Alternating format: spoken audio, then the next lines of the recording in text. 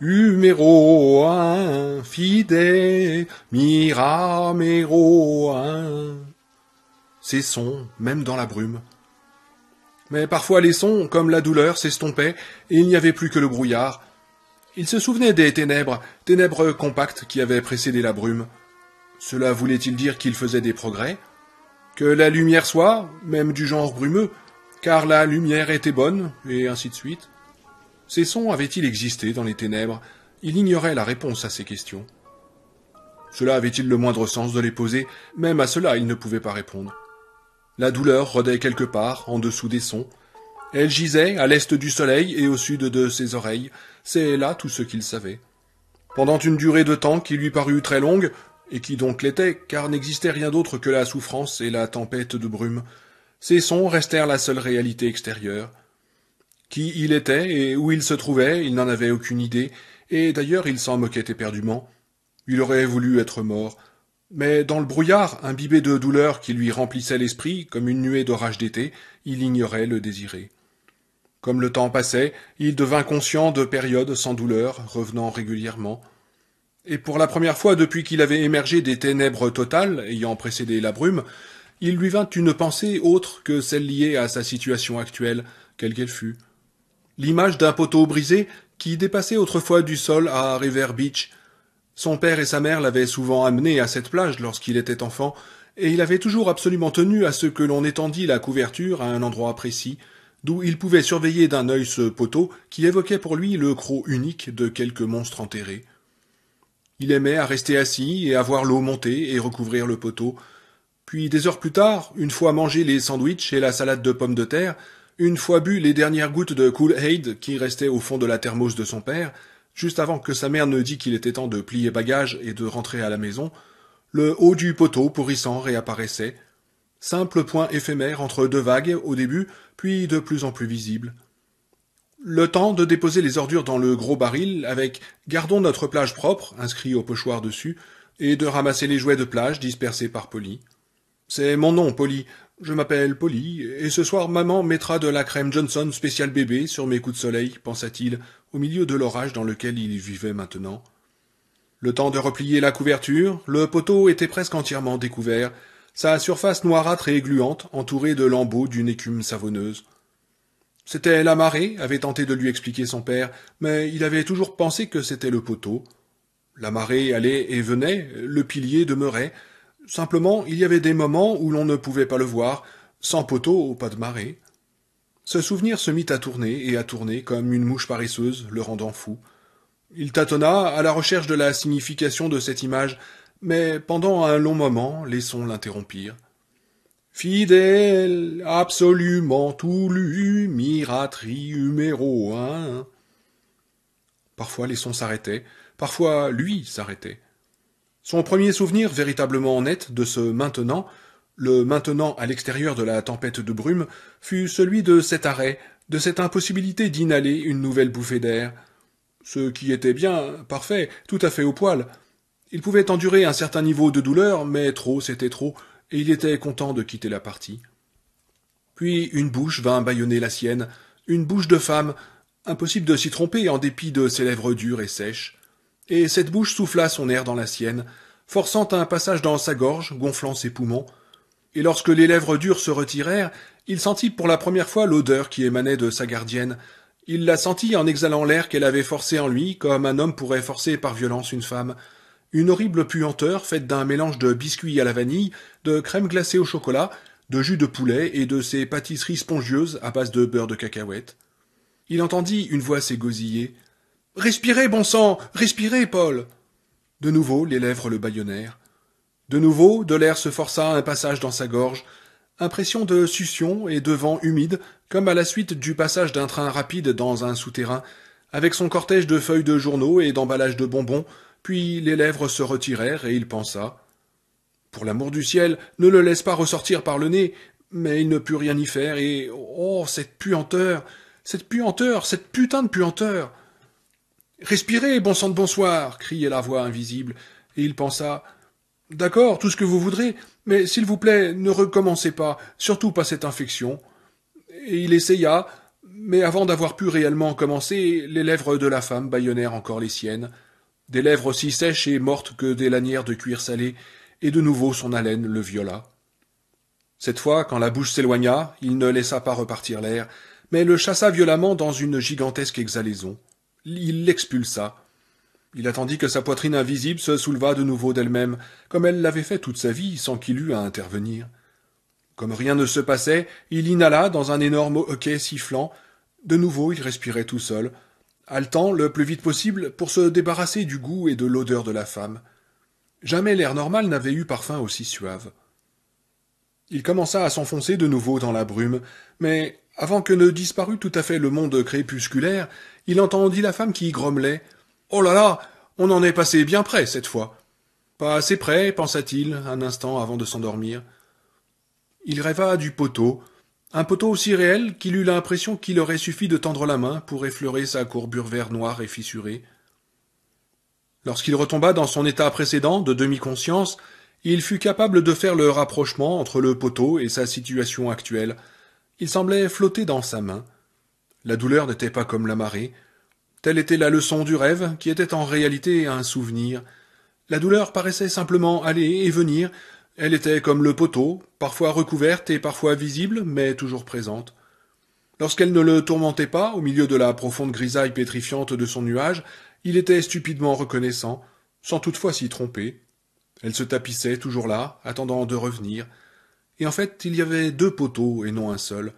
La douleur était ses poteaux, et cela faisait longtemps qu'en lui quelque chose savait, sans qu'il en eût conscience, que ses chicots déchiquetés étaient ses propres jambes en lambeaux. Mais il lui fallut encore un long moment avant de pouvoir finalement rompre l'écume de salive séchée qui lui scellait les lèvres, et d'être capable de coasser. Où suis-je? À la femme, assise à côté de son lit, un livre à la main. Le nom de l'auteur était Paul Sheldon. Il le reconnut comme le sien et n'en éprouva nulle surprise. Sinwinder, dans le Colorado, dit-elle, quand il eut réussi à parler. Mon nom est Annie Wilkes, et je suis. Oh, je sais, la coupa-t-il, mon admiratrice numéro un. Oui, répondit-elle avec un sourire. C'est exactement ce que je suis. Ténèbres, puis douleur et brume, puis prise de conscience que bien que la souffrance fût constante, elle se trouvait de temps en temps enterrée par un difficile compromis qu'il pensait être un soulagement. Premier souvenir réel, il s'arrête et le viol de la laine empuantie de la femme le ramène à la vie. Deuxième souvenir réel, des doigts enfournent quelque chose dans sa bouche à intervalles réguliers, comme des gélules. Simplement, comme il n'avait pas d'eau dans la bouche, elles y restaient et fondaient avec un goût abominablement amer, un peu comme celui de l'aspirine. Il aurait bien aimé cracher pour se débarrasser de cette amertume, mais il n'était pas assez fou pour cela, car c'était ce goût amer qui faisait monter la marée au-dessus des poteaux. Des poteaux, ce sont des poteaux, il y en a deux, d'accord? Bon, ben maintenant ferme-la simplement, ferme-la. Et paraissait les faire disparaître pendant quelque temps. Ces événements se produisaient toujours à de grands intervalles, puis, alors que la douleur commençait non pas tant à reculer qu'à s'éroder, comme avait dû se rôder aussi le poteau de River Beach, songea-t-il, car rien n'est éternel, bien que l'enfant qu'il avait été eût traité par le mépris une telle hérésie. Les objets extérieurs se mirent à empiéter de plus en plus rapidement sur lui, jusqu'à ce que le monde objectif, avec tout son poids de souvenirs, d'expériences et de préjugés, se fût passablement bien remis en place. Il s'appelait Paul Sheldon et écrivait deux sortes de romans, ceux qui étaient bons et ceux qui se vendaient bien. Marié deux fois, divorcé deux fois, il fumait trop, ou fumait naguère trop, avant tout cela, quoi que fût-ce tout cela. Quelque chose d'épouvantable lui était arrivé, mais il était toujours en vie. Le nuage d'un gris menaçant se dissipait de plus en plus vite. Il allait encore s'écouler un certain temps avant que son admiratrice numéro un ne lui apportât la vieille royale ferraillante, avec son grand sourire édenté et sa voix à la Ducky Deddles, mais Paul avait déjà compris depuis un bon moment qu'il se trouvait dans un sacré pétrin. La partie de son esprit, douée de préscience, la vit avant même de savoir qu'il la voyait, et dut certainement la comprendre avant de savoir qu'il la comprenait. Sinon, pourquoi lui aurait-il associé des images aussi sévères et menaçantes? Chaque fois qu'elle venait dans la chambre, il pensait à ces idoles qu'adorent les tribus africaines superstitieuses, ainsi qu'à des pierres, à un destin funeste. Se représenter Annie Wilkes sous la forme d'une idole africaine sortie tout droit des mines du roi Salomon était à la fois grotesque et étrangement juste. Grande comme une jument, c'était une femme qui, en dehors du renflement volumineux mais guère accueillant de sa poitrine, semblait ne présenter aucune courbe féminine, aucune rondeur définie aux hanches, aux fesses, ni même aux mollets, sous l'interminable succession de jupes en lainage qu'elle portait dans la maison. Elle disparaissait dans une pièce invisible pour enfiler des jeans avant d'accomplir des corvées à l'extérieur. Elle avait un corps monumental, mais dépourvu de générosité. Elle donnait une impression d'engorgement et de butoir plutôt que d'orifice accueillant, ou même simplement d'espace ouvert, de zone de hiatus. Plus que tout, il se dégageait d'elle une impression perturbante de compacité, comme si elle n'avait possédé ni vaisseau sanguin, ni même organe interne, comme s'il n'y avait eu que de l'Annie Wilkes bien solide, d'un flanc à l'autre, et des pieds à la tête de cette femme. Il éprouvait de plus en plus la conviction que ses yeux, qui apparemment bougeaient, étaient en réalité peints sur elle, et qu'ils ne se mouvaient pas davantage que ces yeux de certains portraits qui paraissent vous suivre partout où vous allez dans la pièce et où que les tableaux soient accrochés. Il lui semblait que s'il avait placé deux doigts en V et tenté de les enfoncer ainsi dans les narines, il se serait heurté au bout d'un centimètre à quelque chose de solide, quoique peut-être de légèrement souple, que même le cardigan gris qu'elle portait en permanence, tout comme ses jupes informes, voire même ses jeans pour gros travaux, faisait partie de ce corps fibreux, compact, qu'aucun réseau ne parcourait. Si bien que cette impression d'idole sortie tout droit de quelque roman échevelé n'avait en réalité rien de surprenant. Comme une idole, elle ne donnait qu'une chose, un sentiment de malaise qui s'accroissait progressivement et tournait à la terreur. Comme une idole, elle prenait tout le reste. Non, attendez, c'est tout à fait injuste. Elle donnait bien quelque chose, ces gélules amères qui faisaient monter la marée au-dessus des poteaux. Les gélules étaient la marée. Annie Wilkes, la présence lunaire qui les entraînait dans sa bouche comme une vague rejette des espoirs sur une plage. Elle les lui apportait toutes les six heures, n'annonçant tout d'abord sa présence que par les deux doigts qu'elle enfonçait dans sa bouche. Il ne tarda pas à les sucer avec enthousiasme en dépit de l'amertume, puis par sa silhouette malfagotée qui complétait d'ordinaire sous son bras un exemplaire en édition de poche de l'un de ses romans. La nuit, elle lui apparaissait dans une robe rose éraillée, le visage brillant d'une crème quelconque.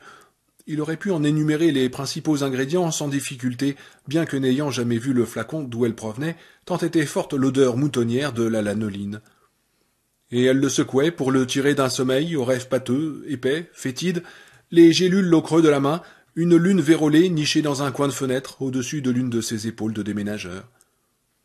Au bout d'un moment, alors que son inquiétude était devenue trop manifeste pour pouvoir être ignorée, il découvrit enfin le nom du produit dont elle le gavait.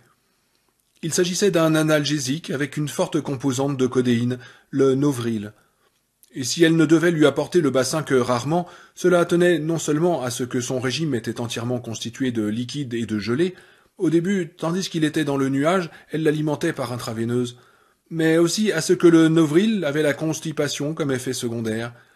Mais il en avait un autre, nettement plus sérieux, les risques d'insuffisance respiratoire chez les patients fragiles. Paul n'était pas particulièrement fragile, même s'il était gros fumeur depuis près de vingt ans, mais sa respiration ne s'en était pas moins arrêtée au moins une fois. Le même accident s'était peut-être produit sans qu'il en eût conscience alors qu'il gisait encore dans la brume, le jour où elle lui avait fait le bouche à bouche. C'était peut-être seulement un accident, comme il en arrive, mais il en vint plus tard à soupçonner qu'elle avait failli le tuer involontairement à cause d'une dose trop forte. Il n'en savait pas autant qu'elle le croyait sur ce qu'elle faisait. Ce n'était là que l'un des aspects d'Annie qui avait le don de le terrifier. Il découvrit trois choses presque simultanément, environ dix jours après avoir émergé du nuage sombre. La première était que Annie Wilkes possédait de vastes réserves de Novril. Elle disposait en réalité de vastes réserves de toutes sortes de médicaments. La deuxième, qu'il était accro au Novril, et la troisième, que Annie Wilkes était une dangereuse cinglée. Les ténèbres avaient précédé la douleur et le nuage de tempête. Il commença à se souvenir de ce qui avait précédé les ténèbres quand elle lui expliqua ce qui lui était arrivé. Ce fut peu de temps après avoir posé la traditionnelle question du dormeur qui se réveille désorienté, à quoi elle avait répondu qu'il se trouvait dans la petite ville de Sidwinder, au Colorado. Elle avait ajouté avoir lu chacun de ses huit romans au moins deux fois et dévoré ses préférés, à savoir la série des Miséries, quatre, cinq, sinon six fois. Elle n'émettait qu'un vœu qu'il pût les écrire plus rapidement. Elle lui avoua qu'elle avait eu toutes les peines du monde à croire que son patient était bien le véritable Paul Sheldon, après avoir lu sa carte d'identité dans son portefeuille. Au fait, où est mon portefeuille? demanda-t-il. Je l'ai placé en lieu sûr, répondit-elle. Son sourire se transforma soudain en une expression de méfiance obtuse qui ne lui plut pas beaucoup. Impression de découvrir une profonde crevasse, presque dissimulée par les fleurs de l'été, au milieu d'une souriante et joyeuse prairie. Vous ne croyez tout de même pas que je vous ai volé quelque chose, non oh, Non, bien sûr que non, répondit-il. C'est simplement que le reste de ma vie s'y trouve, songea-t-il. Ma vie à l'extérieur de cette pièce, en dehors de la douleur, en dehors de cet apparemment étirement du temps, semblable à ces longs filaments de chewing-gum que font les gosses lorsqu'ils s'ennuient, parce que c'est ainsi que ça se passe dans l'heure qui précède l'arrivée des gélules. Simplement quoi, monsieur l'homme insista-t-elle. Et il vit avec inquiétude que le regard rétréci devenait de plus en plus sombre. La crevasse s'élargissait, comme si un séisme grondait en dessous de son front.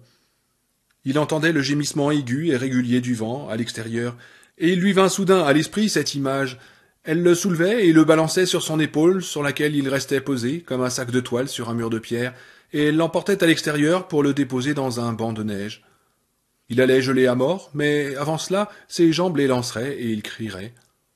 C'est simplement parce que mon père m'a toujours dit de faire attention à mon portefeuille, répondit-il, surpris de la facilité avec laquelle il avait menti.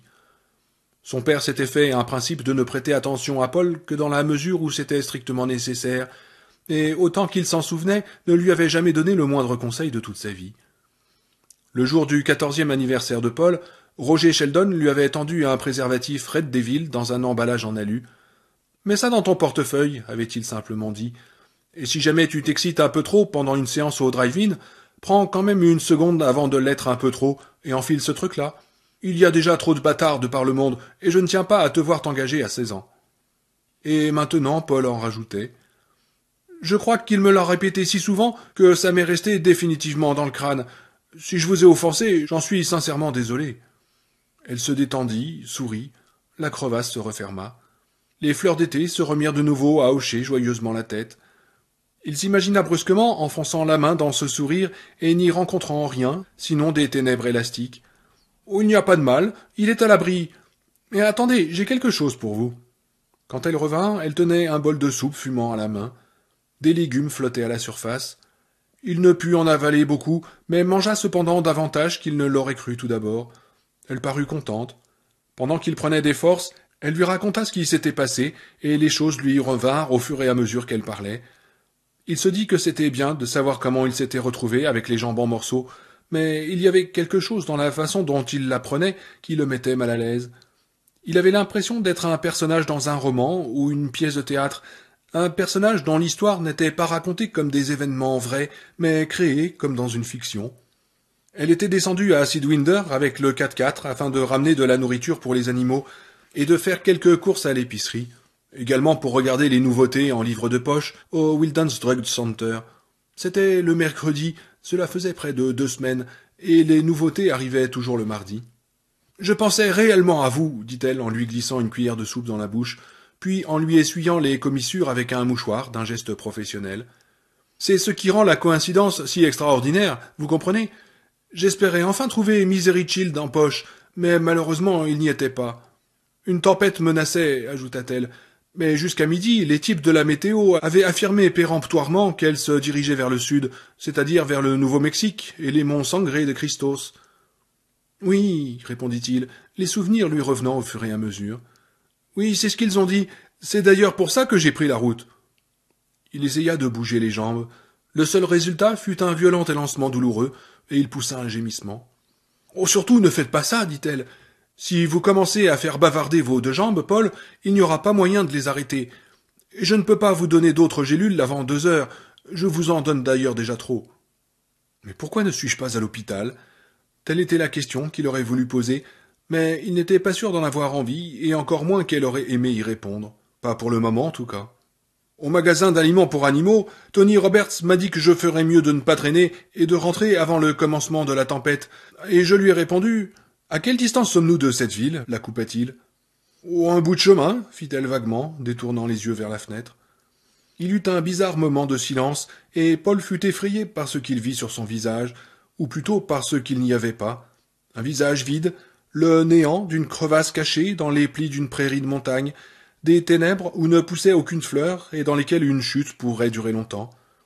Le visage d'une femme qui venait de larguer momentanément tous ses ancrages vitaux, tous ses points de repère, une femme qui non seulement avait oublié le souvenir qu'elle était en train de raconter, mais toute mémoire. Il avait visité une fois un asile d'aliénés bien des années auparavant, alors qu'il faisait des recherches pour Misérie, le premier des quatre ouvrages devenu sa principale source de revenus au cours des huit dernières années, et il y avait vu ce regard, ou plus précisément cette absence de regard. Le mot qui définissait cet état était catatonie, mais ce qui l'effrayait ne pouvait se définir aussi clairement. C'était en fait une vague comparaison.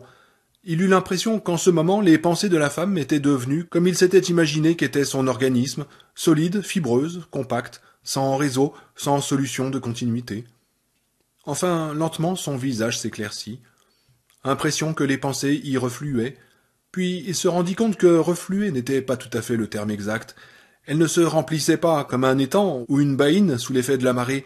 Elle se réchauffait, oui, elle se réchauffait comme un petit appareil électrique, un grille-pain ou encore un chauffe-plat. Et j'ai répondu à Tony, la tempête va vers le sud.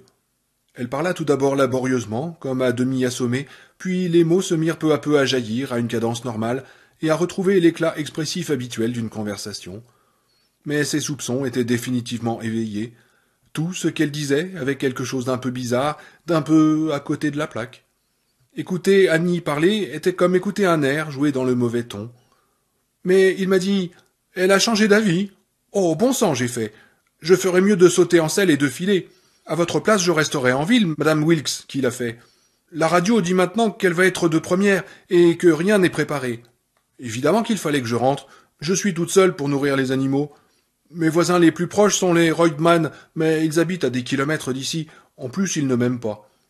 Elle lui jeta un regard aigu en disant cela. Comme il ne réagissait pas, elle fit teinter la cuillère contre le bord du bol. C'est fini? Oui, je n'ai plus faim, merci. C'était très bon. Avez-vous beaucoup de bétail? Parce que, pensait-il déjà, cela signifie que vous devez avoir quelqu'un pour vous aider, si c'est le cas. Au moins un journalier. Aide, tel était le mot de circonstance. Du moins, cela lui paraissait-il ainsi, car elle ne portait pas d'alliance à la main. Oh non, pas beaucoup, admit-elle. J'ai deux vaches, une demi-douzaine de pondeuses et misérie. Il cligna des yeux. Elle rit.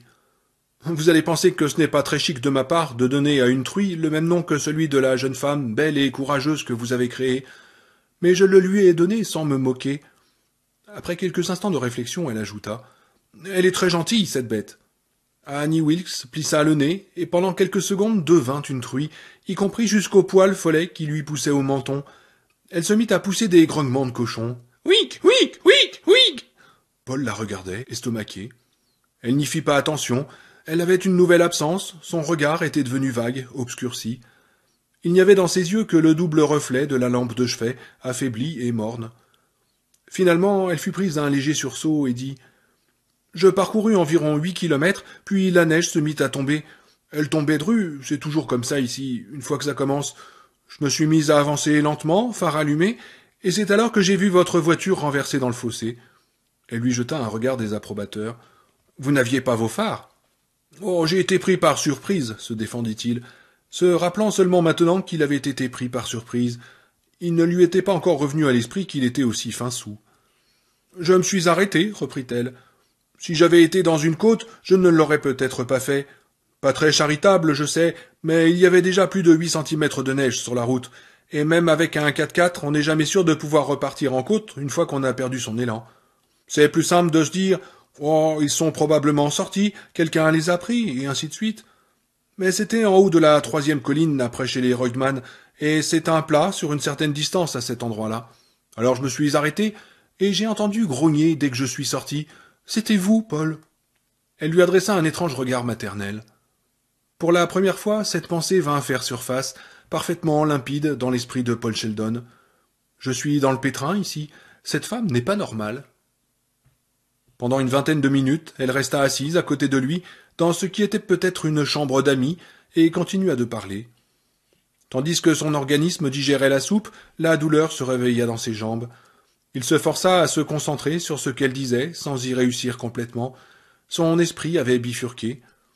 D'un côté, il l'écoutait raconter comme elle l'avait sorti de ce qui restait de sa Camaro 74. Ça, c'était le côté avec les violents élancements douloureux, les deux poteaux déchiquetés commençant à faire de brèves apparitions entre deux vagues, tandis que la mer se retirait. De l'autre, il se revoyait au boule de radeau hôtel, finissant son nouveau roman, qui, merci Seigneur pour tes petites grâces, ne mettait pas en scène Misérie Chastain. Il avait toutes sortes de bonnes raisons de ne pas écrire un nouveau Misérie, mais il y en avait une qui l'emportait sur les autres, et elle était en béton armé. Misérie, merci Seigneur pour tes plus grandes grâces, était finalement morte. Passé de vie à trépas, cinq pages avant la fin de Misery Child. Pas un œil n'était resté sec dans la maison lorsque s'était produit le tragique événement, pas même celui de Paul, si ce n'est que les larmes qui avaient coulé des siens avaient été le résultat d'un fou rire hystérique. En mettant l'ultime touche à son nouveau livre, un roman contemporain qui racontait l'histoire d'un voleur de voiture, il s'était souvenu du moment où il avait tapé la dernière phrase de Misery. C'est ainsi que Yann et Geoffrey quittèrent ensemble le cimetière de Little Dunthorpe, se souvenant mutuellement de leur chagrin, déterminés à trouver une nouvelle raison de vivre. Il avait été pris d'une telle hilarité en écrivant ces mots qu'il avait eu des difficultés à frapper les bonnes touches et dû faire plusieurs corrections.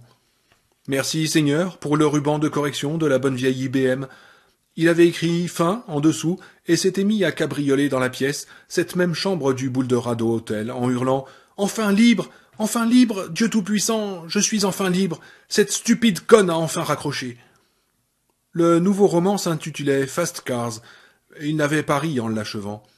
Il était simplement resté assis devant sa machine à écrire pendant un moment, en songeant tu viens peut-être de gagner le prochain Grand Prix du livre d'Amérique, mon vieux. Il avait alors décroché. Une petite échymose à la tempe droite, mais ça n'avait pas l'air de grand-chose. C'était vos jambes. Je l'ai vu tout de suite, même avec la lumière qui commençait à baisser, que c'était vos jambes. Le téléphone et demandait qu'on lui monte une bouteille de Dom Pérignon. Il se souvenait l'avoir attendu en faisant les cent pas dans cette chambre où il avait terminé tous ses livres depuis 1974. Il se souvenait d'avoir donné un billet de cinquante dollars en pourboire au garçon d'étage avant de lui demander s'il avait entendu les prévisions de la météo. Il se souvenait de l'expression joyeuse et rayonnante du jeune homme lorsqu'il lui avait dit que la tempête qui se préparait devait en principe obliquer vers le sud, vers le Nouveau-Mexique. Il se souvenait du froid de la bouteille, du léger bruit produit par le bouchon qu'il avait dégagé délicatement. Il se souvenait du goût sec, acide et âpre du premier verre, puis d'avoir ouvert son sac de voyage et regardé son billet d'avion pour New York.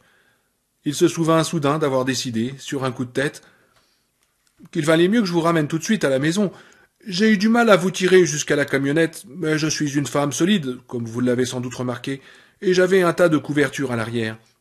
Je vous ai enroulé dedans, et même à ce moment-là, alors qu'on n'y voyait plus grand-chose, j'avais l'impression de vous connaître.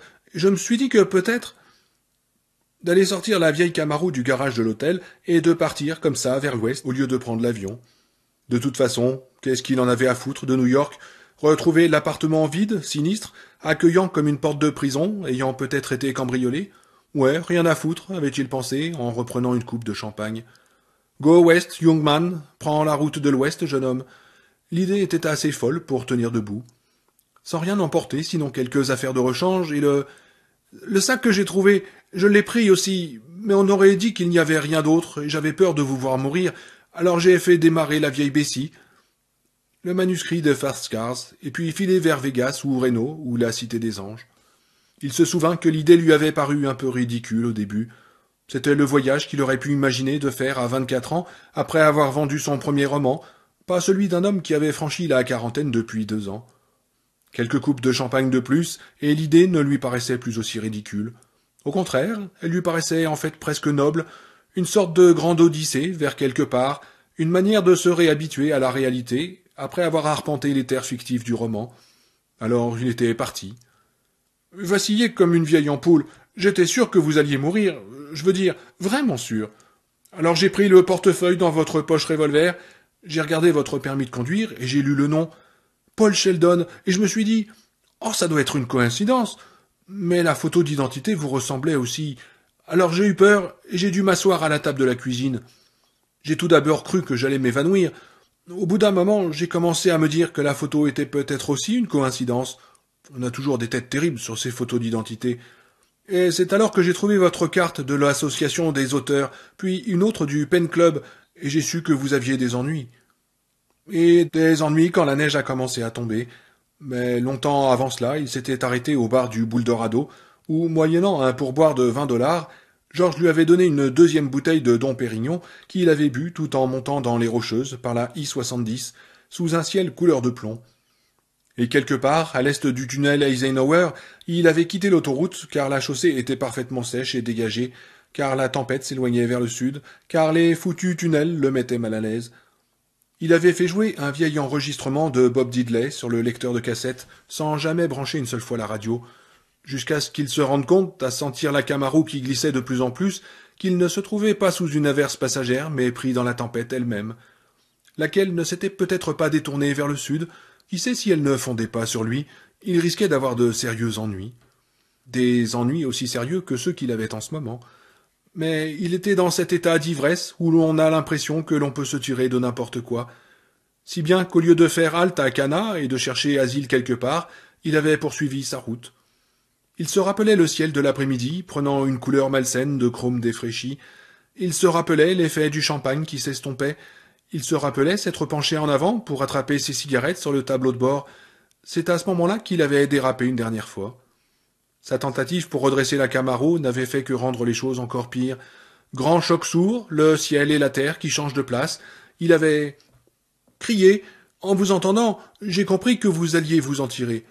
Les mourants hurlent rarement aussi fort, ils n'ont pas assez d'énergie. J'ai alors décidé que je vous ferais vivre, moi. J'ai donc été prendre des analgésiques dans ma réserve et je vous en ai donné. Vous vous êtes endormi. À votre réveil, vous vous êtes remis à crier et je vous en ai donné d'autres. Vous avez eu de la fièvre pendant un certain temps, mais j'en suis aussi venu à bout, avec du Keflex. Vous avez eu aussi une ou deux alertes sérieuses, mais tout ça est terminé maintenant, c'est promis. Elle se leva. Et le moment est venu de se reposer, Paul. Il faut reprendre des forces. Mes jambes me font mal, dit-il.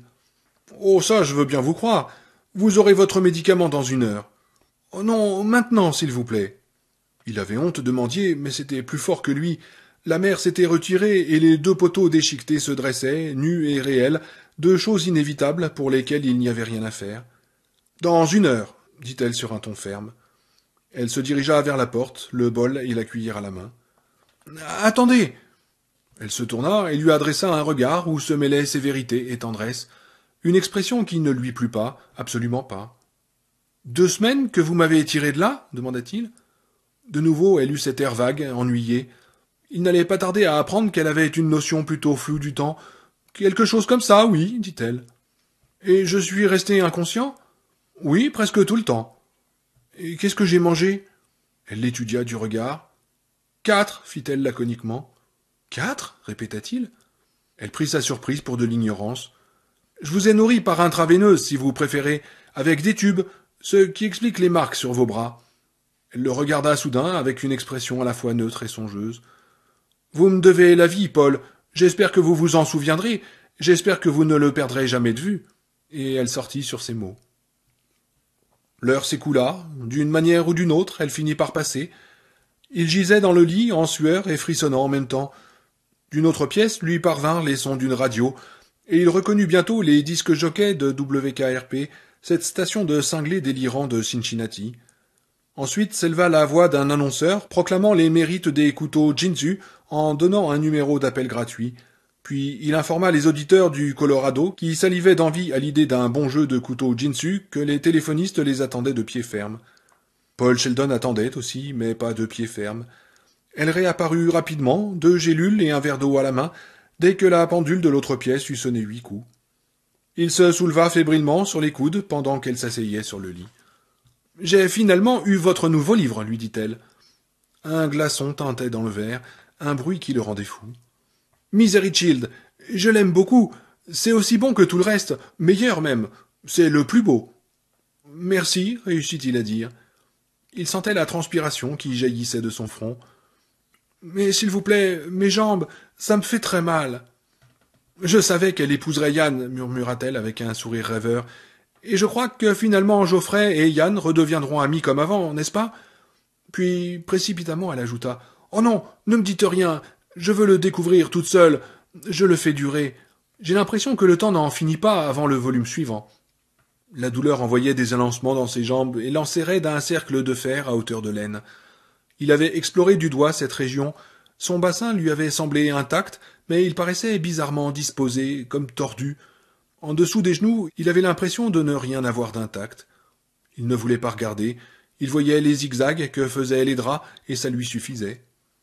Je vous en prie, mademoiselle Wilkes, j'ai mal. Oh, appelez-moi Annie, comme tous mes amis. Elle lui tendit le verre. Il était frais et couvert de buée. Les gélules dans sa main étaient la marée montante. Elle était la lune, et elle avait soulevé les flots qui viendraient recouvrir les poteaux. Elle approcha les gélules de sa bouche, qu'il ouvrit immédiatement, et sa main se retira. J'ai pris la liberté de regarder dans votre petit sac. Vous ne m'en voulez pas, n'est-ce pas Non, bien sûr que non, répondit-il. Mais ce médicament. Les gouttes de sueur sur son front lui paraissaient tour à tour brûlantes et glaciales. Allait-il se mettre à hurler? Il en avait l'impression. J'y ai trouvé un manuscrit, reprit-elle. Elle tenait les gélules dans sa main droite, qu'elle inclina lentement. Elles tombèrent dans sa main gauche. Des yeux, elle les suivit. Ça s'appelle Fascars. J'ai bien compris que ce n'était pas une autre histoire de misérie. Elle lui jeta un léger regard de désapprobation. Désapprobation comme la première fois, mêlée d'amour. Un regard maternel. Il n'y avait pas de voiture au XIXe siècle, rapide ou autre. Sa petite plaisanterie la fit pouffer. J'ai aussi pris la liberté de le parcourir. Vous ne m'en voulez pas, hein? Oh, je vous en prie, gémit-il. Non, je vous en prie. Sa main gauche s'éleva et s'inclina. Les gélules roulèrent, hésitèrent, puis dégringolèrent dans sa main droite avec un minuscule cliquetis. Et si je le lis demanda-t-elle. Est-ce que cela vous est égal que je le lise? Oui, bien sûr. Il avait les os en miettes et ses jambes étaient lardées de tessons de verre effilé. Au, au contraire, réussit-il à dire, avec ce qu'il espéra être un sourire. Au contraire. Parce que je ne me permettrai jamais de faire une chose pareille sans votre permission, reprit-elle du ton le plus sérieux. Je vous respecte trop pour cela, en fait. Paul, je vous aime. Elle s'empourpra soudain, de manière inquiétante. L'une des gélules tomba de sa main et atterrit sur le couvre-lit. Paul voulut s'en emparer, mais elle fut plus rapide. Il poussa un gémissement, mais elle ne le remarqua pas. Après avoir repris la gélule, elle retomba dans le vague, le regard perdu vers la fenêtre. Votre esprit, dit-elle, votre créativité, c'est tout ce que je veux dire. Au désespoir, et parce que c'était la première chose qui lui venait à l'esprit, il marmonna Je sais, vous êtes mon admiratrice numéro un. Elle ne fit pas que se réchauffer cette fois, elle parut s'illuminer. C'est ça, s'exclama-t-elle, exactement ça. Vous ne voyez pas d'inconvénient à ce que je le lise dans cet esprit, n'est-ce pas? Dans un état d'esprit d'admiratrice aimante, même si je n'ai pas autant aimé les autres romans que ceux de la série des Miséries. Non, coassa-t-il, fermant les yeux.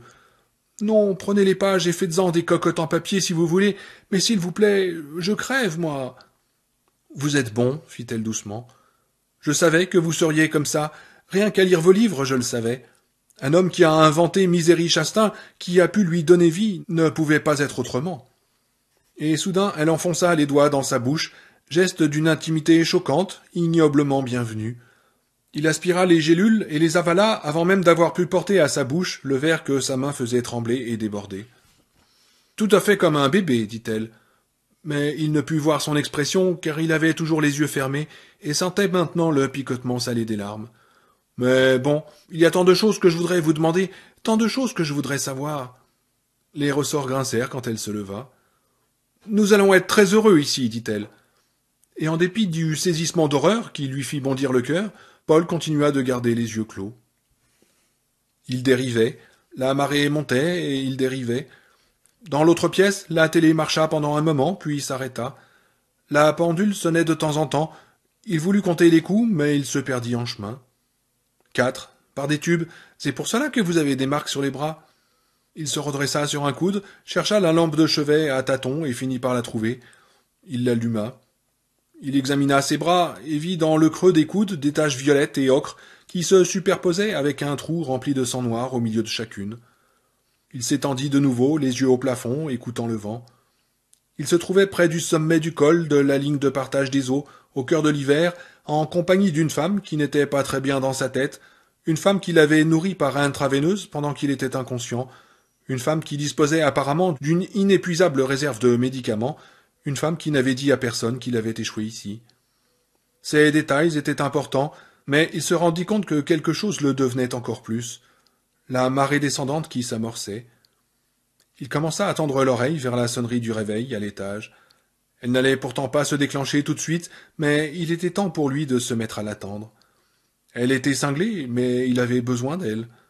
Oh, tu parles d'un pétrin, pensa-t-il, les yeux toujours tournés vers le plafond qu'il ne voyait pas, tandis que des gouttelettes de sueur perlaient de nouveau à son front. Le matin suivant, elle lui apporta encore de la soupe et lui dit qu'elle avait lu quarante pages de ce qu'elle appelait son livre manuscrit. Elle ajouta qu'elle ne le trouvait pas aussi bon que les autres. C'est difficile à suivre. Ça n'arrête pas de sauter en avant et en arrière dans le temps. C'est technique, répondit-il. Il planait quelque part entre la douleur et l'absence de douleur, et était donc capable de penser un peu mieux à ce qu'elle disait. Question de technique, c'est tout. Le sujet commande la forme. Il supposait vaguement que ces trucs de métier pourraient l'intéresser, voire même la fasciner. Dieu sait s'il avait fasciné les étudiants des ateliers d'écriture auxquels il avait fait des cours dans sa jeunesse. Le garçon a un esprit confus, vous comprenez, et c'est pourquoi. Oh oui, il est très confus, et il est moins intéressant à cause de cela, dit-elle.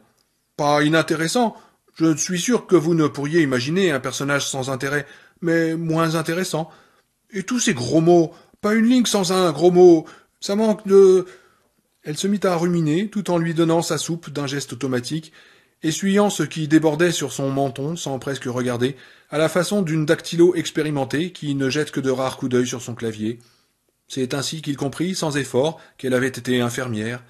Non, pas médecin, oh non, Jamais un médecin n'aurait anticipé le dégoulinement de la soupe comme ça, ni su l'essuyer d'une main aussi experte. Si le type de la météo avait fait son travail moitié aussi bien que Annie Wilkes fait le sien, je ne serais pas dans ce putain de merdier, pensa-t-il amèrement. Ça manque de noblesse, s'écria-t-elle soudain, avec un sursaut qui faillit lui faire renverser la soupe à l'orge sur le visage levé de Paul. En effet, répondit-il d'un ton patient, je comprends ce que vous voulez dire, Annie. Il est exact que Tony Bossarano est un être sans noblesse. C'est un môme sorti du bidonville qui s'efforce de s'arracher à son milieu, vous comprenez. Et ces termes, eh bien, tout le monde les utilise dans. Non, c'est faux, s'exclama-t-elle, en lui jetant un regard meurtrier. Comment croyez-vous que je fais quand je vais au magasin d'aliments pour bétail en ville? Que pensez-vous que je dise? Dis donc, Tony, donne-moi ce sac de, de bouffe pour cochon et un sac de cette de maïs de vache, et ainsi de suite. Et que croyez-vous donc qu'ils me répondent vous avez raison, Annie. C'est ça, parler? Elle lui faisait les gros yeux, et son visage était comme un ciel dans lequel couve une tornade, prête à se déchaîner à tout instant. Il s'enfonça dans les oreillers, effrayé. Le bol de soupe penchait dans la main d'Annie. Une goutte, puis deux tombèrent sur le couvre-lit. Et après, je descends la rue, et je vais à la banque dire à madame Bollinger, tenez, voici un chèque, et filez-moi cinquante de dollars, et que ça saute. Croyez-vous que lorsqu'on m'a appelé à la barre, à Denver, une coulée de soupe boueuse cascada sur le couvre-lit. Elle regarda les dégâts, puis leva les yeux vers Paul. Tenez, regardez ce que vous me faites faire. Oh, je suis désolé, dit-il. bien sûr, vous pouvez l'être, hurla-t-elle. Puis elle lança le bol dans un angle de la pièce où il explosa. Une tache de soupe étoila le mur, puis elle s'éteignit comme une lumière. Elle resta immobile durant peut-être trente secondes, Trente secondes pendant lesquelles le cœur de Paul Sheldon parut ne pas avoir un seul battement. Elle se réveilla petit à petit et se mit soudain à pouffer. J'ai un de ces caractères, dit-elle. Je suis désolé, fit-il, la gorge sèche. Oh, vous pouvez bien.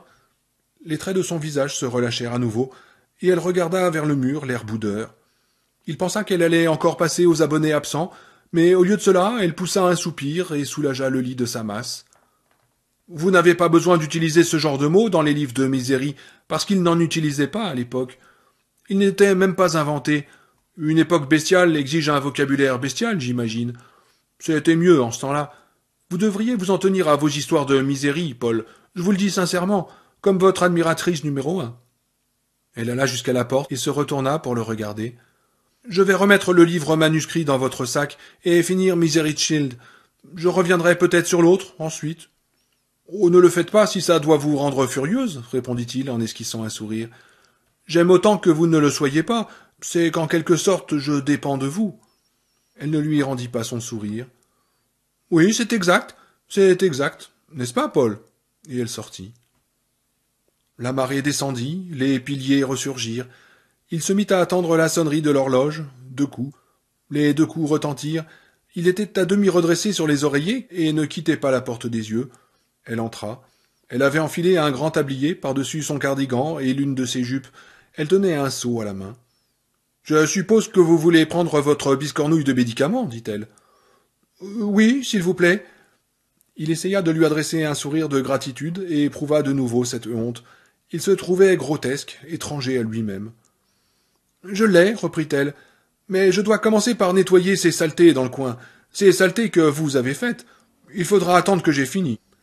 Cloué au lit, ses jambes en forme de branches brisées sous les couvertures, une sueur froide ruisselant avec lenteur le long de ses joues, il la regarda traverser la pièce, poser le seau sur le sol, ramasser les débris du bol, sortir de la chambre pour aller les jeter, revenir s'agenouiller à côté du seau et en tirer une serpillière savonneuse qu'elle essora avant d'entreprendre de nettoyer la tache de soupe séchée sur le mur. Cloué au lit, il la regardait, et finalement se mit à trembler, des tremblements qu'il ne pouvait contenir et qui rendaient la douleur pire encore. Elle se retourna une fois et le vit qui frissonnait et trempait son drap de sueur. Elle lui adressa un sourire entendu, chargé de tant de sournoiseries qu'il aurait pu facilement la tuer. Ça s'est desséché, dit-elle, en regardant de nouveau vers l'angle du mur. J'ai bien peur d'en avoir pour un bon moment, Paul. Elle frotta. La tache disparut lentement de l'enduit, mais elle continua de plonger la serpillière dans le seau, de la tordre, de frotter et de tout recommencer. Il ne pouvait pas lui voir le visage, mais l'idée, la certitude qu'elle avait été prise d'une nouvelle absence et pourrait continuer à frotter le mur pendant des heures se mit à le tourmenter. Finalement, juste avant que la pendule ne sonne un coup, la demi de deux heures, elle se leva et laissa retomber la serpillière dans l'eau. Elle prit le seau et sortit de la pièce sans un mot. Cloué au lit, il tendit l'oreille vers les craquements du plancher qui trahissaient le passage de sa masse imposante et compacte, et l'entendit qui vidait l'eau. Puis, à sa stupéfaction, qui le remplissait à nouveau. En silence, il se mit à crier. Jamais la marine ne s'était retirée aussi loin. Il ne voyait plus que des flaques boueuses et les deux poteaux déchiquetés projetant pour l'éternité leurs ombres tailladées. Elle revint, s'immobilisa un instant sur le seuil de la chambre et étudia le visage mouillé de Paul avec ce même mélange de sévérité et d'amour maternel dans son expression. Puis ses yeux se tournèrent vers l'angle de la pièce. Il ne restait aucune trace de la tache de soupe. Il faut que je rince maintenant, dit-elle, sinon le savon va laisser une trace plus sombre. Je dois tout faire et tout faire à fond. Quand on vit seul, on n'a aucune excuse de bâcler le travail. Ma mère avait une devise, Paul, et je la mets en pratique. Une fois crasseux, jamais net. Voilà ce qu'elle disait. S'il vous plaît, gémit-il, s'il vous plaît, j'ai mal, c'est à mourir. Mais non, vous ne mourrez pas. Je vais crier, dit-il, se mettant à pleurer plus abondamment. Ça lui faisait mal de crier, ça lui faisait mal aux jambes et ça lui faisait mal au cœur. Je ne vais pas pouvoir m'en empêcher. Alors criez, mais n'oubliez pas que c'est vous qui avez fait tout ce gâchis, pas moi. Ce n'est de la faute de personne d'autre que vous. Il réussit néanmoins à ne pas crier, il la regarda plonger la serpillière dans l'eau, l'essorer, frotter, rincer et recommencer. En fin de compte, alors que la pendule qu'il imaginait se trouver dans le salon sonnait trois coups, elle se leva et prit le seau. Elle va sortir maintenant, elle va sortir, et je vais l'entendre vider le seau dans l'évier, et peut-être qu'elle ne va pas revenir avant des heures, parce que je ne sais pas si elle juge m'avoir assez puni ou non. Mais au lieu de sortir, elle se dirigea vers le lit, et fouilla de sa main libre dans la poche du tablier. Elle en tira non point deux gélules, mais trois. Tenez, dit-elle tendrement. Il les engloutit, et lorsqu'il releva les yeux, il la vit qui soulevait le seau de plastique jaune et le lui tendait. Il remplissait son champ de vision comme une lune à son couchant. Quelques grosses gouttes grisâtres tombèrent sur le drap. Faites-les descendre avec ça, ordonna-t-elle. Il y avait toujours de la tendresse dans sa voix. Il la regarda, les yeux exorbités. Allez-y. Je sais que vous êtes capable de les avaler sans eau, mais je vous prie de croire que je peux vous les faire rendre instantanément. Après tout, ce n'est que de l'eau de rinçage, ça ne vous fera pas de mal. Elle se pencha sur lui comme un menhir, le seau légèrement incliné. Il voyait la serpillière qui ondoyait comme noyée dans les profondeurs troubles de l'eau. Il devinait une croûte savonneuse dessus. Quelque chose en lui protesta, mais il n'hésita pas une seconde. Il but rapidement, faisant descendre les gélules, et il eut dans la bouche le même goût que lorsque sa mère autrefois l'obligeait à se laver les dents avec du savon. Son estomac se révulsa, et il émit un rot grave. À votre place, j'éviterais de rendre, Paul. Pas d'autre avant neuf heures ce soir. Elle le contempla quelques instants, le regard vide et inexpressif, puis son visage s'éclaira. Vous ne me mettrez plus en colère, hein, n'est-ce pas Non, souffla-t-il. Mettre en colère la lune qui apportait la marée montante Quelle idée Quelle affreuse idée Je vous aime, dit-elle, et elle l'embrassait sur la joue. Puis elle sortit sans regarder derrière elle, portant le seau comme une paysanne solidement découplée porterait un seau de lait, en l'éloignant légèrement du corps sans même y penser, afin de ne rien renverser. Il resta allongé, un goût fait d'un mélange de sable et de plâtre dans la bouche, goût de savon aussi. Pas question de dégueuler, pas question de dégueuler. Finalement, ce qu'il y avait d'impératif dans cette idée commença à s'estomper, et il se rendit compte qu'il allait s'endormir. Il avait réussi à conserver le médicament assez longtemps pour qu'il commence à faire effet. Il avait gagné, pour cette fois. Il rêva qu'un oiseau le dévorait. Ce n'était pas un bon rêve. Il y eut une détonation et il pensa Oui, bien, parfait, descendez-le, descendez cette saloperie. Puis il se réveilla et comprit qu'il s'agissait seulement d'Annie Winkles qui refermait la porte de derrière. Elle était sortie faire ses corvées. Il entendit l'écrasement étouffé de ses pas dans la neige. Elle passa devant la fenêtre, accoutrée d'un parka au capuchon relevé. Son haleine fit un nuage qui se dispersa tandis qu'elle avançait. Elle ne regarda pas vers lui, consacrant toute son attention à son travail dans l'étable, supposa-t-il. Nourrir les bêtes, nettoyer les stalles, voire jeter quelques sorts, il ne l'en croyait pas incapable. Le ciel violacé s'assombrissait avec le crépuscule, cinq heures trente, six heures peut-être. La marée était toujours haute, et il aurait pu se rendormir, il l'aurait bien voulu en fait, mais il devait réfléchir à la bizarre situation dans laquelle il se trouvait tant qu'il était capable de penser à peu près rationnellement. Ce qu'il y avait de pire, découvrit-il, était qu'il n'avait aucune envie d'y réfléchir, même lorsqu'il le pouvait, alors qu'il savait très bien qu'il ne pourrait mettre un terme à cette situation sans un effort de réflexion. Son esprit ne cessait de repousser ses tentatives, comme un enfant repousse son assiette, alors même qu'il n'ignore pas qu'il ne pourra quitter la table sans l'avoir terminée. Il ne voulait pas y penser parce que le simple fait de vivre était en lui-même assez dur. Il ne voulait pas y penser parce qu'à chaque fois des images désagréables se présentaient à lui, la façon dont elle s'absentait, les idoles de pierre auxquelles elle lui faisait penser, le seau de plastique jaune qu'elle avait projeté vers son visage comme une lune sur le point de s'écraser.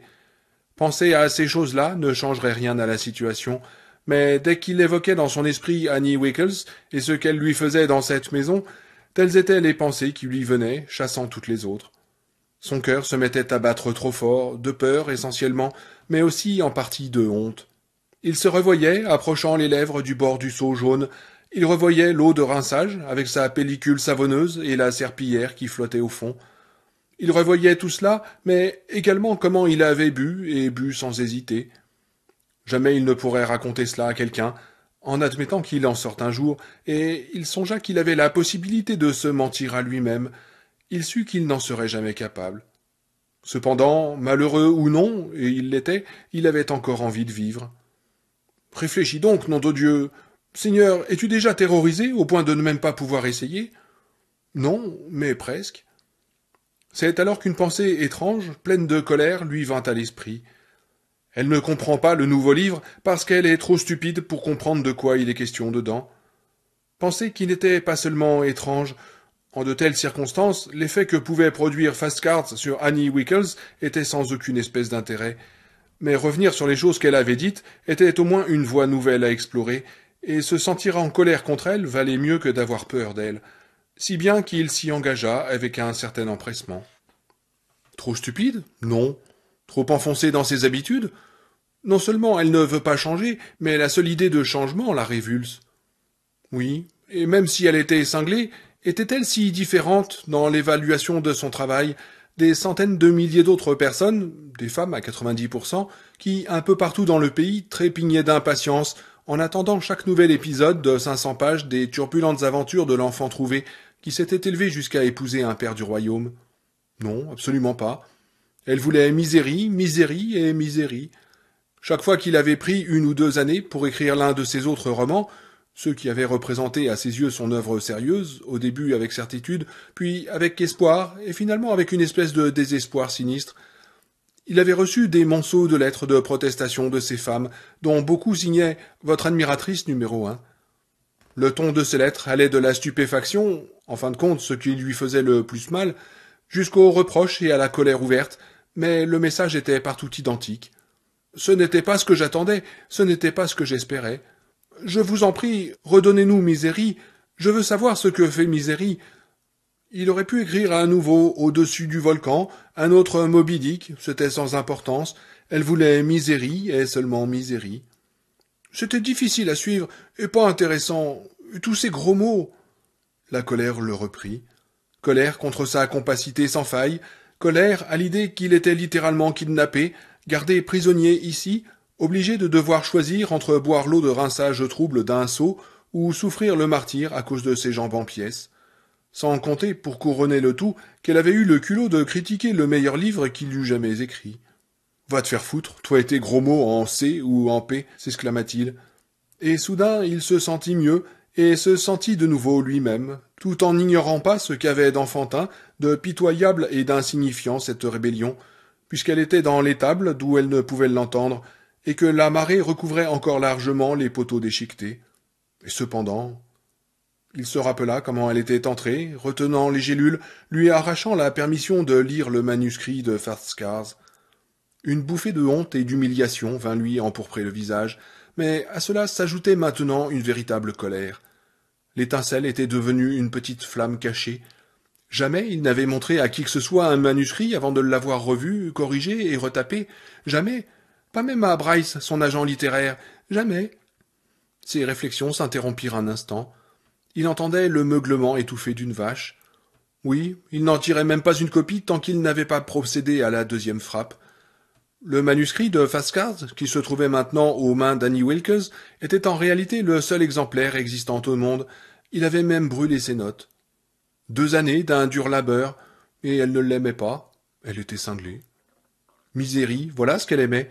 Misérie était la personne qu'elle aimait, et non pas cette espèce de vaurien voleur de voitures sorti du quartier hispano de Harlem et qui parlait comme un chartier. Il se souvenait d'avoir pensé non, prenez les pages et faites-en des cocottes en papier, si vous voulez, avant de l'implorer.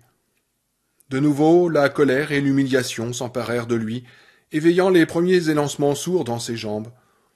Oui, le travail, la fierté du travail, la valeur du travail lui-même, tout cela se réduisait à des ombres de lanterne magique, ce que c'était en réalité, lorsque la douleur devenait assez mauvaise. Qu'elle envisage de lui faire cela, qu'elle puisse lui faire cela, alors qu'il avait passé le plus clair de sa vie d'adulte en pensant que le terme d'écrivain était ce qui le définissait le mieux, la faisait paraître d'une monstruosité sans nom. C'était quelque chose à quoi il devait échapper. Elle était réellement une idole, et si elle ne le tuait pas, elle risquait de détruire ce qu'il y avait en lui. Il entendit alors les grognements impatients du cochon. Elle avait cru qu'il se formaliserait, mais il trouvait que Misérie était un nom merveilleux pour un cochon. Il se souvint de son imitation, de la manière dont sa lèvre supérieure s'était ourlée et repliée vers le nez, de ses joues qui avaient paru s'aplatir, et comment elle avait réellement ressemblé à un cochon pendant un instant. Wick, wick De l'étable lui parvint sa voix. Calme, calme, ma cochonne. Il se laissa retomber sur les oreillers, posa un bras sur ses yeux et essaya de s'accrocher à la colère, car la colère lui donnait du courage. Un homme courageux et capable de penser, un froussard, non. Voici donc une femme qui avait été infirmière, de cela il était sûr. Exerçait-elle encore? Non, puisqu'elle n'allait pas travailler. Pourquoi n'exerçait-elle plus? La réponse paraissait évidente, parce qu'elle avait des cases de vide, parce qu'elle ne tournait pas rond. Si une telle évidence avait pu le frapper au milieu des brumes de la souffrance, elle avait dû frapper encore plus facilement ses collègues.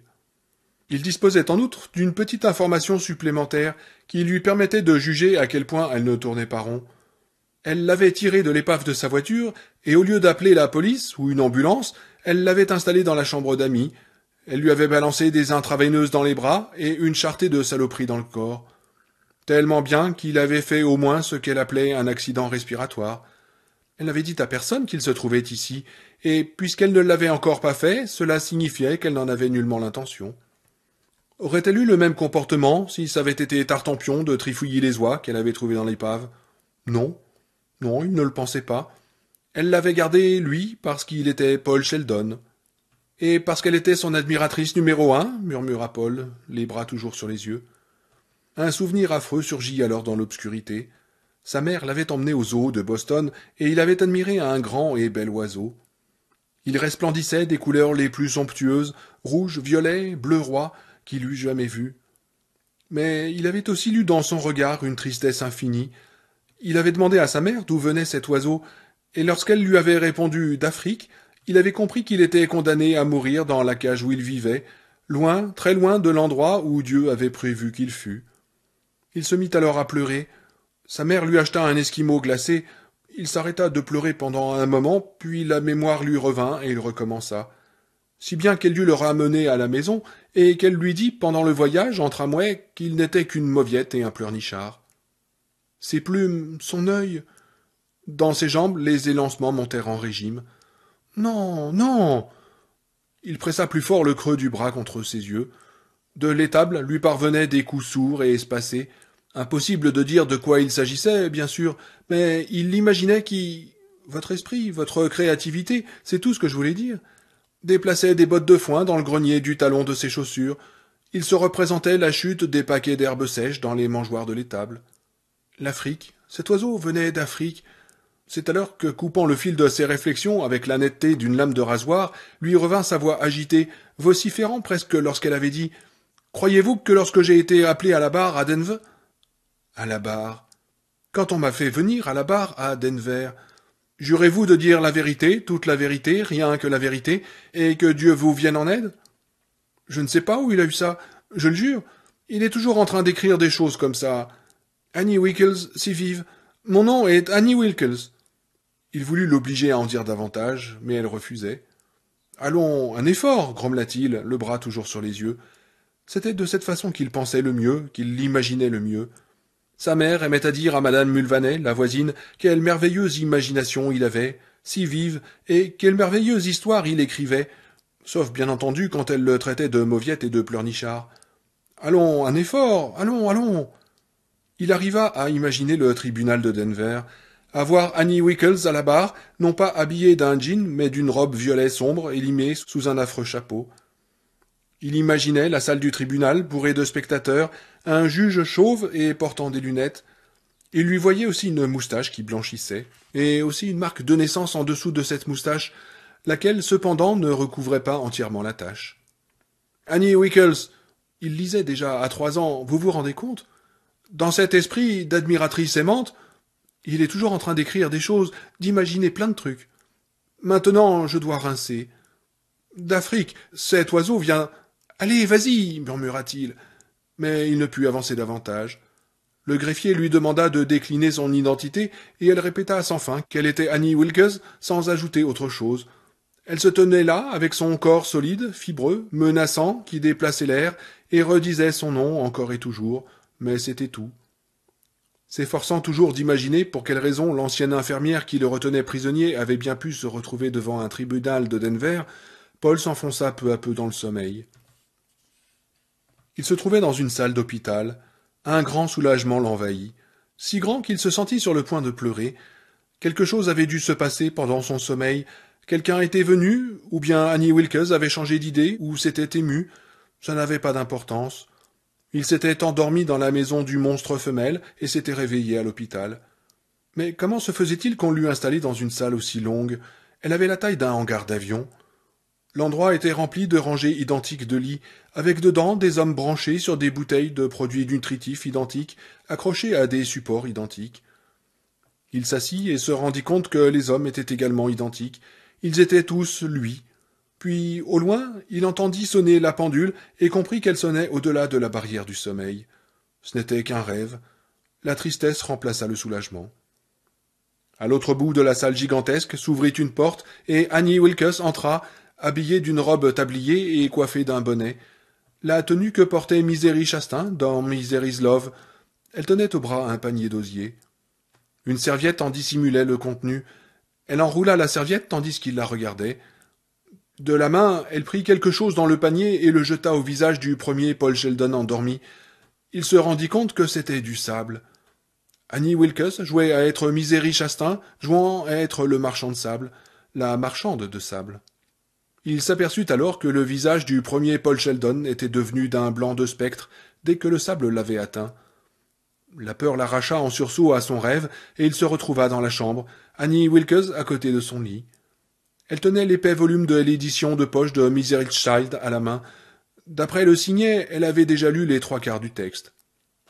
Vous avez gémi, dit-elle. Oh, j'ai fait un mauvais rêve. Qu'est-ce que c'était? La première chose qui lui vint à l'esprit et qui n'était pas la vérité lui souffla sa réponse. L'Afrique. Elle vint tard le lendemain matin, le visage couleur de cendre.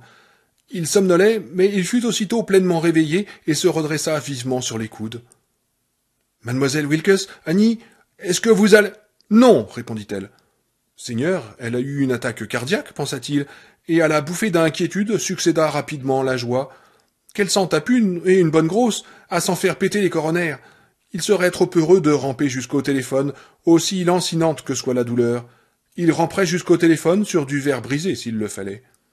Et c'était bien une crise qui touchait le cœur, mais pas de la bonne sorte. Elle vint vers lui, non pas en titubant, mais en roulant, comme un marin qui met pied à terre après un long voyage. Et qu'est-ce qui se... Il se recroquevilla pour s'éloigner d'elle, mais point de refuge à sa portée. Derrière lui, il n'y avait que le dosseret, puis le mur. Non, répéta-t-elle. Elle atteignit le bord du lit, s'y cogna, oscilla et parut un instant sur le point de s'écrouler sur lui. Puis elle s'immobilisa, là, le regardant, le visage toujours d'un blanc de craie, les tendons du cou saillants comme des cordes, une veine pulsant au milieu de son front. Elle ouvrit sèchement les mains, les referma en deux points à la compacité rocheuse, les ouvrit à nouveau d'un coup sec. Espèce de. espèce. espèce de sale oiseau, dit-elle. Mais je, ne comprends. Il ne finit pas sa phrase, car soudain il avait compris, et il eut l'impression que tout son buste devenait creux, puis disparaissait complètement. Il venait de se souvenir de l'emplacement du signet la nuit dernière, vers le dernier quart de l'ouvrage. Elle l'avait terminé, elle savait tout ce qu'il y avait à savoir. Que finalement c'était Yann et non pas Misérie qui était stérile. Était-elle restée assise dans ce salon qu'il n'avait encore jamais vu, bouche bée, les yeux exorbités, tandis que Misérie finissait par prendre conscience de la vérité, soupesait sa décision et rejoignait Geoffrey en cachette.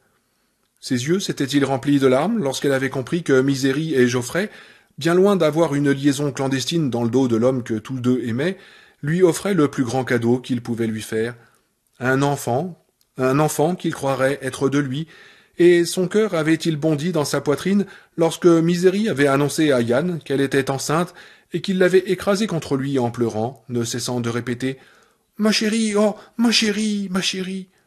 Il eut la certitude, durant ces quelques secondes, que tout s'était déroulé ainsi. Mais au lieu de verser les larmes provoquées par un chagrin exalté, comme elle aurait dû le faire lorsque Misérie était morte en donnant naissance au garçon, que vraisemblablement Yann et Geoffrey allaient élever ensemble, elle était devenue folle furieuse. Elle ne peut pas mourir, vociféra Annie Wilkes.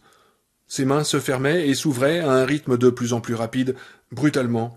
Misery Chastain ne peut pas mourir. Mais Annie, je vous en prie, Annie.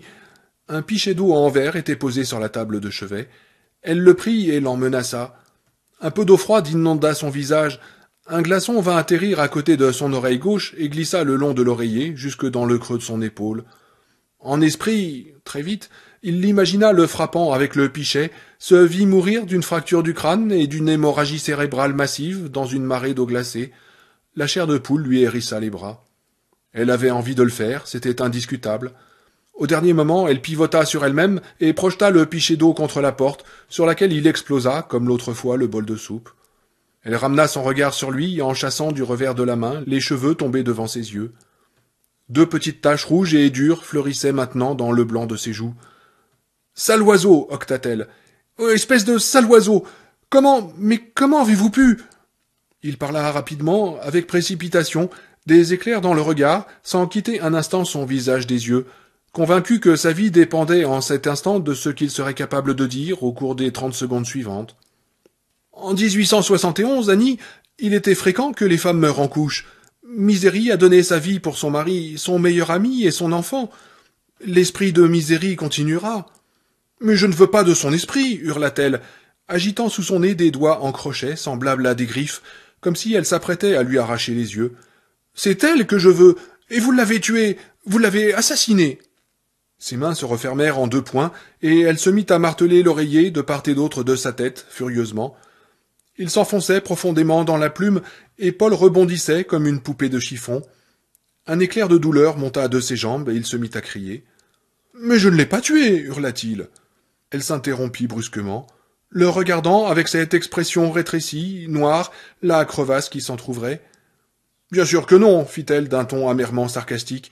Mais si ce n'est pas vous qui l'avez fait, Paul Sheldon, alors qui Personne, répondit-il plus calmement. Elle est morte, c'est tout. En fin de compte, il savait que telle était la vérité. Si Misery Chastain avait réellement existé, il n'ignorait pas que l'on aurait pu lui demander d'aider la police dans son enquête, pour employer l'euphémisme habituel.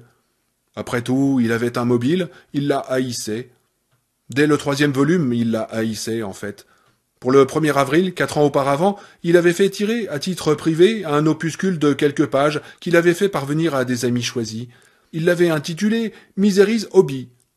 En fait de violon d'ingre, Misery passait un joyeux week-end à la campagne à persécuter Growler, le setter irlandais de Yann. Il aurait très bien pu l'assassiner, mais il ne l'avait pas fait. Et finalement, en dépit du mépris grandissant qu'il éprouvait pour elle, la mort de Misery avait été comme une surprise pour lui. Il était resté suffisamment fidèle à lui-même pour que l'art continuât d'imiter la vie, même pauvrement, jusqu'à la fin des aventures banales de Misery. Elle était morte de manière tout à fait inattendue, ses joyeuses cabrioles n'y avaient rien changé. Vous mentez, siffla Annie. Je pensais que vous étiez bon, mais non, vous ne l'êtes pas. Vous n'êtes qu'un sale vieil oiseau menteur. Mais elle s'est éteinte, c'est tout, dit-il. Ce sont des choses qui arrivent, parfois. C'est comme dans la vie, lorsque quelqu'un, simplement, elle renversa la table de chevet. Le petit tiroir peu profond se vida. Son bracelet montre et sa petite monnaie se répandirent. Il ignorait qu'ils étaient là. Il se recroquevilla encore plus. Vous devez me croire né de la dernière pluie, gronda-t-elle, les lèvres retroussées.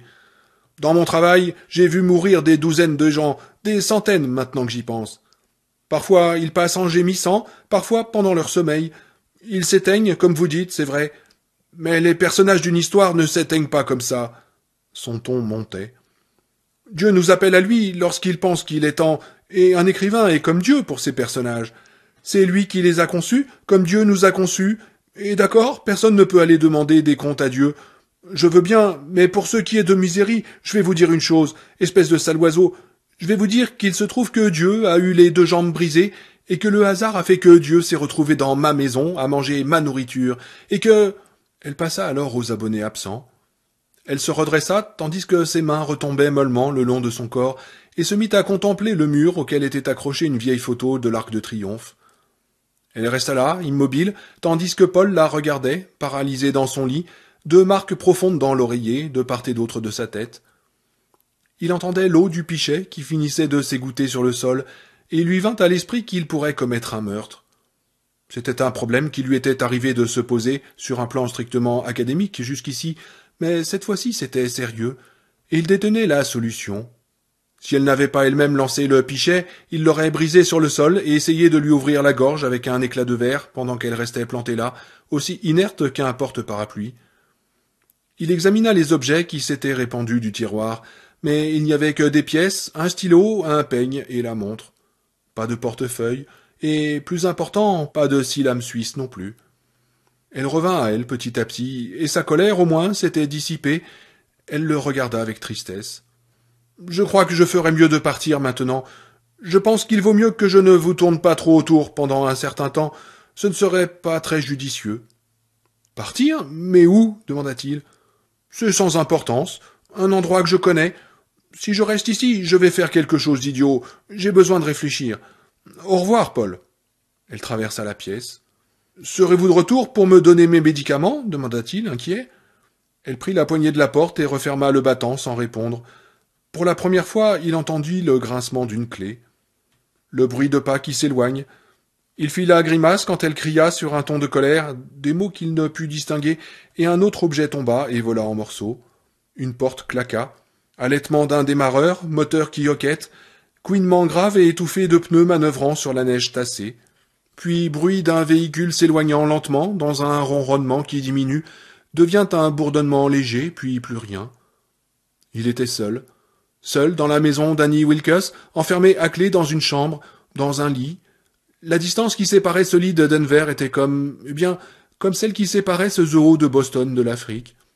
Allongé sous les draps, il regardait le plafond, la gorge sèche, le cœur battant, vite. Au bout d'un moment, la pendule du salon sonna à midi et la marée commença à refluer. Cinquante et une heures. Il le savait grâce au stylo, l'élégant flair fineliner qu'il avait dans la poche au moment de l'accident. Il avait réussi à se pencher et à l'attraper sur le sol. Chaque fois qu'il entendait sonner la pendule, il traçait une barre sur son bras, quatre barres verticales et une cinquième en diagonale pour grouper des paquets de cinq. Lorsqu'elle revint, il y avait dix de ces paquets, plus une barre isolée. Tout d'abord proprement fait, les paquets étaient devenus de plus en plus biscornus, au fur et à mesure que sa main s'était mise à trembler. Il ne croyait pas avoir manqué une seule heure. Il avait somnolé, mais jamais réellement dormi. La sonnerie de la pendule l'avait régulièrement réveillé. Au bout d'un moment, il avait commencé à ressentir la soif et la faim, même au travers de la douleur. C'était devenu comme une course de chevaux. Tout d'abord, roi des douleurs avait pris une bonne douzaine de longueurs à je crève la faim. Quant à grand soif, c'est à peine si on le devinait au loin dans la poussière. Puis, à peu près au moment du lever du soleil, le lendemain du départ d'Annie, je crève de faim avait commencé à talonner brièvement roi des douleurs. Il avait passé l'essentiel de la nuit dans des alternances de périodes de somnolence et de réveil mouillé d'une sueur froide, sûr qu'il allait mourir. N'importe quoi pour sortir de là, il n'avait jamais soupçonné à quel point on pouvait souffrir. Les poteaux déchiquetés se dressaient de plus en plus haut. Il voyait les bernacles qui s'y étaient incrustés, et des choses pâles et noyées mollement enfoncées dans les fentes du bois. Celle-ci avait de la chance. Pour elle, les souffrances étaient terminées. Vers trois heures, il s'était laissé aller à un accès d'inutile hurlement. Vers midi, le deuxième jour, vingt-quatre heures s'étaient écoulées, il se rendit compte qu'aussi terrible que fût la douleur dans ses jambes et son bassin, quelque chose d'autre le faisait souffrir. Le sevrage. Un cheval qu'on aurait pu, par exemple, appeler revanche de l'accro. Il avait besoin de gélules, à plus d'un titre. Il envisagea de tenter de quitter le lit, mais l'idée de la chute et de l'inévitable explosion supplémentaire de douleur qui en résulterait l'en dissuada. Il ne pouvait que trop bien imaginer, si vive, ce qu'il ressentirait. Et de toute façon, elle avait fermé la porte à clé. Qu'aurait-il pu faire d'autre que ramper jusque-là, comme un escargot, et s'y trouver coincé? De désespoir, il repoussa pour la première fois les couvertures, espérant contre toute logique que ce ne serait pas aussi terrible que le laissent à penser les déformations qui les soulevaient. Il avait raison, ce n'était pas aussi terrible, mais plus terrible. Il regarda avec horreur ce qu'il était devenu en dessous des genoux. En esprit, il entendit la voix de Ronald Reagan dans King's Row s'exclamer Mais où est le reste de mon corps? Le reste de son corps était là, et peut-être pourrait-il s'en sortir. La perspective d'y parvenir paraissait encore plus lointaine, mais il supposa que c'était techniquement possible. Il risquait cependant de ne plus jamais remarcher comme avant, en tout cas pas avant que ses jambes n'eussent été de nouveau cassées, peut-être en plusieurs endroits, consolidées de broches métalliques et impitoyablement soumises à l'examen le plus minutieux et à des traitements effroyables. Elle les avait éclissées. Bien sûr, il s'en était douté, sentant une impression de rigidité, mais jusqu'à maintenant, il ne savait pas ce qu'elle avait exactement fait. Le bas de chaque jambe était pris dans de minces cercles de métal qui donnaient l'impression d'avoir été débités à la scie à partir de vieilles béquilles d'aluminium. On avait longuement martelé ces pièces métalliques, si bien que des genoux aux pieds, il faisait un peu penser à la momie de Imhotep quand on l'avait découverte dans sa tombe. Ses jambes elles-mêmes décrivaient un parcours sinueux jusqu'aux genoux, obliquant vers l'extérieur ici, s'enfonçant vers l'intérieur là. Sa rotule gauche, source d'élancements violents, paraissait avoir complètement disparu. Il y avait bien un mollet et une cuisse, mais avec au milieu un tas malsain qui faisait penser à un dôme de sel. Démesurément enflées, ses cuisses lui donnaient l'impression de s'incurver légèrement vers l'extérieur. Elles étaient couvertes d'échymoses en train de s'estomper, tout comme ses deux aines et son pénis. Il avait cru avoir les jambes en morceaux en dessous des genoux. Il s'était trompé. Elles n'étaient pas en morceaux, mais en miettes, pulvérisées. Gémissant, en pleurs, il remonta drap et couverture. Pas question de rouler hors du lit. Valait mieux ne pas bouger d'ici, mourir ici valait mieux accepter l'intensité de ce niveau de douleur, aussi terrifiant qu'il fût, en attendant qu'il n'y en eût plus du tout. Vers quatre heures, le deuxième jour, Grand Soif prit le mort aux dents. Cela faisait déjà un moment qu'il avait conscience de la sécheresse grandissante de sa bouche et de sa gorge, mais la sensation prit soudain un caractère d'urgence. Sa langue lui donnait une impression d'épaisseur, d'être trop grosse. Avaler lui faisait mal. Il se mit à penser au pichet d'eau qu'elle avait lancé. Il somnola, s'éveilla et somnola. Le crépuscule arriva, puis la nuit. Il lui fallait uriner. Il enveloppa son pénis dans le drap de dessus, avec l'idée d'en faire un filtre primitif, et se soulagea dans ses mains tremblantes mises en coupe.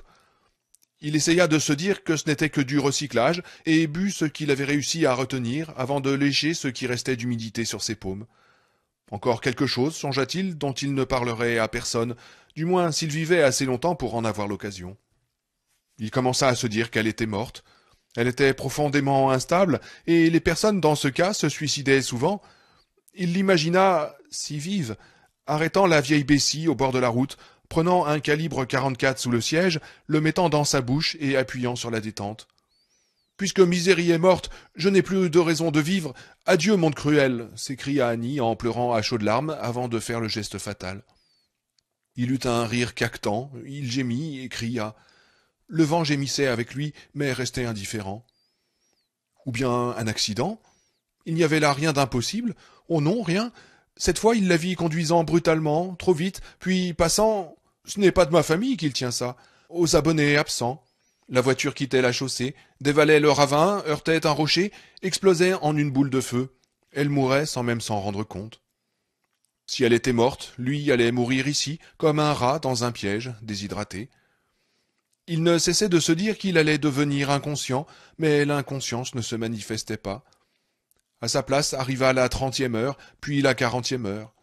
Maintenant, roi des douleurs et grand soif ne faisait plus qu'un. Il y avait un moment que Je crève de faim avait disparu dans la poussière. Il commençait à se sentir comme un vulgaire morceau de tissu vivant, un échantillon pour microscope ou un verre sur un hameçon, quelque chose qui de toute façon se tortillait sans fin et n'attendait que la mort. Quand elle entra dans la chambre, il crut tout d'abord qu'il rêvait, puis la réalité, ou le simple instinct de survie, reprit le dessus, il se mit à gémir, prier et supplier, avec un débit haché, incohérent, comme surgissant d'un puits sans fond d'irréalité. Il ne remarqua clairement qu'une chose, à savoir qu'elle portait une robe bleue sombre et un chapeau à ramage, exactement le genre de tenue dans laquelle il l'avait imaginée devant le tribunal de Denver. Elle avait le visage enflammé et ses yeux pétillaient de vie. Elle était aussi proche d'être jolie que Annie Wilkes pourrait jamais l'être, et lorsqu'il essaya plus tard de se remémorer cette scène, il ne lui en revenait que deux images claires, celle de ses joues colorées et celle de son chapeau à ramage. Dans quelque forteresse de lucidité encore intacte au fond de lui, Paul Sheldon puisa cette réflexion de bon sens. On dirait une veuve qui vient juste de se faire baiser après dix ans d'abstinence. À la main, elle tenait un verre d'eau, un grand verre d'eau. Buvez cela, dit-elle, en glissant une main, encore fraîche à cause de la température extérieure, derrière son cou pour qu'il puisse se redresser et avaler sans s'étouffer. Il prit trois gorgées rapides. Sur la plaine aride de sa langue, les pores se dilatèrent et protestèrent au brutal contact de l'eau, dont une partie coula sur son t-shirt dont il était habillé. Elle retira le verre. Il poussa un vagissement de protestation, tendant ses mains tremblantes. Non, dit-elle, non, Paul, juste un peu à la fois. Sinon vous allez vomir. Au bout d'un instant, elle le laissa prendre de nouvelles gorgées. Les trucs, dit-il en toussant. Il se suça les lèvres, puis se les lécha et se suça la langue. Il se rappela vaguement avoir bu sa propre pisse, combien elle avait été salée et chaude. Les gélules, j'ai mal, je vous en prie. Annie, pour l'amour de Dieu, je vous en prie, aidez-moi, ça fait tellement mal. Je sais, mais vous devez m'écouter d'abord, répondit-elle avec ce mélange de sévérité et de tendresse maternelle dans le regard qu'il connaissait déjà. J'ai été obligé de m'éloigner et de réfléchir. J'ai beaucoup réfléchi, et j'espère que j'ai bien réfléchi. Je n'étais pas tout à fait sûr. Mes idées sont parfois confuses, je le sais, je l'accepte.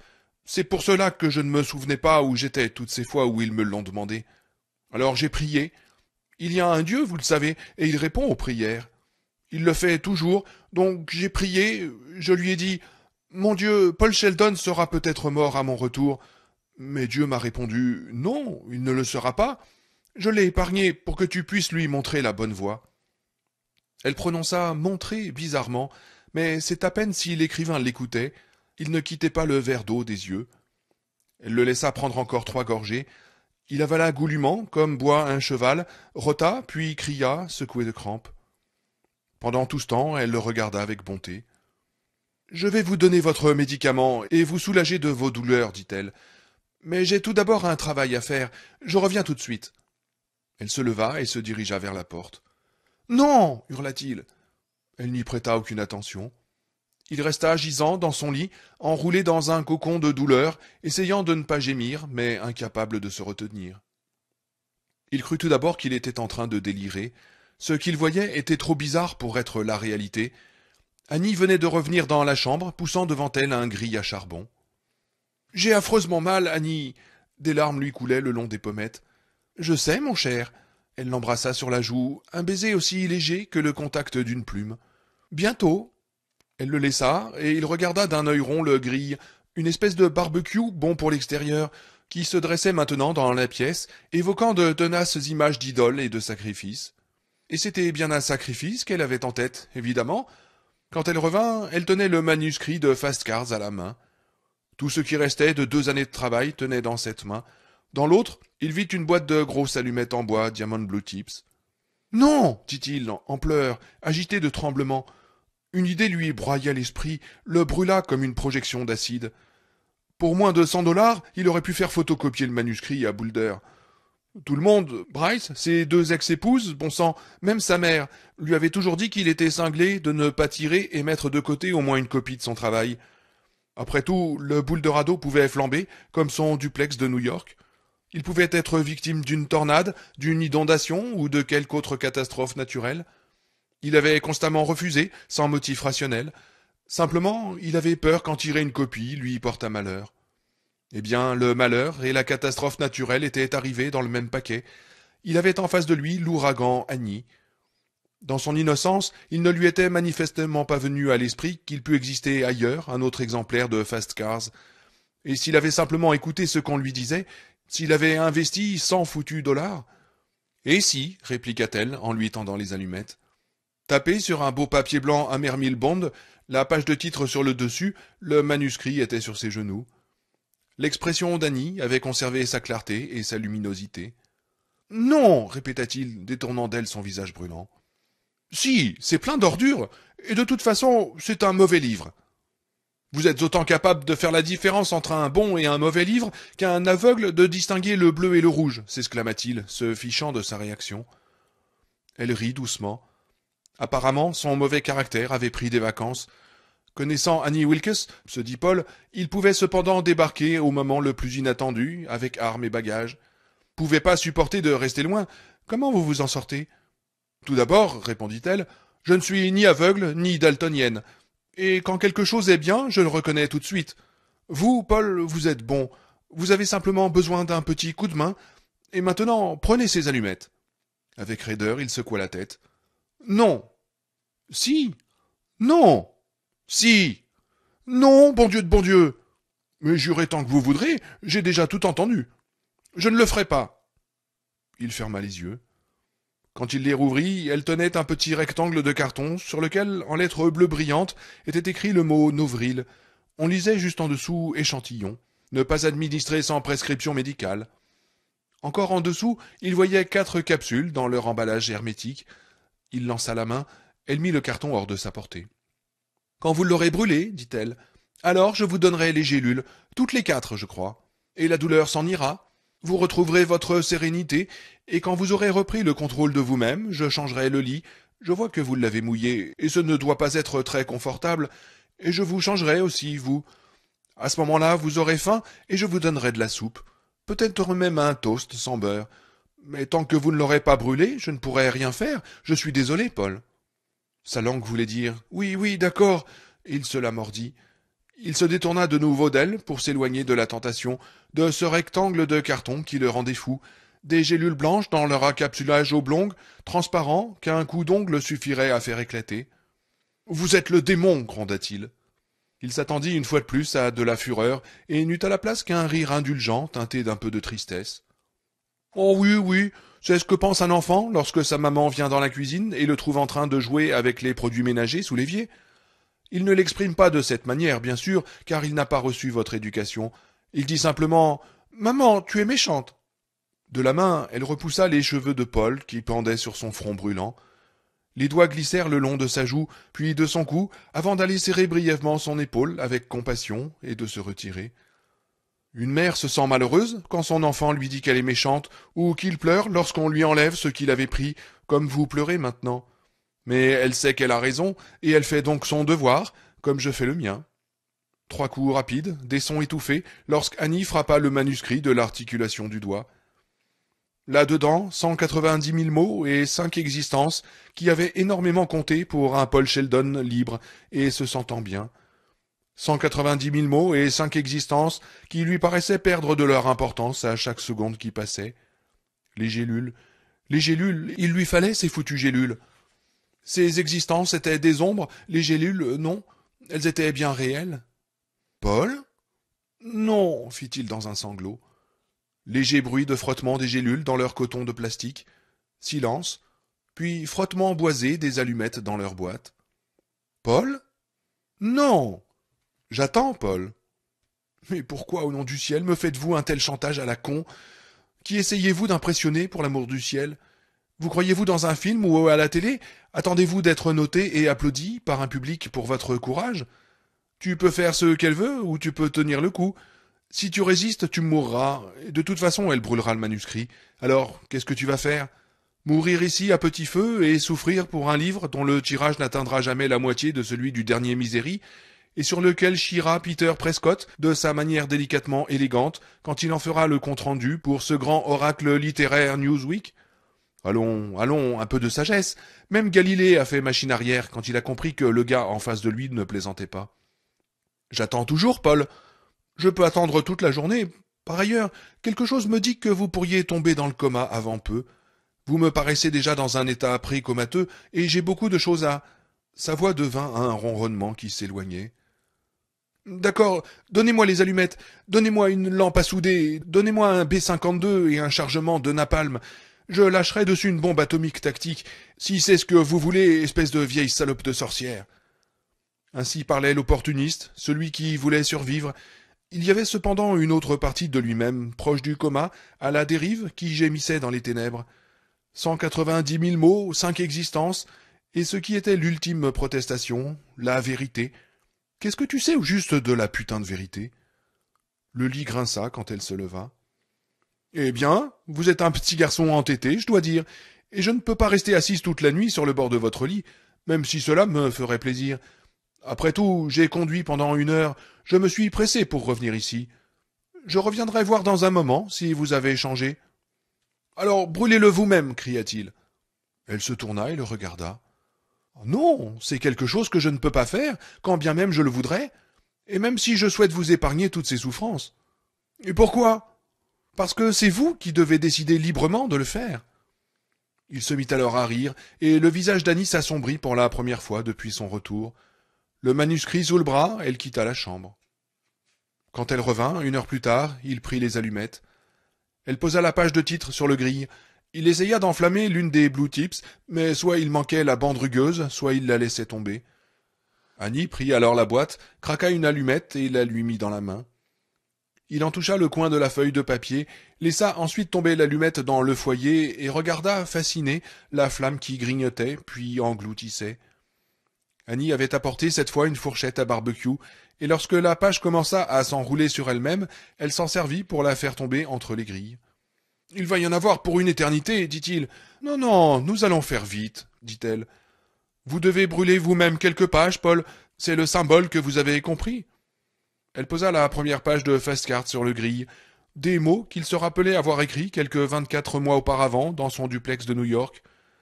J'ai pas de caisse, lança Tony Bonassaro à la fille qui descendait vivement l'escalier.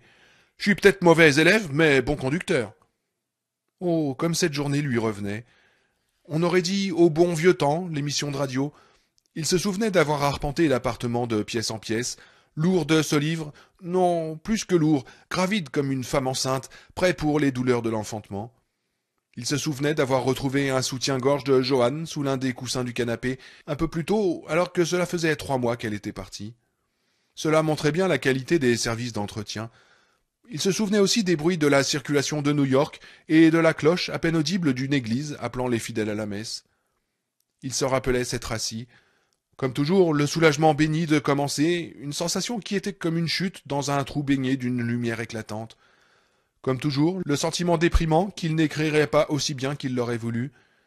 Comme toujours, la terreur de ne pas être capable d'achever le livre, de foncer dans une voie sans issue. Comme toujours, l'impression de joie merveilleuse, enivrante, d'un voyage qui commençait. Il regarda Annie Wilkes et dit clairement, mais pas très fort. Je vous en prie, Annie, ne m'obligez pas à faire cela. Elle lui tendit les allumettes sans broncher et répondit. Vous faites comme vous voulez. C'est ainsi qu'il brûla son livre. Elle lui fit brûler la première et la dernière page, puis neuf fois deux pages prises en divers endroits du manuscrit. Parce que neuf, lui expliqua-t-elle, était un chiffre de pouvoir, et neuf multiplié par deux un symbole de chance. Il s'aperçut qu'elle s'était servie d'un marqueur noir pour faire disparaître les gros mots, au moins dans la partie qu'elle avait lue. Bon, dit-elle, une fois ces vingt pages brûlées, vous vous êtes conduit comme un bon garçon, à l'esprit sportif, et je me doute bien que cela vous fait aussi mal que vos jambes. Je ne veux pas abuser. Elle enleva la grille et mit le reste du manuscrit dans le foyer, écrasant les torsades calcinées et noires des pages déjà consumées. La pièce empestait le phosphore et le cramait. Ça a pu comme dans l'antichambre du diable, pensa-t-il de manière incohérente. Et s'il y avait eu la moindre chose dans la coquille de noix à quoi s'était réduit son estomac, il se dit qu'il l'aurait vomi. Elle enflamma une autre allumette et la lui plaça dans la main. Il arriva à se pencher et à la laisser tomber dans le barbecue. Ça n'avait plus d'importance maintenant, plus aucune importance. Elle le poussait du coude. Épuisé, il ouvrit les yeux. Elle s'est éteinte. Elle craqua une nouvelle allumette et la lui tendit. Il réussit à se pencher, une fois de plus, réveillant les grossières éclisses qui lui enserraient les jambes, et approcha l'allumette du coin de la pile de feuilles. Cette fois-ci, le feu prit, au lieu de mourir, autour du bâtonnet. Il s'étendit de nouveau, les yeux fermés, écoutant le léger crépitement des flammes, éprouvant pleinement leur chaleur de plus en plus forte. Bonté divine s'écria-t-elle, alarmée. Il ouvrit les yeux et vit que des morceaux calcinés de papier voltaient dans l'air chaud au-dessus du barbecue. Annie se précipita lourdement hors de la pièce. Il entendit le bouillonnement de l'eau qui jaillissait des robinets et de la baignoire et montait dans le seau. Il regarda, hébété, un morceau noirci de son manuscrit flotter à travers la pièce et atterrir sur les rideaux de tulle. Il y eut une brève flambée. Il eut le temps de se demander si la pièce n'allait pas prendre feu, qui, après un dernier sursaut, s'éteignit toute seule, en laissant un trou minuscule, comme une brûlure de cigarette. Des cendres retombèrent sur le lit, certaines sur ses bras. De toute façon, il s'en fichait. Annie revint, lançant partout des regards affolés, comme pour tout saisir à la fois, on aurait dit qu'elle essayait de suivre le parcours sinueux et aléatoire de chacune des pages qui s'élevaient en brûlant. Des flammes montaient, plus ou moins haut, du bord du barbecue. Bonté divine s'exclama-t-elle à nouveau, tenant son seau d'eau sans savoir où le lancer, ni même s'il fallait s'en servir. Humide de salive, ses lèvres tremblaient. Paul la vit qui passait brièvement la langue dessus pour les sécher. Bonté divine Bonté divine On aurait dit que rien d'autre ne lui venait à l'esprit. En dépit de l'étau infernal, de la douleur qui le broyait, Paul éprouva un bref et intense instant de plaisir. Voilà donc de quoi Annie Wilkes avait l'air quand elle avait peur. Il se sentait prêt à aimer la voir ainsi. Une autre page s'éleva, entourée cette fois de petites langues bleuâtres de feu, et ce fut ce qui la décida.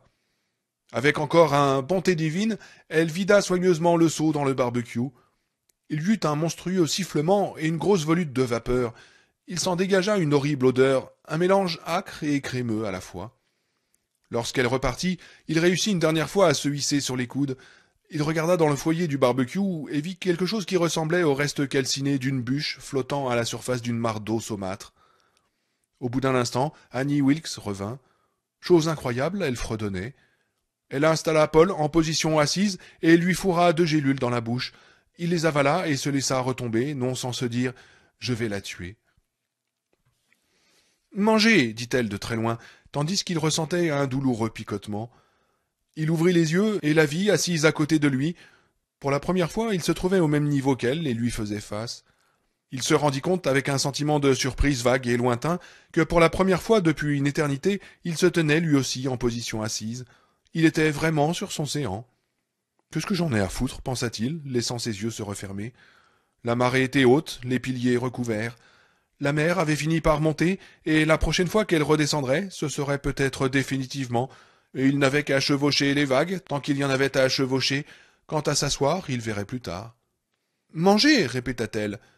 La douleur recommença. Elle bourdonnait du côté de son oreille gauche. Il gémit et tenta de s'écarter. Mangez, Paul. Faut vous réveiller assez pour manger, sinon. Zing Le lobe de son oreille, elle le pinçait. Kay marmonna-t-il, Kay, ne me l'arrache pas, pour l'amour du ciel Il se força à ouvrir les yeux. Il avait l'impression d'avoir un bloc de ciment qui pendait à chaque paupière. Immédiatement, la cuillère se présenta à sa bouche, en fournant de la soupe chaude qui lui descendit dans la gorge. Il avala pour ne pas s'étouffer. Soudain, surgissant de nulle part, le plus stupéfiant retour que j'ai jamais vu, mesdames et messieurs, je crève de faim se présenta sur la ligne droite, comme si cette première cuillerée de soupe avait tiré ses entrailles d'une transe hypnotique. Il engloutit le reste aussi vite qu'elle put lui porter la cuillère à la bouche, avec l'impression d'avoir de plus en plus faim, et non le contraire, au fur et à mesure qu'il bafferait. Il avait un vague souvenir dans lequel elle faisait rouler le barbecue, sinistre et fumant, hors de la pièce. Puis, tandis que l'effet de la drogue se faisait de plus en plus sentir, revenait en poussant devant elle quelque chose qu'il prit pour un caddie de supermarché. Il n'en avait ressenti ni surprise ni étonnement. Il était en visite chez Annie Wilkes, après tout. Barbecue, caddie, demain peut-être un parc-mètre ou une ogive nucléaire. Quand on vit chez les Anglais, on n'arrête jamais de rigoler. Puis tout s'était brouillé, et maintenant il comprenait que le caddie était en fait un fauteuil roulant replié. Il se trouvait assis dedans, les jambes tendues devant lui, raidies par les éclisses, une désagréable impression d'être gonflé lui parvenant du bassin. Il se sentait plutôt mal à l'aise dans sa nouvelle position. Elle m'a installé dedans pendant que j'étais dans les vapes, pensa-t-il, m'a soulevé, point mort. Bon Dieu, qu'est-ce qu'elle doit être costaud? Terminé, dit-elle. Je suis contente que vous ayez pris toute la soupe, Paul. Je crois que vous allez guérir. On ne pourra, hélas, pas dire aussi solide qu'avant, mais si nous ne sommes pas victimes d'autres, d'autres contretemps, je crois que vous vous en sortirez bien. Je vais maintenant changer votre vieux lit crasseux, et lorsque j'aurai fini, c'est le vieux Paul crasseux que je changerai. Après quoi, si vous n'avez pas trop mal et si vous sentez encore la faim, je vous donnerai une tranche de pain grillé. Merci, Annie, répondit-il humblement, tout en pensant. Ta gorge. Si je peux, je te donnerai une occasion de te pourlécher les babines et de dire bonté divine, mais une fois seulement, Annie. Seulement une fois. Quatre heures plus tard, il était de nouveau au lit et prêt à brûler tous ses livres pour un seul novril.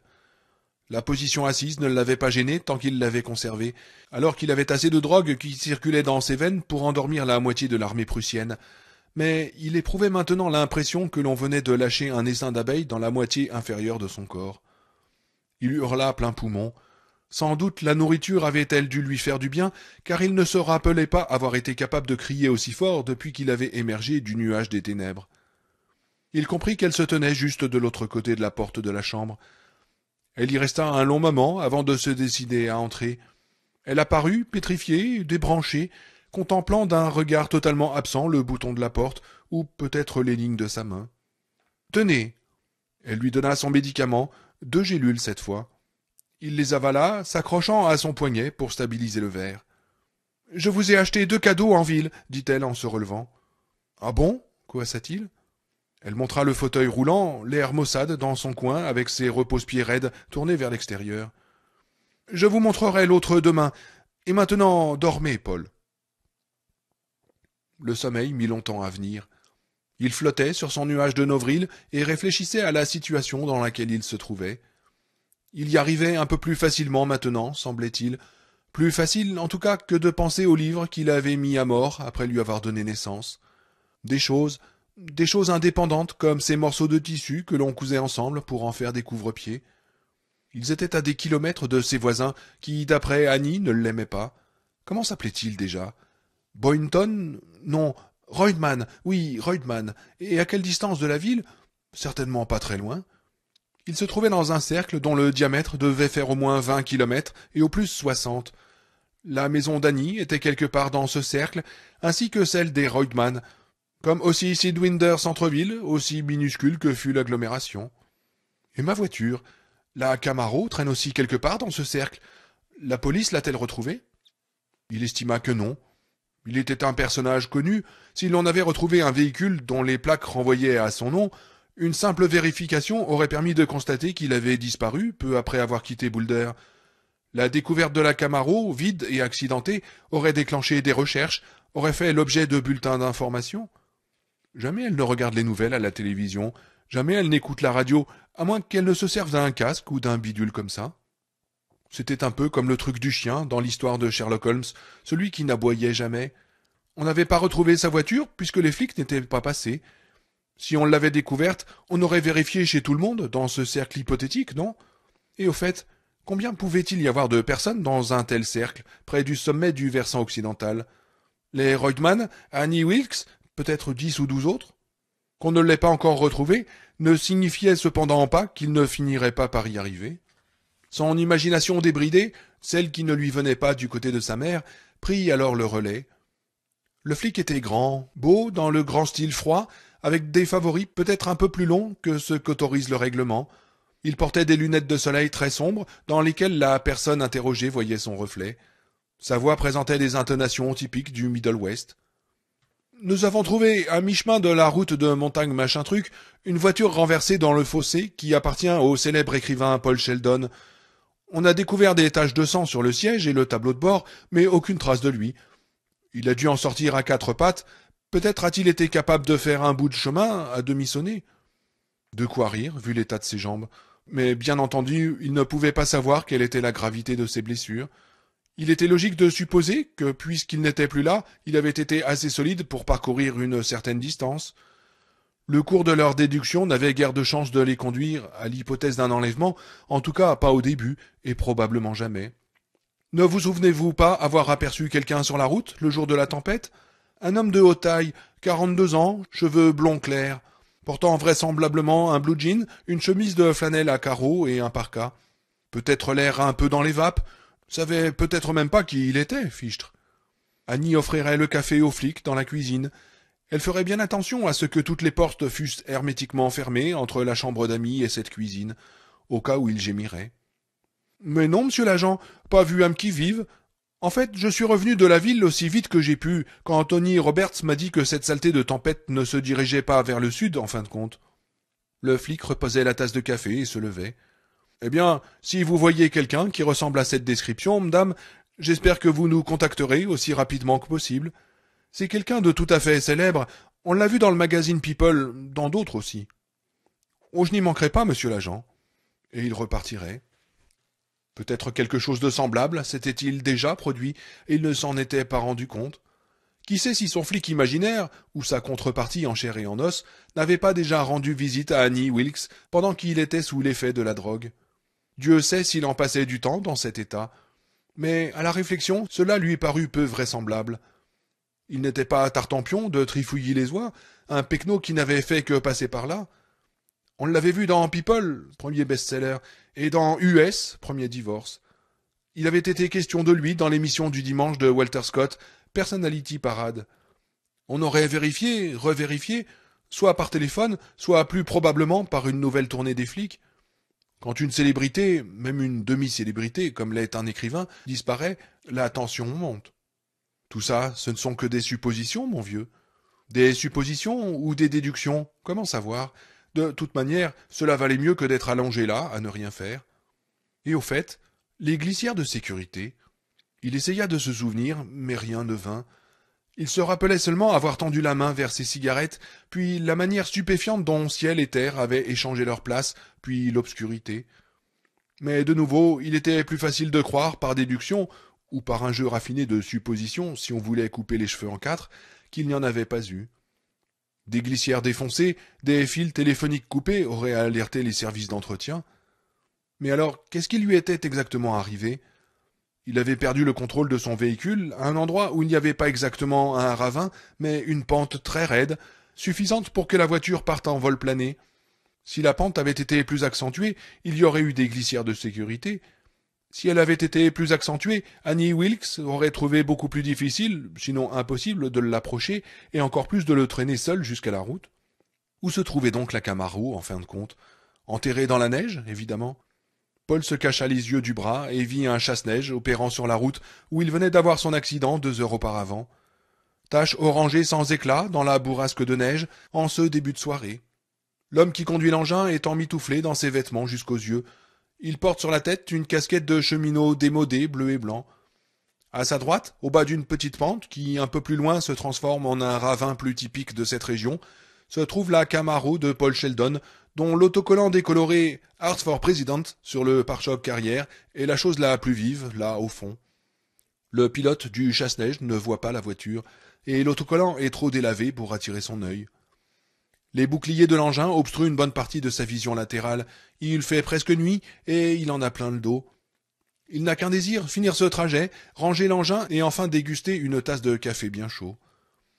Il passe rapidement, à la hauteur de la Camaro, en envoyant un gros nuage de neige poudreuse dans la ravine. Elle était déjà ensevelie jusqu'aux vitres, la voici enterrée jusqu'au toit. Plus tard, au plus profond de ce crépuscule de tempête, dans lequel même ce qui est en face de soi prend un aspect irréel, son successeur de service passera à son tour et achèvera l'inhumation du véhicule. Paul ouvrit les yeux et se mit à contempler le plafond de plâtre. On y voyait toute une série de craquelures fines, comme des cheveux qui formaient des groupes de S ou de L entrelacés. Il lui était devenu très familier au cours de ces interminables journées depuis qu'il était sorti du nuage. Il en suivit une fois de plus les détours, cherchant paresseusement des mots commençant par S ou L, comme sorcière, salope ou lessivé, locdu. Ouais, cette hypothèse tenait debout, tenait bien debout. Avait-elle réfléchi à ce qui se passerait si on retrouvait sa voiture? C'était possible. Elle était ma boule, mais ma boule n'était pas synonyme de stupide. Et pourtant, il ne lui était jamais venu à l'esprit qu'il pût avoir un double de fast cars. Ouais, et elle avait raison, cette salope avait raison, je n'en avais pas. Image des feuillets noircis s'envolant dans l'air chaud, les flammes, les bruits et les odeurs de la mise à mort. Il grinça des dents à cette évocation et essaya de la chasser de son esprit. Une imagination trop vive n'était pas toujours bonne. Non, tu n'en avais pas, mais neuf écrivains sur dix en auraient eu un. En tout cas, en auraient eu s'ils avaient été payés aussi bien que toi, même pour les livres en dehors de la série des miséries. Ça ne lui est même pas venu à l'esprit. Elle n'était pas écrivain. Elle n'était pas stupide non plus, comme nous l'avons admis tous les deux. Je crois qu'elle est remplie d'elle-même, Brûler le manuscrit lui a paru la bonne chose à faire, et l'idée que sa conception de la bonne chose à faire puisse être court-circuitée par des objets aussi vulgaires qu'une photocopieuse, une ou deux rames de papier et une poignée de pièces, cette alerte n'a jamais clignoté sur son tableau de bord, mon vieux. Ses autres déductions n'étaient peut-être que des constructions sur des sables mouvants, mais cette analyse d'Annie Wilkes lui paraissait aussi solide que le rocher de Gibraltar.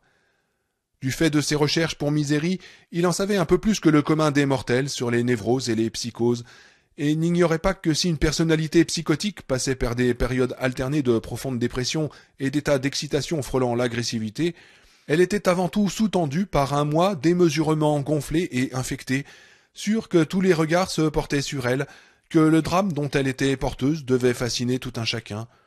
Son issue était quelque chose qu'ils étaient des millions à attendre, le souffle suspendu. Avoir une telle personnalité interdisait tout simplement de suivre certains raisonnements. On pouvait prévoir lesquels, car tous tendaient dans la même direction. De la personnalité instable aux objets, situation ou autre personne en dehors du champ de contrôle du sujet, même fantasmatique, le névrosé pouvait faire la différence, mais pour le psychotique cela revenait au même. Annie Wilkes avait voulu la destruction de Fast Cars, et donc, pour elle, il n'y en avait eu qu'un exemplaire. Peut-être aurais-je pu sauver le foutu machin en lui disant qu'il en existait des doubles. Elle se serait rendue compte qu'il était futile de détruire le manuscrit. Sa respiration, qui s'était ralentie alors que le sommeil le gagnait, s'accéléra subitement tandis que ses yeux s'agrandissaient. Oui, elle aurait compris la futilité de ce geste. Elle aurait été obligée de reconnaître l'existence de l'un de ses raisonnements, qui aboutissaient à des choses qu'elle ne pouvait contrôler. Son moi aurait été blessé, aurait protesté. J'ai tellement mauvais caractère. Si elle s'était trouvée confrontée avec l'idée de l'impossibilité de détruire son sale livre, n'aurait-elle pas pu céder de détruire à la place celui qui en était l'auteur? Après tout, il n'existait aucun deuxième exemplaire de Paul Sheldon. Son cœur battait vite. Dans l'autre pièce, l'horloge se mit à sonner, et il entendit au plafond le bruit lourd des pas d'Annie Wilkes. Puis, presque imperceptible, un bruit d'eau, comme elle urinait. Ensuite, la chasse d'eau. De nouveau, son pas pesant, comme elle regagnait son lit et finalement le craquement des ressorts du sommier. Vous ne me mettrez plus en colère, n'est-ce pas? Soudain son esprit tenta de prendre le galop, comme un trotteur trop vif que démange l'envie de foncer. À quoi aboutissait, au regard de la question de sa voiture, toute cette psychanalyse de bazar? À savoir quand on la retrouverait Qu'est-ce que cela signifiait pour lui? Attends une minute, murmura-t-il dans l'obscurité. Attends une minute, ne raccroche pas, on se calme. Il se cacha de nouveau les yeux dans le creux du bras et invoqua une fois de plus l'officier de police aux lunettes de soleil comme des miroirs et aux favoris un peu trop longs. Nous avons trouvé un véhicule renversé dans le fossé à mi-chemin de la route machin truc, disait-il en substance, et patati et patata. Sauf que cette fois-ci, Annie ne l'invite pas à prendre un café. Cette fois-ci, elle ne se sentira en sécurité que lorsqu'il sera hors de la maison et déjà loin sur la route. Même dans la cuisine, même avec deux portes fermées entre la chambre d'amis et cette cuisine, même avec l'ami dans la chambre droguée jusqu'aux yeux, l'officier pouvait entendre un gémissement.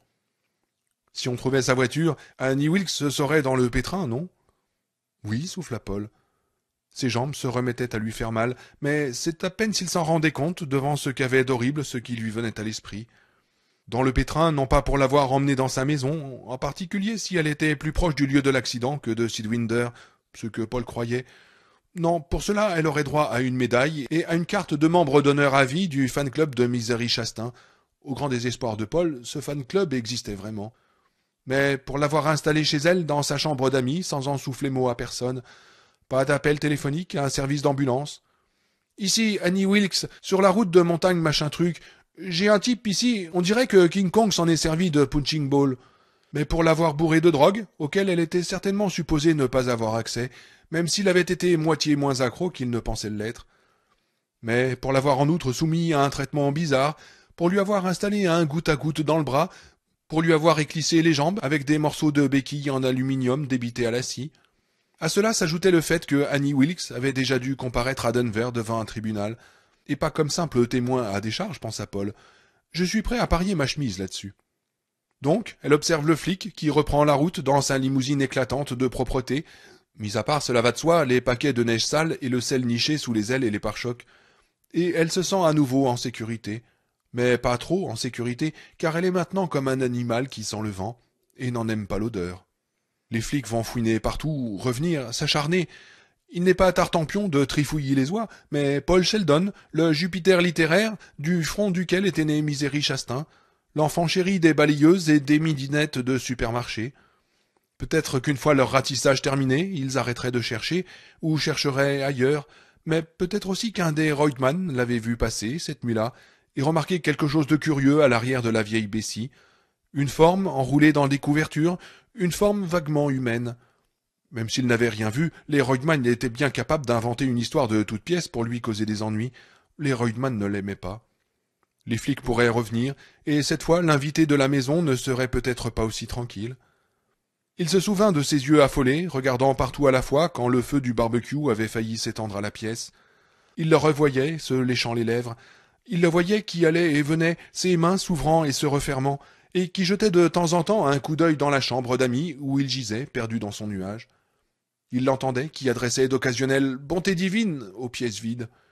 Elle avait volé un oiseau rare au splendide plumage, un oiseau rare qui venait d'Afrique. Et que lui ferait-on si on découvrait ce qu'elle avait fait? Eh bien, elle se retrouverait devant un tribunal, une fois de plus, bien sûr. Elle viendrait de nouveau à la barre de celui de Denver, et cette fois-ci, elle risquerait de ne pas en sortir libre. Il enleva le bras devant ses yeux et regarda les entrelacs biscornus de S et de L du plafond.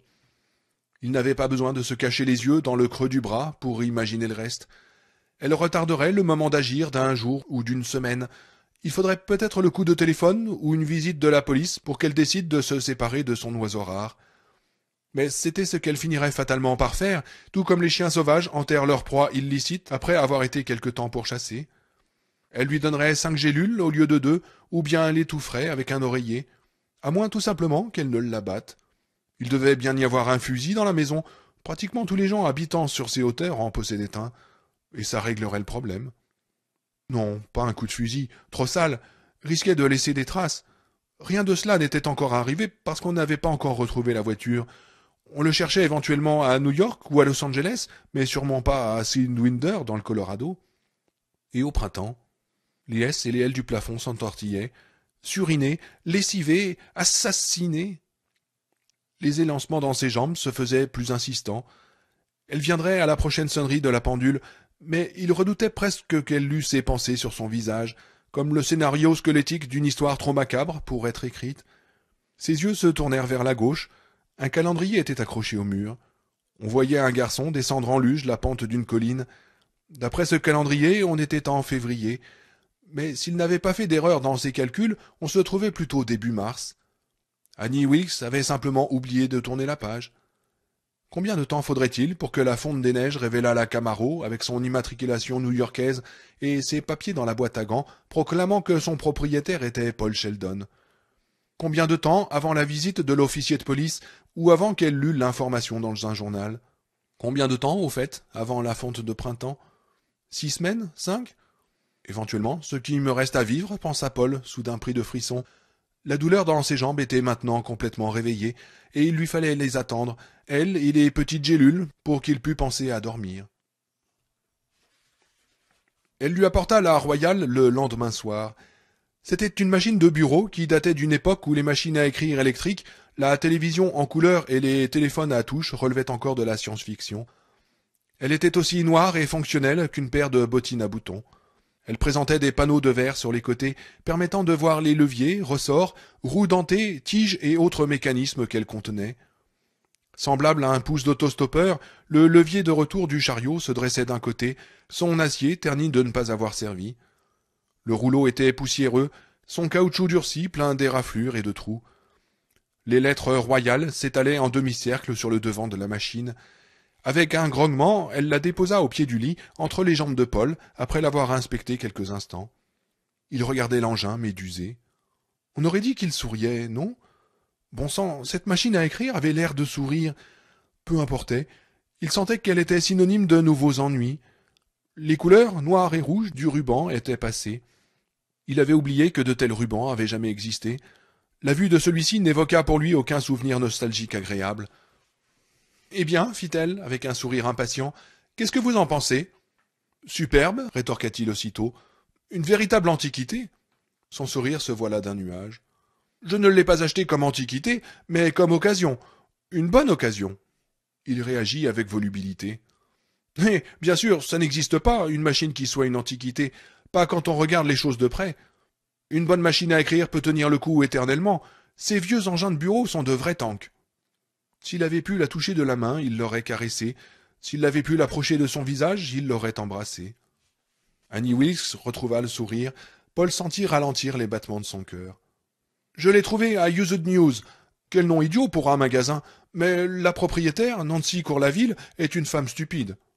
Le visage d'Annie s'assombrit légèrement, mais il vit tout de suite que ce n'était pas à lui qu'elle en voulait. L'instinct de survie, découvrit-il, n'était peut-être que de l'instinct en lui-même, mais permet de sacrés raccourcis empathiques. Il s'aperçut qu'il décryptait de mieux en mieux ses humeurs et ses cycles. Il l'écoutait cliqueter comme un réveil au bout du rouleau. Euh, non seulement elle est stupide, reprit-elle, mais c'est une mauvaise femme. Ce n'est pas Cour-la-Ville qu'elle devrait s'appeler. Cour-la-Ville, je vous demande un peu. Elle a divorcé deux fois, et maintenant elle vit avec un barman. Cours les bars, oui. C'est pourquoi, quand vous avez dit que c'était une antiquité. Mais non, elle a l'air très bien, dit-il. Elle resta longtemps sans rien ajouter, puis, comme si elle se confessait, il lui manque le N. Vraiment? Euh, Oui, vous voyez? Elle inclina la machine pour qu'il pût voir le demi-cercle de barre. Celle qui manquait lui. Celle qui manquait lui fit l'effet d'une molaire absente sur une mâchoire aux dents par ailleurs usée mais au complet. En effet, dit-il. Elle la reposa. Le lit se balança un peu. Paul se dit que la machine devait bien peser plus de vingt kilos. Elle datait d'une époque où l'on ne connaissait ni l'aluminium ni le plastique. Pas plus que les juteuses avances sur publication, les éditions couplées avec film, les émissions comme USA Today, Entertainment Tonight, ni les gens célèbres faisant la pub des cartes de crédit ou de la vodka machin. La royale lui souriait, annonciatrice d'ennui. Elle en voulait quarante-cinq dollars, dit-elle, mais elle m'a fait une remise de cinq dollars à cause du N qui manque. Elle lui adressa un sourire entendu. On ne me la fait pas à moi, disait-il. Il lui rendit son sourire. On était à marée haute, il était plus facile de sourire et de bien prendre les choses. Une remise? Comment? Vous n'avez même pas eu à marchander? Annie minauda un peu. Je lui ai dit que le N était une lettre importante, admit-elle. Ah, mais c'est excellent, ça, fichtre. Il venait de découvrir autre chose. Pratiquer la flagornerie était facile une fois qu'on s'y était mis. Son sourire prit une expression matoise, comme pour l'inviter à partager un secret. Je lui ai dit que le N était l'une des lettres du nom de mon écrivain préféré. Il y en a deux dans celui de mon infirmière préférée, répondit-il. Son sourire devint radieux. Incroyablement, une légère rougeur vint colorer ses joues compactes. Voilà à quoi ça ressemble, songea-t-il, s'il en installait un fourneau dans la bouche de l'une des idoles de ces histoires de Ryder Haggart. Voilà à quoi ça ressemblerait dans la nuit. Espèce de menteur, minauda-t-elle de nouveau. Non, pas du tout, c'est la vérité. Eh bien, elle détourna les yeux pendant un moment. Ce n'était pas une absence, elle était simplement contente et un peu bouleversée, et il lui fallait quelques instants pour rassembler ses pensées. Paul aurait éprouvé quelque plaisir à la tournure que prenaient les choses s'il n'y avait pas eu le poids de la machine à écrire sur le pied du lit, si l'engin n'avait pas été là avec son sourire édenté, annonciateur d'ennui. La chaise roulante coûtait beaucoup plus cher, reprit-elle enfin. Le prix des fournitures médicales a grimpé en flèche depuis que je. Elle s'interrompit, fronça les sourcils, s'éclaircit la gorge, puis elle le regarda de nouveau souriante. Mais il est temps pour vous de commencer à vous asseoir, et je ne regrette pas un instant cet achat. Bien entendu, vous ne pourriez pas taper allongé, n'est-ce pas Oh non, en effet, dit-il. J'ai une planche, je l'ai coupée aux bonnes dimensions, et du papier. Attendez. Elle se précipita hors de la pièce, excitée comme une gamine, laissant Paul et la machine à écrire se dévisager. Le sourire du premier disparut dès que Annie eut tourné le dos, celui de la royale resta figé. Il se dit plus tard qu'il s'était bien douté de ce que signifiaient tous ces préparatifs, tout comme il avait su quel bruit ferait la machine à écrire, comment elle claquerait avec son sourire à la Ducky Daddles, ce personnage de vieille bande dessinée. Elle revint avec une ramette de Cora Sable Bond et une planche rectangulaire d'environ 90 sur 120 centimètres. Regardez s'exclama-t-elle en posant cette dernière sur les bras du fauteuil roulant, placé à côté du lit comme un visiteur squelettique et solennel. Déjà, il se voyait, fantôme derrière la planche, prisonnier de cette gang. Elle posa la machine sur la planche en face du fantôme et mit à côté la ramette de papier. Le papier qu'il détestait le plus au monde à cause de sa tendance à brouiller la frappe dès qu'on manipulait un peu les feuilles empilées. Elle venait de créer quelque chose comme un bureau pour infirme. Qu'est-ce que vous en pensez? demanda-t-elle. Ça m'a l'air pas mal, fit-il, lâchant avec une parfaite aisance le plus gros mensonge de sa vie, avant de poser la question dont il connaissait déjà la réponse. Et que vais-je écrire là-dessus, d'après vous? Oh, mais Paul, pas seulement d'après moi, je sais que vous allez vous servir de cette machine à écrire pour taper un nouveau roman, votre meilleur roman. Le retour de Misérie. Le retour de Misérie. Il n'éprouva rien. Il songea qu'un homme qui vient juste de se trancher la main avec une scie à ruban ressentait peut-être cette même impression de néant, tout en regardant le sang jaillir de son moignon avec une surprise horrifiée. Oui, dit-elle. Sa figure brillait comme un phare. Elle serrait ses mains puissantes entre ses seins. Ce sera un livre rien que pour moi, Paul, le seul et unique exemplaire du dernier de la série des Miséries. Je posséderai quelque chose que je serai la seule au monde à avoir. Les autres pourront faire des pieds et des mains, jamais ils ne l'auront. Pensez à ça. Mais Misérie est morte, Annie, dit-il. Mais déjà, à son immense stupéfaction, il se disait Je pourrais la faire revenir. Cette pensée le remplit d'un écœurement fatigué, sans constituer une réelle surprise. Après tout, un homme capable de boire l'eau savonneuse d'un seau devait l'être de faire un peu d'écriture dirigée, non? Mais non, elle n'est pas morte, répondit Annie d'un ton rêveur. Et même si elle l'était, quand j'étais tellement fâché contre vous, je savais qu'elle n'était pas réellement morte. Je savais que vous ne pourriez pas la tuer vraiment, parce que vous êtes bon. Vous croyez demanda-t-il, tout en contemplant la machine à écrire. Celle-ci lui grimaça son sourire. On va enfin savoir jusqu'à quel point tu es bon, vieille branche, murmura l'engin. Mais bien sûr, dit-elle. Mais je ne sais pas si je vais pouvoir m'asseoir dans ce fauteuil, Annie. La dernière fois. La dernière fois, vous avez eu mal, je m'en doute bien, répondit-elle. Et ce sera pareil la prochaine fois, pire même peut-être. Puis arrivera un jour, et ce ne sera pas long, même si vous avez l'impression du contraire, où ça vous fera un peu moins mal, puis encore un peu moins mal, puis encore un peu moins mal. Puis-je vous demander quelque chose, Annie? Oh, bien sûr, mon cher. Si je vous écris cette histoire, ce roman, dit-elle, un grand et beau roman, comme tous les autres, peut-être même plus gros. Il ferma les yeux un instant, puis les rouvrit. D'accord. Si je vous écris ce roman, est-ce que vous me laisserez partir quand il sera terminé? Pendant quelques instants, une expression qui trahissait son malaise s'attarda sur le visage d'Annie, puis elle le regarda attentivement. Vous parlez comme si je vous retenais prisonnier, Paul. Il ne dit rien, se contentant de la regarder. Je pense que lorsque vous l'aurez terminé, vous serez capable de De supporter l'attention, de rencontrer de nouveau d'autres personnes, reprit-elle. C'est ce que vous vouliez entendre? Oui, c'est ce que je voulais entendre, répondit-il. Eh bien, honnêtement, reprit-elle, j'avais entendu dire que les écrivains étaient égocentriques, mais je n'aurais pas cru que cela voulait dire aussi ingratitude. Il continua de la regarder, et au bout d'un moment elle détourna les yeux avec impatience, un peu désarçonnée. Finalement il dit. Je vais avoir besoin de tous les livres de la série des Miséries, je n'ai pas ma concordance avec moi. Oh mais je les ai tous, évidemment, protesta-t-elle. Qu'est-ce que c'est qu'une concordance? Oh, c'est un fichier de feuilles volantes où j'ai tout ce qui concerne Misérie, les personnages, les endroits, les dates surtout, mais classés selon plusieurs entrées qui se recoupent, l'historique des uns et des autres. Il s'aperçut qu'elle l'écoutait à peine. C'était la deuxième fois qu'elle montrait ne manifester aucun intérêt aux trucs de métier, aux techniques qui auraient passionné une classe d'apprentis écrivains. Cela tenait à l'espèce de simplicité de sa nature, songea-t-il. Annie Wilkes était typique de ses lectrices, une femme qui adorait les histoires, mais n'éprouvait pas la moindre curiosité pour les mécanismes qui permettaient de les écrire. Elle était l'incarnation de ce type victorien, le fidèle lecteur. Elle ne voulait pas entendre parler de ses recettes de cuisine, la concordance, les indices, parce que pour elle, Misérie et les personnages qui l'entouraient étaient parfaitement réels. Ces détails ne signifiaient rien pour elle. Elle aurait manifesté davantage d'intérêt s'il lui avait parlé d'un recensement dans le village de Little Dunthorpe. Oh, vous aurez bien entendu tous vos livres. Ils sont un peu cornés, mais c'est le signe qu'on les a beaucoup lus et beaucoup aimés, non? En effet, répondit-il, pas besoin de mentir cette fois. C'est très vrai. Je vais étudier la reliure, fit-elle, les rêveurs. Je relirai moi-même le retour de Misérie. En dehors de la Bible de ma mère, ce sera mon seul véritable livre. C'est une bonne idée, fit-il, pour dire quelque chose. Il avait un peu mal au cœur. Je vais sortir maintenant, pour que vous puissiez réfléchir à l'histoire. Comme c'est excitant, vous ne trouvez pas? Oh oui, Annie, tout à fait excitant. Dans une demi-heure, je reviens avec du blanc de poulet, de la purée de pommes de terre et des petits pois. Même un peu de gelée, parce que vous avez été un bon garçon, et je ferai attention à bien vous donner vos médicaments à l'heure.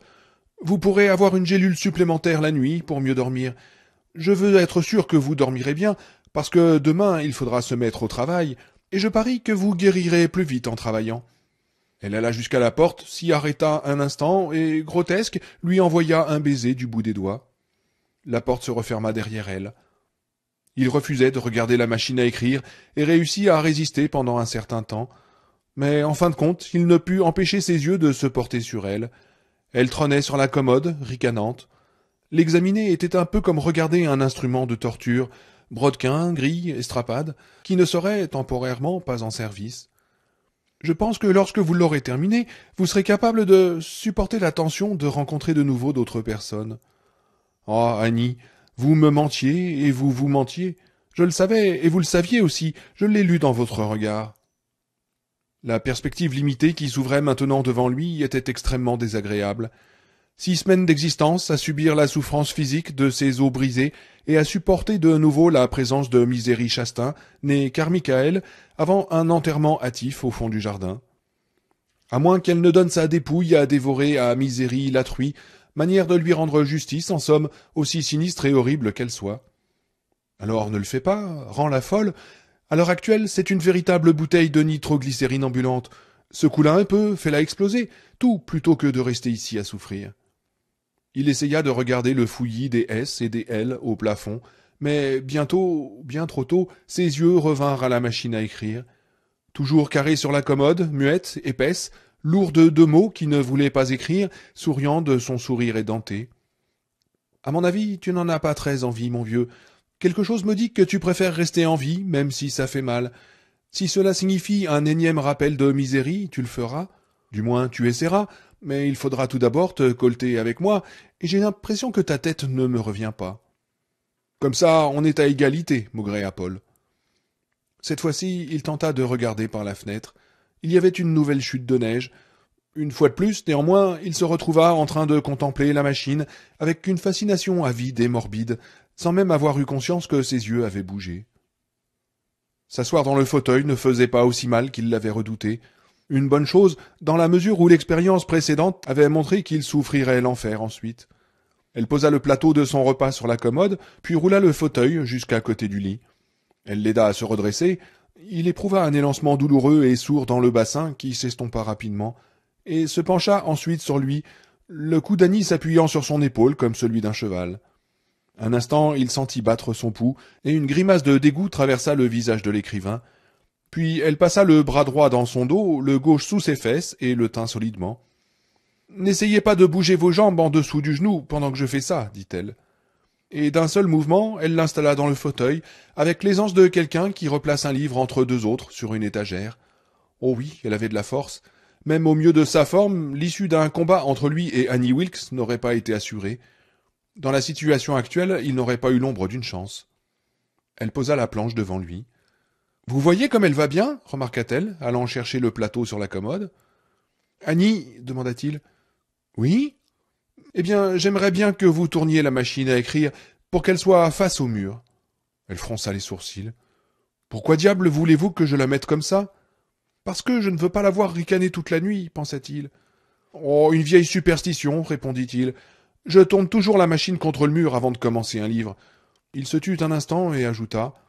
Et tous les soirs pendant que je l'écris, en réalité. Ah, c'est comme de jeter du sel ou de ne pas passer sous une échelle. Moi je ne passe jamais sous une échelle. Elle fit pivoter la machine qui souriait maintenant au mur. C'est mieux ainsi? Oh oui, beaucoup mieux. Qu'est-ce que vous pouvez être gamin, dit-elle. Puis elle vint lui donner à manger.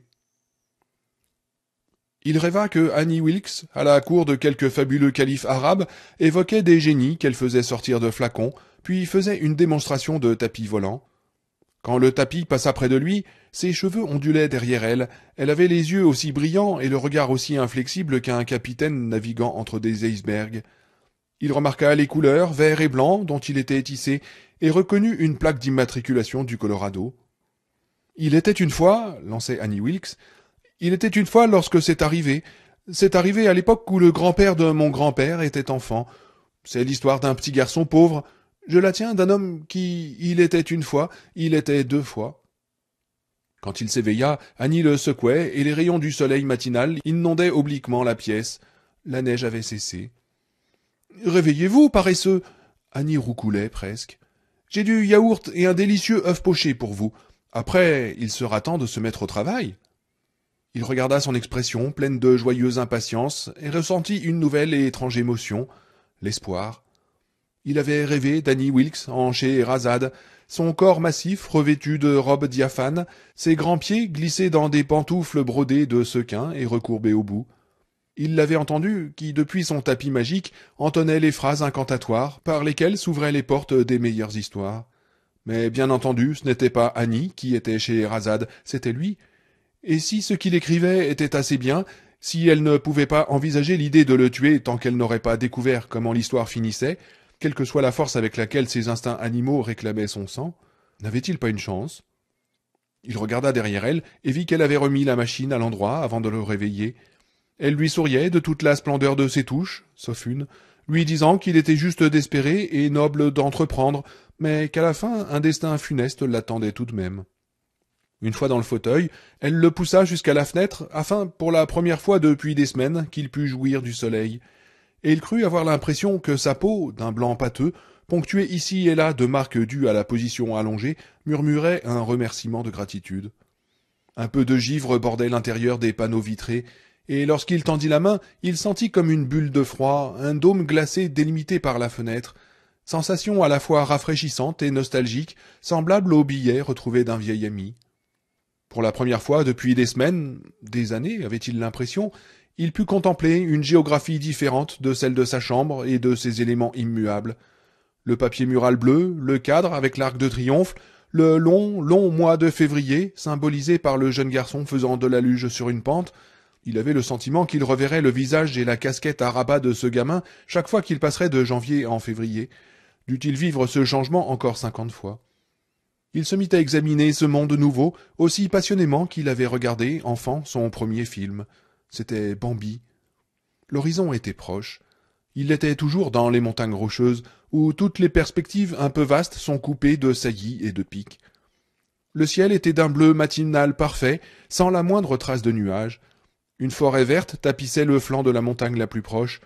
Une trentaine d'hectares de terre libre séparaient la maison de la lisière de la forêt, une étendue de neige d'un blanc éclatant que rien ne salissait.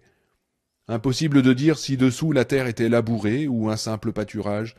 Une seule chose interrompait la vue du champ de neige, le bâtiment impeccablement peint en rouge qui faisait grange et étable à la fois. Quand elle lui avait parlé de son bétail, ou lorsqu'il la voyait passer d'un pas lourd devant la fenêtre, sa figure morne et impénétrable coupant comme une proue la vapeur de sa respiration, il avait imaginé des dépendances faites de briques et de brocs, comme dans les illustrations des livres d'enfants ou d'histoires de fantômes. Des toits concaves et déformés pour avoir supporté des années le poids de la neige, des fenêtres aveugles et poussiéreuses avec des carreaux cassés remplacés par du carton, une grande porte à deux battants plus ou moins de guingois. Or, cette construction coquette et propre, avec sa peinture rouge sombre soulignée d'encadrements couleur crème, évoquait plutôt le garage pour cinq véhicules de quelques riches propriétaires campagnards déguisés en grange. Une Jeep Cherokee, âgée peut-être de cinq ans, mais manifestement bien entretenue, stationnait devant. À côté se tenait une charrue Fischer, calée dans un cadre de bois de fabrication artisanale. Pour attacher la lame destinée à dégager la neige, il suffisait d'avancer délicatement la Cherokee jusqu'au berceau, de manière à ce que les crochets du véhicule viennent s'emboîter dans les creux correspondants de la charrue. Après quoi, il ne restait plus qu'à actionner le levier de verrouillage du tableau de bord. La solution idéale pour une femme qui vivait seule et loin de tout voisin, auquel elle aurait pu faire appel pour un coup de main, si l'on excluait ces sales oiseaux de Reutemann, bien entendu. Et Annie Wilkes n'aurait pas accepté d'eux un quignon de pain, même mourant de faim.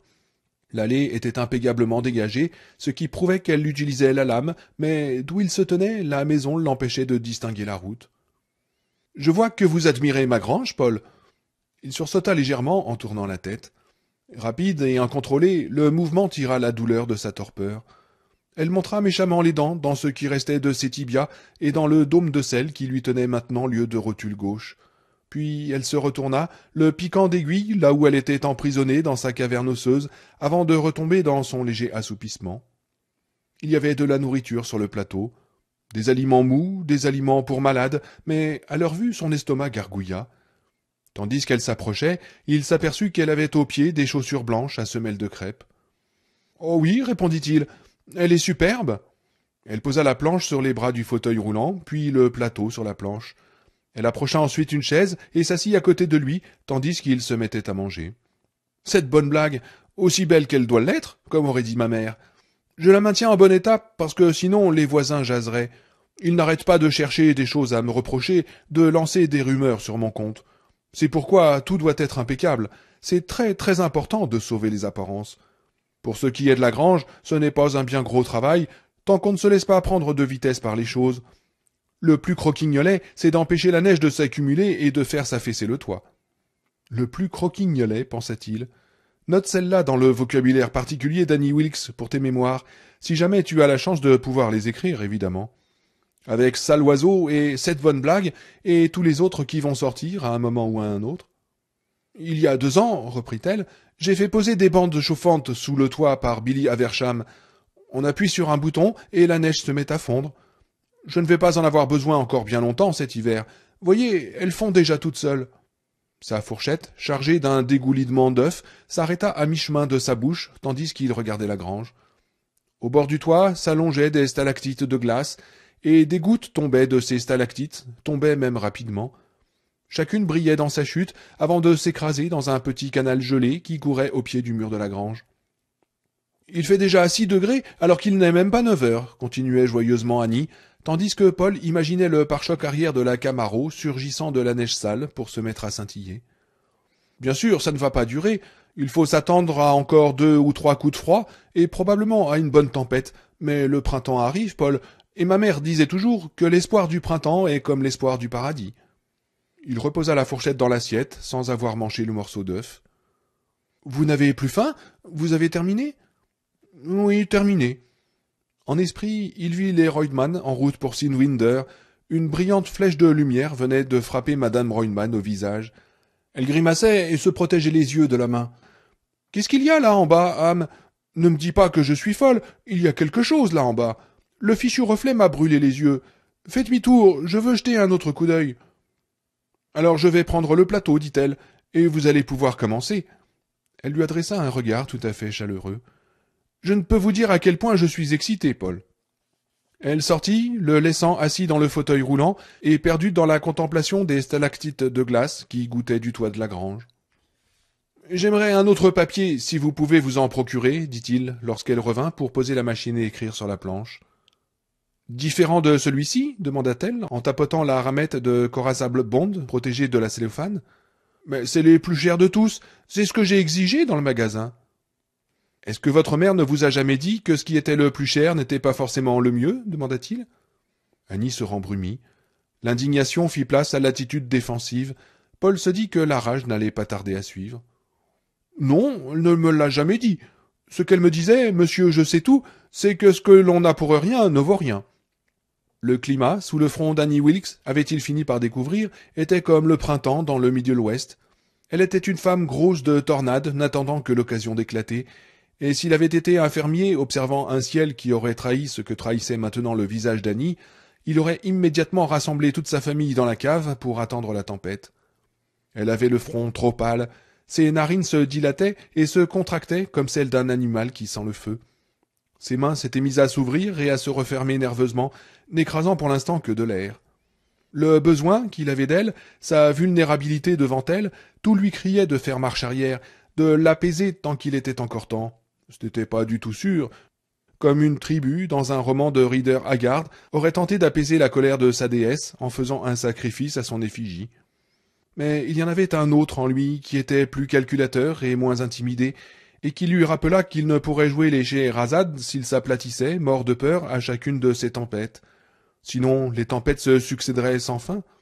Si tu ne possédais pas quelque chose qu'elle désire passionnément, raisonnait cette partie de lui-même, elle t'aurait tout de suite amené à l'hôpital, ou bien t'aurait tué un peu plus tard pour se protéger des Reutemann, car pour Annie, le monde était plein de Reutemann.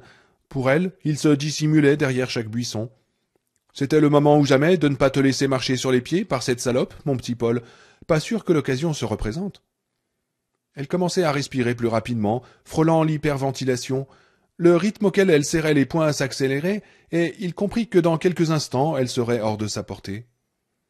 Rassemblant le peu de courage qu'il lui restait, et dans un effort désespéré pour adopter la note, à la fois ferme et calme, d'irritation la plus juste, il lui lança. Et autant arrêter tout de suite ce cinéma, Piquer une crise n'arrangera pas les choses. Elle resta paralysée et le regarda, blessée.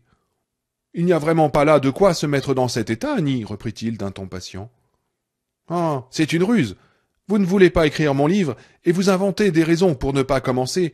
Oh bon sang. Je savais que vous le feriez. Mais ça ne marchera pas avec moi. Mais c'est idiot, la coupa-t-il. Est-ce que j'ai dit que je ne voulais pas commencer? Non, non, mais. C'est exact, je ne l'ai pas dit, puisque je vais le faire. Vous n'avez qu'à vous approcher, je vais vous montrer quel est le problème. Amenez-moi aussi le Webster Pot. Le quoi? Le petit récipient avec les stylos et les crayons. Dans les journaux, on les appelle parfois ainsi, à cause de Daniel Webster. C'était une histoire qu'il venait d'inventer à l'instant, mais ce moment d'inspiration eut l'effet désiré. Elle parut plus perplexe que jamais, perdue dans un monde de spécialistes dont elle n'avait pas la moindre connaissance.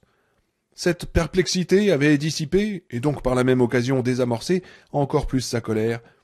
Il s'aperçut qu'elle ne savait maintenant même plus si elle avait le droit d'être en colère. Elle lui apporta le pot de crayon et de stylo qu'elle posa sèchement sur la planche. Bon Dieu, j'ai gagné? Non, ce n'était pas cela. Misérie avait gagné. Non, cela aussi était inexact. C'était Scheherazade qui avait gagné. Scheherazade. Alors quoi? maugréa-t-elle. Regardez, fit-il. Il ouvrit la ramette de papier et en prit une feuille.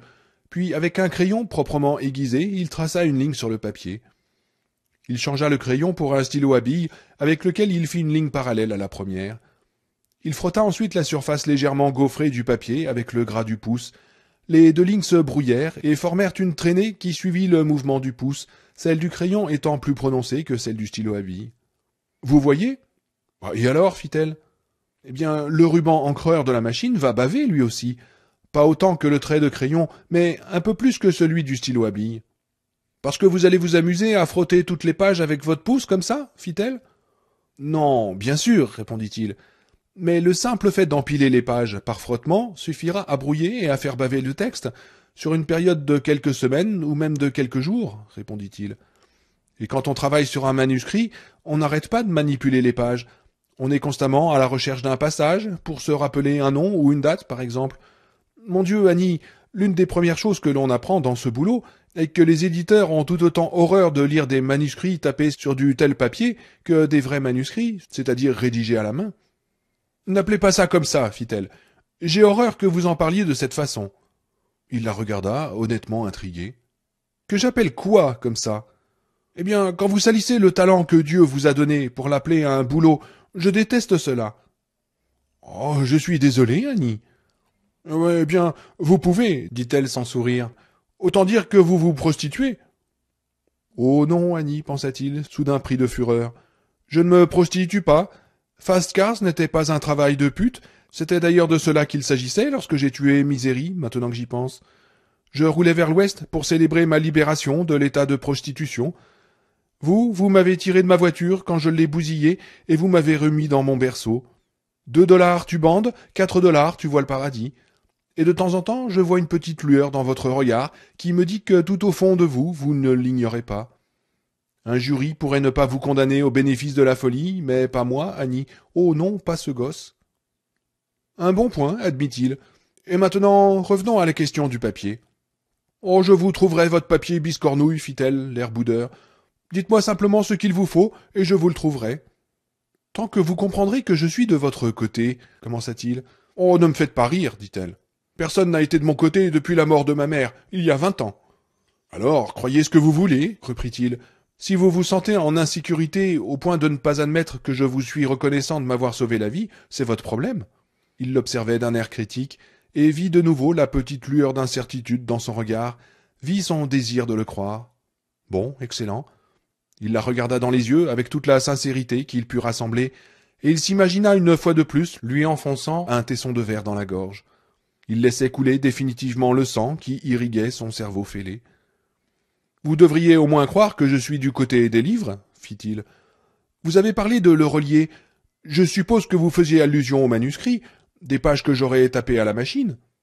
Bah, évidemment, fit-elle. Tu parles, Charles, parce que si vous ameniez ce manuscrit à un imprimeur, il pourrait se poser des questions.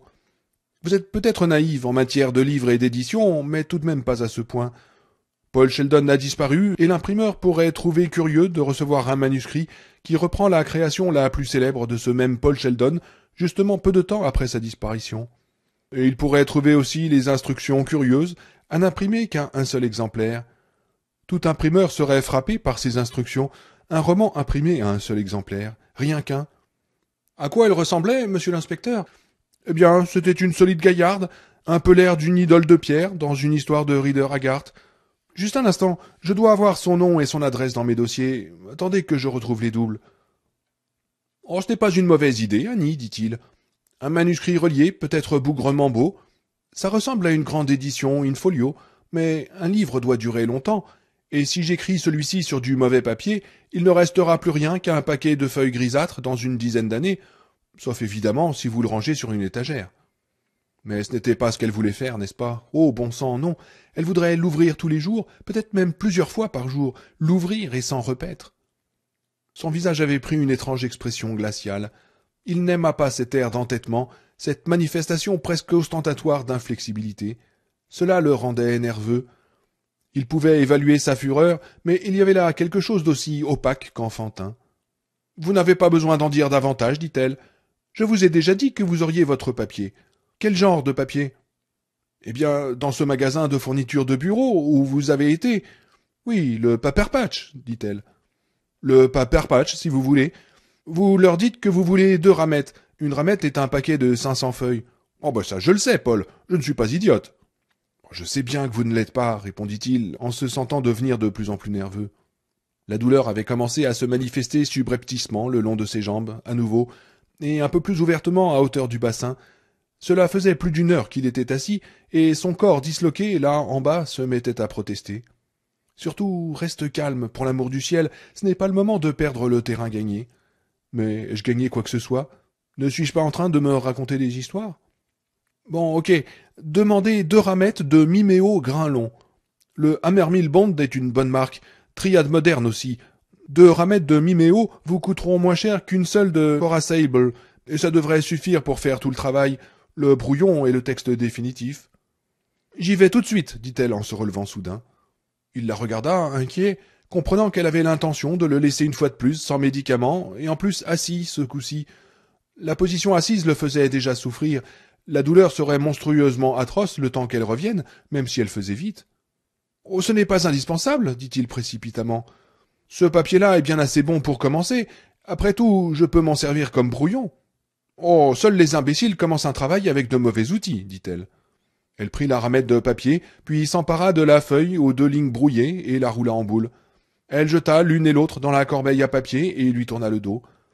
Cette expression dure et inflexible couvrait son visage comme un masque, ses yeux luisaient comme deux pièces en métal blanc terni. Je vais en ville tout de suite, reprit-elle. Je sais que vous tenez à commencer dès que possible, puisque vous êtes de mon côté. Elle prononça ces trois derniers mots avec une intense intonation sarcastique, et se dit Paul une haine de soi qu'elle ne pourrait jamais se figurer. Et c'est pourquoi je ne prendrai même pas le temps de vous remettre au lit. Elle grimaça un sourire qui lui étira grotesquement les lèvres comme à une poupée, et passa à côté de lui dans ses chaussures silencieuses d'infirmière. Ses doigts effleurèrent les cheveux de Paul. Il tressaillit, il aurait voulu se retenir, mais en fut incapable. Sur les lèvres d'Annie, le sourire de mort-vivant s'étira encore. Bien que, poursuivit-elle, je craigne que cela ne retarde le début du retour de Misérie d'un jour ou deux, peut-être même trois. Oui, cela pourra prendre trois jours avant que vous soyez capable de vous asseoir à nouveau, à cause de la douleur. C'est trop bête. J'avais mis du champagne à rafraîchir dans le frigo, je vais devoir le remettre dans le cellier. Mais sincèrement, Annie, je peux commencer, si seulement. Non, Paul. Elle gagna la porte et fit demi-tour, le regardant avec toujours la même expression butée. Seules les deux piécettes ternies de ses yeux étaient pleinement vivantes au fond de leurs orbites. Il y a une réflexion sur laquelle je voudrais vous laisser, reprit-elle. Vous vous imaginez peut-être pouvoir me berner, me mystifier. Je sais que je donne l'impression d'être lente et stupide, mais je ne suis ni lente ni stupide, Paul, ni lente ni stupide. Soudain son visage se défit. L'entêtement inflexible vola en éclats, laissant apparaître les traits d'un enfant saisi d'une colère pathologique. Un instant, Paul crut bien qu'il allait mourir de terreur. Ne venait-il pas de se convaincre d'avoir repris du terrain sur elle? Ne l'avait-il pas cru? Pouvait-on sérieusement jouer les Scheherazade quand on se trouvait à la merci d'une folle? Elle se précipita vers lui à travers la pièce, ses lourdes jambes comme des bielles, ses coudes fendant l'atmosphère malsaine de la chambre comme deux pistons. Les épingles qui retenaient ses cheveux se détachèrent, et des mèches se mirent à lui retomber devant les yeux en tressautant. Son pas n'était plus silencieux maintenant, on aurait dit Goliath parcourant la vallée des ossements de ses enjambées de géants. L'image de l'arc de triomphe se mit à vibrer, comme gagnée par la peur. Ah hurla-t-elle, en abattant le poing sur le dôme de sel qui était naguère la rotule gauche de Paul Sheldon. Il rejeta la tête en arrière et hurla, veines et artères comme des cordes à son cou et son front. Une explosion de douleur monta de son genou et l'enveloppa de son rayonnement aveuglant de supernova. Elle enleva la machine à écrire de la planche et la reposa violemment sur la commode, soulevant le poids mort de métal avec la même aisance qu'un simple carton à chaussures. Puisque c'est comme ça, vous resterez assis là, grinça-t-elle, lèvres étirées en un rictus qui se voulait un sourire. Vous n'aurez qu'à méditer sur celui qui commande ici, et sur tout ce que je pourrais imaginer pour vous faire souffrir si vous vous conduisez mal ou si vous essayez de me berner. Vous resterez assis et vous crierez tant que vous voudrez. Personne ne peut vous entendre. Jamais on ne s'arrête ici parce que tout le monde sait que Annie Wilkes est cinglée. Tout le monde sait ce qu'elle a fait, même si on m'a déclarée innocente. Elle repartit vers la porte et de nouveau fit demi-tour. Il crut qu'il allait avoir de nouveau droit à une charge furieuse et se mit à hurler, ce qui la fit sourire encore plus largement. Je vais vous dire encore autre chose, reprit-elle doucement. Ils pensent que je m'en suis bien sorti, et ils n'ont pas tort. Réfléchissez à cela, Paul, pendant que je vais en ville chercher votre papier biscornouille. Elle sortit et claqua la porte avec une telle violence que toute la maison vibra, puis il entendit le grincement de la clé dans la serrure. Il se laissa aller dans le fauteuil, tremblant de tout son corps, s'efforçant d'arrêter de trembler parce que ça lui faisait mal et incapable d'y arriver. Des larmes lui coulaient le long des joues. Il ne cessait de la revoir fonçant dans la chambre, il ne cessait de la revoir qui abattait le poing sur ce qui restait de son genou, comme un ivrogne abat le sien sur le comptoir de chêne d'un bar, il ne cessait de se sentir englouti dans la terrible supernova blanc-bleu de la douleur. Je vous en supplie, mon Dieu, je vous en supplie, gémit-il, tandis qu'à l'extérieur, la Cherokee démarrait dans une pétarade. Mon Dieu, je vous en supplie, faites-moi sortir d'ici, ou tuez-moi, laissez-moi sortir d'ici, ou tuez-moi. Le ronflement du moteur s'éloigna sur la route, et Dieu ne fit ni l'un ni l'autre, l'abandonnant à ses larmes et à ses souffrances, maintenant réveillé et hyperactif dans tout son corps. Il pensa plus tard que les gens, dans leur inaltérable perversité, transformeraient ce qu'il fit ensuite en acte d'héroïsme, et lui les laisserait probablement dire, alors qu'en fait il ne s'agissait à ses yeux que d'une ultime tentative désespérée d'auto-préservation. Très vaguement, il eut l'impression d'entendre un commentateur sportif pris d'un délire d'enthousiasme, Howard Cosell ou Warner Wolf, ou encore peut-être le plus fou de tous, Johnny Most, décrire la scène, comme si ses efforts pour arriver jusqu'à la réserve de médicaments avant que la douleur ne l'achevât avaient été quelques bizarres événements sportifs, Interville, revu et corrigé par Caligula, par exemple. Comment appeler cette épreuve? La course à la cam? L'énergie qu'arrive à déployer Paul Sheldon aujourd'hui, c'est à ne pas y croire, s'enthousiasmait le commentateur dans la tête de Paul. Personne dans le stade Annie ou parmi les téléspectateurs, n'aurait osé imaginer qu'il avait la moindre chance de faire bouger ce fauteuil roulant après le coup qu'il a reçu. Mais je crois, oui, ça y est, il bouge. Regardons le ralenti. La sueur qui coulait sur son front vint lui piquer les yeux. Sur ses lèvres, il lécha un mélange de sel et de larmes. Son tremblement n'arrivait pas à s'arrêter. La douleur était comme la fin du monde. Il pensa Il arrive un moment où parler de la douleur est inutile. Personne ne peut savoir qu'il existe une telle souffrance dans le monde. Personne. C'est comme être possédé par des démons. C'est seulement la pensée du Novril, de ses gélules qu'elle conservait quelque part dans la maison, qui lui donna la force de continuer. Le fait que la chambre fût fermée la possibilité que la drogue ne se trouvât pas au rez-de-chaussée, comme il le supposait, mais cachée ailleurs, le risque de la voir revenir et d'être pris sur le fait, rien de tout cela n'avait d'importance. Ce n'était que des ombres au regard de la douleur. Il réglerait chacun de ses problèmes quand il se présenterait, ou bien il mourrait, c'était tout. Le fait de se déplacer fit que les rubans de feu qui partaient de sa taille et s'enroulaient autour de ses jambes s'enfoncèrent plus profondément, s'incrustant dans sa chair comme des anneaux de fer bardés de pointes aiguës et chauffés à blanc à l'intérieur. Mais le fauteuil bougea. Très lentement, le fauteuil se mit à rouler. Il avait réussi à parcourir un peu plus d'un mètre lorsqu'il se rendit compte qu'il allait se retrouver dans un coin de la chambre et non devant la porte s'il n'arrivait pas à faire pivoter le fauteuil. Parcouru de frissons, il étreignit la roue droite. Pense aux gélules, pense au soulagement qu'elles vont apporter, et pesa dessus de toutes ses forces. Le caoutchouc émit un couinement minuscule contre le bois du plancher, un vrai cri de souris. Il pesa de nouveau sur la roue, sa musculature autrefois solide, maintenant réduite à une gelée tremblotante, les lèvres découvrant ses dents qui grinçaient. Le fauteuil pivota légèrement. Il attrapa alors les deux roues et le fit de nouveau avancer. Cette fois-ci, il parcourut un mètre cinquante avant de s'arrêter pour se redresser. Cela accompli, il s'évanouit. Il revint paresseusement à la réalité cinq minutes plus tard, au son de la voix lointaine et provocante du commentateur sportif dans sa tête. Il essaye de repartir. L'énergie de ce Paul Sheldon n'est vraiment pas croyable. Au premier plan de son esprit, il n'y avait que la douleur. C'était du fond de sa tête qu'il commandait ses yeux. C'est alors qu'il les vit auprès de la porte et qu'il roula dans leur direction. Il se baissa pour en prendre une, mais ses doigts s'arrêtèrent à dix centimètres du sol, à dix centimètres de l'une des deux ou trois épingles tombées des cheveux d'Annie pendant qu'elle le chargeait. Il se mordit la lèvre, ne prêtant pas la moindre attention à la transpiration qui coulait de sa figure et de son cou, et venait mouiller son pyjama. Oh, je ne le crois pas capable d'atteindre ces épingles, les gars. C'est un effort absolument fantastique, mais j'ai bien peur qu'il ne puisse aller plus loin. Eh bien, peut-être pas. Il laissa son buste retomber sur le côté droit du fauteuil roulant, s'efforçant tout d'abord d'ignorer la douleur, une douleur qui créait une sensation de pression grandissante, comme une inclusion dedans, puis il renonça et cria. Comme elle disait, il n'y avait personne pour l'entendre. Le bout de ses doigts pendait encore à un ou deux centimètres au-dessus du sol, et se balançait juste à l'aplomb de l'épingle. Sa hanche droite lui donnait l'impression qu'elle allait exploser comme un furoncle plein de gelée d'os.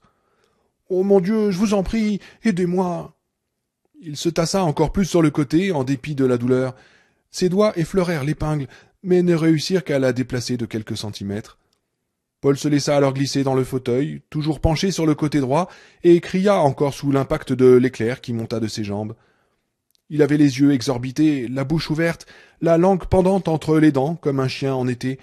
Du bout tombaient de petites gouttes de salive qui allaient étoiler le sol. Il pinça l'épingle entre ses doigts, serra, faillit la perdre, puis elle se retrouva dans son poing fermé. Le fait de se redresser déclencha une nouvelle onde de souffrance, et une fois cela accompli, il ne put que rester comme il était et souffler pendant un moment, haletant, la tête rejetée aussi en arrière que le permettait le dossier du fauteuil, l'épingle posée sur la planche restée en travers des bras du siège. Il crut un moment qu'il allait vomir, puis l'impression passa. Qu'est-ce que tu fabriques? le réprimanda mollement une partie de son esprit au bout d'un moment. Attends-tu que la douleur s'en aille d'elle-même? Faut pas y compter. Elle n'arrête pas de citer sa mère, mais la tienne avait son propre assortiment de dictons, non? Oui, exact. Assis ici, la tête renversée en arrière, le visage brillant de sueur, les cheveux collés sur le front, Paul en récita un à voix haute, presque comme une incantation. Il y a peut-être des fées, il y a peut-être des lutins, mais que Dieu vienne en aide à ceux qui sait d'eux-mêmes. Oui, alors finis de traîner, mon petit Paul. La seule fée qui va montrer le bout de son nez ici appartient à la catégorie poids lourd et s'appelle Annie Wilkes. Il reprit donc sa progression, faisant rouler lentement le fauteuil jusqu'à la porte. Elle l'avait fermée à clé, mais il se croyait capable de la déverrouiller. Tony Bonassaro, réduit maintenant à un tas de cendres noires, avait été voleur de voitures. Dans le cadre du travail préparatoire de Fast Cars, Paul avait étudié l'art de forcer les portes avec un ancien flic du genre coriace, Tom Twyford. Tom lui avait montré comment faire un branchement sauvage sur le contact, comment se servir de ces minces tiges de métal que les voleurs de voitures appellent Slim Jims pour forcer une serrure de portière, et comment court-circuiter un signal d'alarme. Ou bien, lui avait dit Tom, un jour de printemps à New York, deux ans auparavant, disons que vous ne voulez pas voler une voiture. Vous en avez une, mais vous êtes presque à sec. Vous avez un tuyau, mais la bagnole que vous avez choisie pour vous servir gracieusement possède un bouchon de réservoir à serrure. Est-ce un problème? Non, pas du tout, si vous savez y faire, parce que la plupart de ces serrures sont des jeux d'enfants à ouvrir. Il suffit d'avoir une épingle à cheveux. Il fallut à Paul cinq interminables minutes pour placer le fauteuil roulant exactement là où il le voulait, la roue gauche touchant presque la porte. Le trou de serrure était à l'ancienne mode et rappela à Paul les dessins de John Tenniel pour Alice au pays des merveilles, placé comme il était au milieu d'une plaque ternie. Il se baissa légèrement dans le fauteuil, ce qui lui arracha un unique jappement, et regarda à travers. Il vit un petit couloir qui conduisait à ce qui était manifestement le salon, tapis rouge foncé sur le sol, canapé démodé couvert d'un tissu assorti, lampadaire avec abat-jour à. Sur la gauche, à mi-chemin du couloir, il aperçut une porte entr'ouverte. Paul sentit son pouce accélérer. Il devait très probablement s'agir de la salle de bain du rez-de-chaussée. Il l'avait suffisamment entendu qui prenait de l'eau, y compris le jour où elle avait rempli le seau dans lequel il avait bu avec l'enthousiasme que l'on sait. Mais n'était-ce pas aussi d'ici qu'elle venait lorsqu'elle lui apportait ses médicaments? Il lui semblait que oui. Il saisit l'épingle. Mal, elle retomba sur la planche et se mit à glisser vers le bord. Non cria-t-il d'une voix rauque, la plaquant de la main au dernier moment. Il la serra dans son poing et s'évanouit une deuxième fois. Bien que n'ayant aucun moyen d'en être sûr, il lui sembla qu'il était resté inconscient plus longtemps ce coup-ci. La douleur, mis à part les effroyables élancements brûlants qui montaient de son genou gauche, paraissait avoir un peu diminué. L'épingle était posée au milieu de la planche. Cette fois-ci, il fit jouer à plusieurs reprises les doigts de sa main droite avant de la ramasser. Maintenant, se dit-il tout en la dépliant, il ne s'agit plus de trembler. Accroche-toi à cette idée, tu ne trembleras pas. Il passa le bras devant lui et glissa l'épingle dans le trou de serrure, écoutant le commentateur sportif dans sa tête, si vive, décrire l'action. Une sueur huileuse lui coulait continuellement sur le visage. Il tendit l'oreille, mais surtout il écouta ce que lui disait le bout de ses doigts. Dans une serrure de pacotille, lui avait dit Tom, le butoir est juste un bout de ferraille qui oscille comme un rocking chair. Vous voulez retourner un rocking chair Rien de plus facile. On le prend aux pattes et hop, de la gnognotte. Avec une serrure comme ça, c'est tout ce qu'il y a à faire. On relève le butoir et on dégage rapidement le penne avant qu'il retombe. Il atteignit le butoir à deux reprises, mais à chaque fois l'épingle glissa dessus, et il se referma avant que Paul ait pu faire bouger le penne. L'épingle commençait à se plier. Encore deux ou trois essais, et elle va casser, pensa-t-il. Mon Dieu, je vous en prie, dit-il en l'introduisant à nouveau. Mon Dieu, qu'est-ce que vous en dites? Rien qu'un petit geste pour le môme, c'est tout ce que je demande. Et les gars, Sheldon s'est montré héroïque aujourd'hui, mais ce sera la dernière tentative.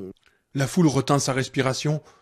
Il ferma les yeux, et la voix du commentateur s'estompa, comme il tendait avidement l'oreille vers le chuchotement de l'épingle dans la serrure. Maintenant, Ça résiste, eh bien, le butoir. Il l'imaginait dans son logement, incurvé comme le pied d'un rocking chair, s'appuyant contre le pen et le clouant sur place, le clouant, lui, sur place. C'est un simple jeu d'enfant, Paul. Suffit de rester calme. Lorsque l'on souffre aussi horriblement, ce n'est pas facile de rester calme. Il saisit la poignée de la main gauche, passant pour cela sous son bras droit, et commença à enfoncer délicatement l'épingle. Il appuya un peu plus fort, encore un peu. Il imaginait le mouvement du butoir dans sa petite alcôve poussiéreuse. Il voyait Le Pen qui commençait à se rétracter. Inutile de le faire complètement rentrer, bon Dieu, inutile. Inutile de basculer complètement le rocking chair, pour reprendre la métaphore de Tom. Dès l'instant où il quittait la gage de l'encadrement, une simple poussée, l'épingle se mit simultanément à plier et à glisser. Il sentit ce qui se passait, et désespéré poussa vers le haut tant qu'il put en enfonçant la porte. Il y eut un claquement, et l'épingle se brisa en deux. La partie à l'intérieur tomba dans la serrure, et pendant quelques instants sinistres, il se dit qu'il avait échoué. Puis il vit que la porte s'ouvrait lentement, le pen dépassant de la platine comme un doigt d'acier. Seigneur Jésus, merci, merci Jésus, murmura-t-il. Revenons sur le ralenti, exulta Warner Wolf dans sa tête, tandis que les dizaines de milliers de spectateurs du stade Annie Wilkes, sans parler de ceux qui étaient chez eux devant leur téléviseur, applaudissaient et criaient à tout rompre. Pas encore, Werner, grogna-t-il.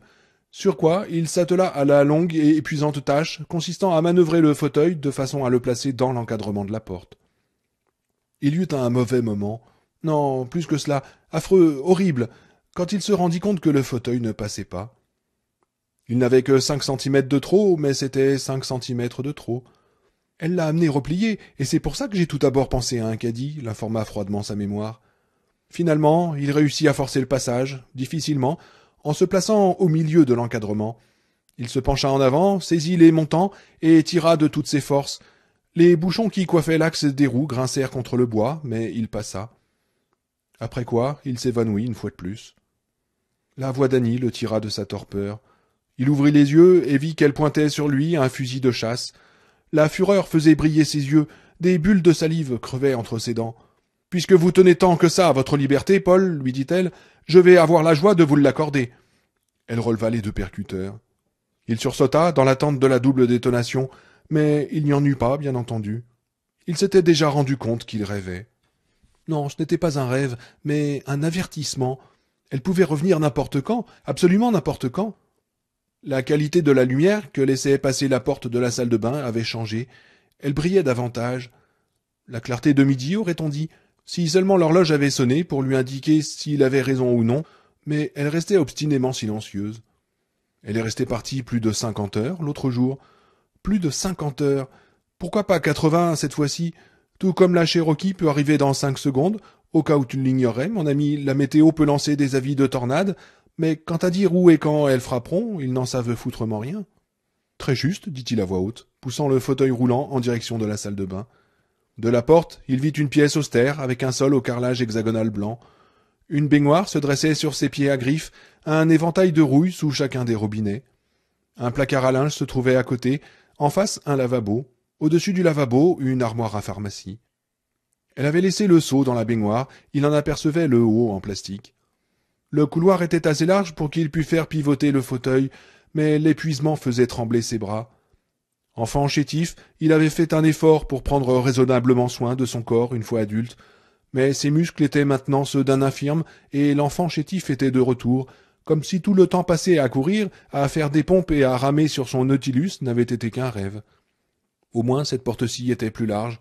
Pas beaucoup, mais suffisamment pour faire de son passage autre chose qu'une épreuve à en avoir les cheveux qui se dressent sur la tête. Paul heurta l'un des jambages, puis les roues de caoutchouc roulèrent en douceur sur les carreaux. Une odeur âcre lui parvint, qu'il associa automatiquement à l'idée d'hôpital. Odeur de l'isole, peut-être? Il n'y avait pas de toilette dans cette salle de bain, ce dont il se doutait déjà.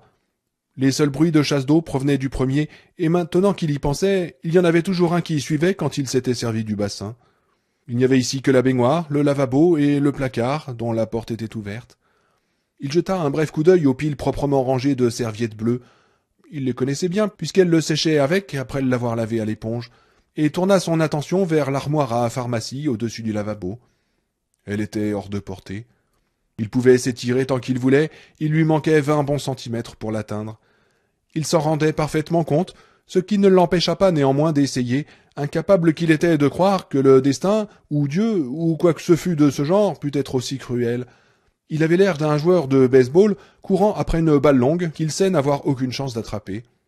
Paul émit un gémissement de bête blessée, baissa les bras et se laissa aller, haletant dans le fauteuil. Le nuage de la torpeur se reforma. Dans un effort de volonté, il le chassa et regarda autour de lui, cherchant quelque chose qui l'aiderait à ouvrir la porte de l'armoire à pharmacie. C'est alors qu'il aperçut le balai au cédar, avec son long manche bleu posé raide dans un coin. Tu vas te servir de ça, vraiment? Au fond, pourquoi pas? Il suffit de forcer la porte de l'armoire à pharmacie et de faire dégringoler tout le bazar dans le lavabo. Mais les flacons vont se briser, et même s'il n'y a pas de flacon de verre, ça m'étonnerait. Tout le monde a de la listérine ou du scope ou un truc comme ça chez soi. Tu n'auras aucun moyen de tout remettre en place. Et qu'est-ce qui se passera quand elle reviendra et verra tout ce gâchis? Je lui dirai que c'était misérie, quoi, il Je lui dirai qu'elle s'est arrêtée en passant pour prendre un tonique à réveiller les morts. Sur quoi il éclata en sanglots. Mais même à travers ses larmes, il avait les yeux qui furetaient dans la pièce, à la recherche de quelque chose, n'importe quoi, une inspiration, de quoi souffler, juste de quoi souffle. Il explorait de nouveau le placard, et sa respiration haletante s'arrêta soudain, tandis que ses yeux s'agrandissaient. La première fois qu'il l'avait inspecté, vaguement, il n'avait fait attention qu'aux étagères, avec leurs empilements au carré de draps, de têtes d'oreiller et de serviettes. C'était maintenant le sol qu'il examinait, sol sur lequel s'entassaient un certain nombre de cartons. Certains portaient l'étiquette Lily, d'autres Upjohn, d'autres encore Cam Pharmaceutical. Il fit brutalement pivoter le fauteuil, se faisant mal et ne s'en souciant pas. Je vous en prie, bon Dieu, faites que ce ne soit pas sa réserve de shampoing ou de serviettes périodiques ou les photos de sa chère sainte de mère. Il agrippa maladroitement l'une des boîtes, la tira à l'extérieur du placard et releva les battants. Pas de shampoing, pas d'échantillon de produits de beauté, loin de là. Il y avait un fouillis inextricable de médicaments, la plupart dans des emballages de petite taille marqués échantillons. Au fond, des pilules, des gélules de différentes couleurs tombaient là. Il connaissait certains produits, comme le Motrim et le Lopressor, des médicaments contre l'hypertension que son père avait pris pendant les trois dernières années de sa vie. Il y en avait d'autres dont il n'avait jamais entendu parler. Novril, murmura-t-il, fouillant furieusement au milieu des boîtes, tandis que la sueur l'inondait et que les élancements de ses jambes devenaient plus violents. Le Novril, où est ce putain de Novril Pas de Novril. Il remit en place les rabats et repoussa le carton dans le placard, sans chercher vraiment à le placer exactement comme il l'avait trouvé. Ça devrait aller, le coin était aussi bien rangé qu'une poubelle. Se penchant loin sur la gauche, il arriva à s'emparer d'un deuxième carton. Il l'ouvrit et tout d'abord n'en crut pas ses yeux. Darvon, Darvosset, Darvon composé, Morphose, Morphose complexe, Librium, Valium, et Novril. Des douzaines et des douzaines de boîtes d'échantillons, délicieuses boîtes, Chère boîte, oh délicieuse, chère et sainte boîte. Il en ouvrit une en la déchirant d'un coup de griffe et vit les gélules qu'elle lui donnait toutes les six heures, bien rangées dans leur conditionnement transparent. À n'utiliser que sur prescription médicale, lisait-on sur l'emballage. Oh Seigneur Jésus, le toubib est arrivé, sanglota Paul. Il déchira la cellophane avec les dents et mâcha trois des gélules, à peine conscient de leur goût abominablement amer. Il s'arrêta, regarda les cinq qui restaient dans l'emballage mutilé et en avala une quatrième. Il abaissa vivement les yeux, le menton sur le sternum, une expression où se mêlaient la peur et la ruse dans le regard. Il avait beau savoir qu'il était encore trop tôt pour éprouver le moindre soulagement, il en ressentait cependant un, comme si détenir les gélules avait été plus important que de les avaler. Impression d'avoir pris le contrôle de la lune et des marées, de n'avoir eu qu'à tendre la main pour cela. C'était une idée énorme, prodigieuse, mais aussi effrayante, recouvrant un sentiment de culpabilité, d'acte blasphématoire. Si jamais elle débarque maintenant. Ok, d'accord, d'accord. Message reçu. Il regarda dans le carton, essayant de calculer combien de boîtes d'échantillons il pourrait dérober sans qu'elle s'aperçût qu'une petite souris du nom de Paul Sheldon avait grignoté une partie de ses réserves.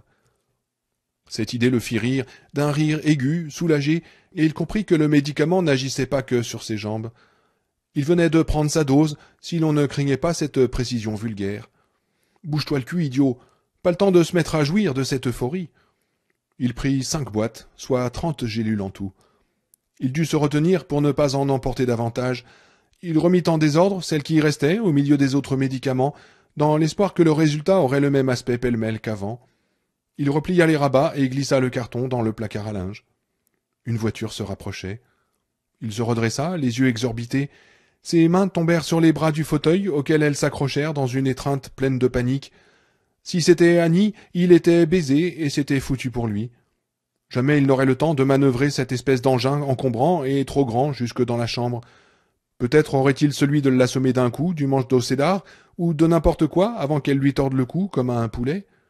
Il resta assis dans le fauteuil roulant, les échantillons de Novril sur les genoux, les jambes brisées, raides et droites devant lui, et attendit que le véhicule passât ou s'arrêtât. Le grondement du moteur s'enfla, ça n'en finissait pas, puis commença à diminuer. Bon, d'accord.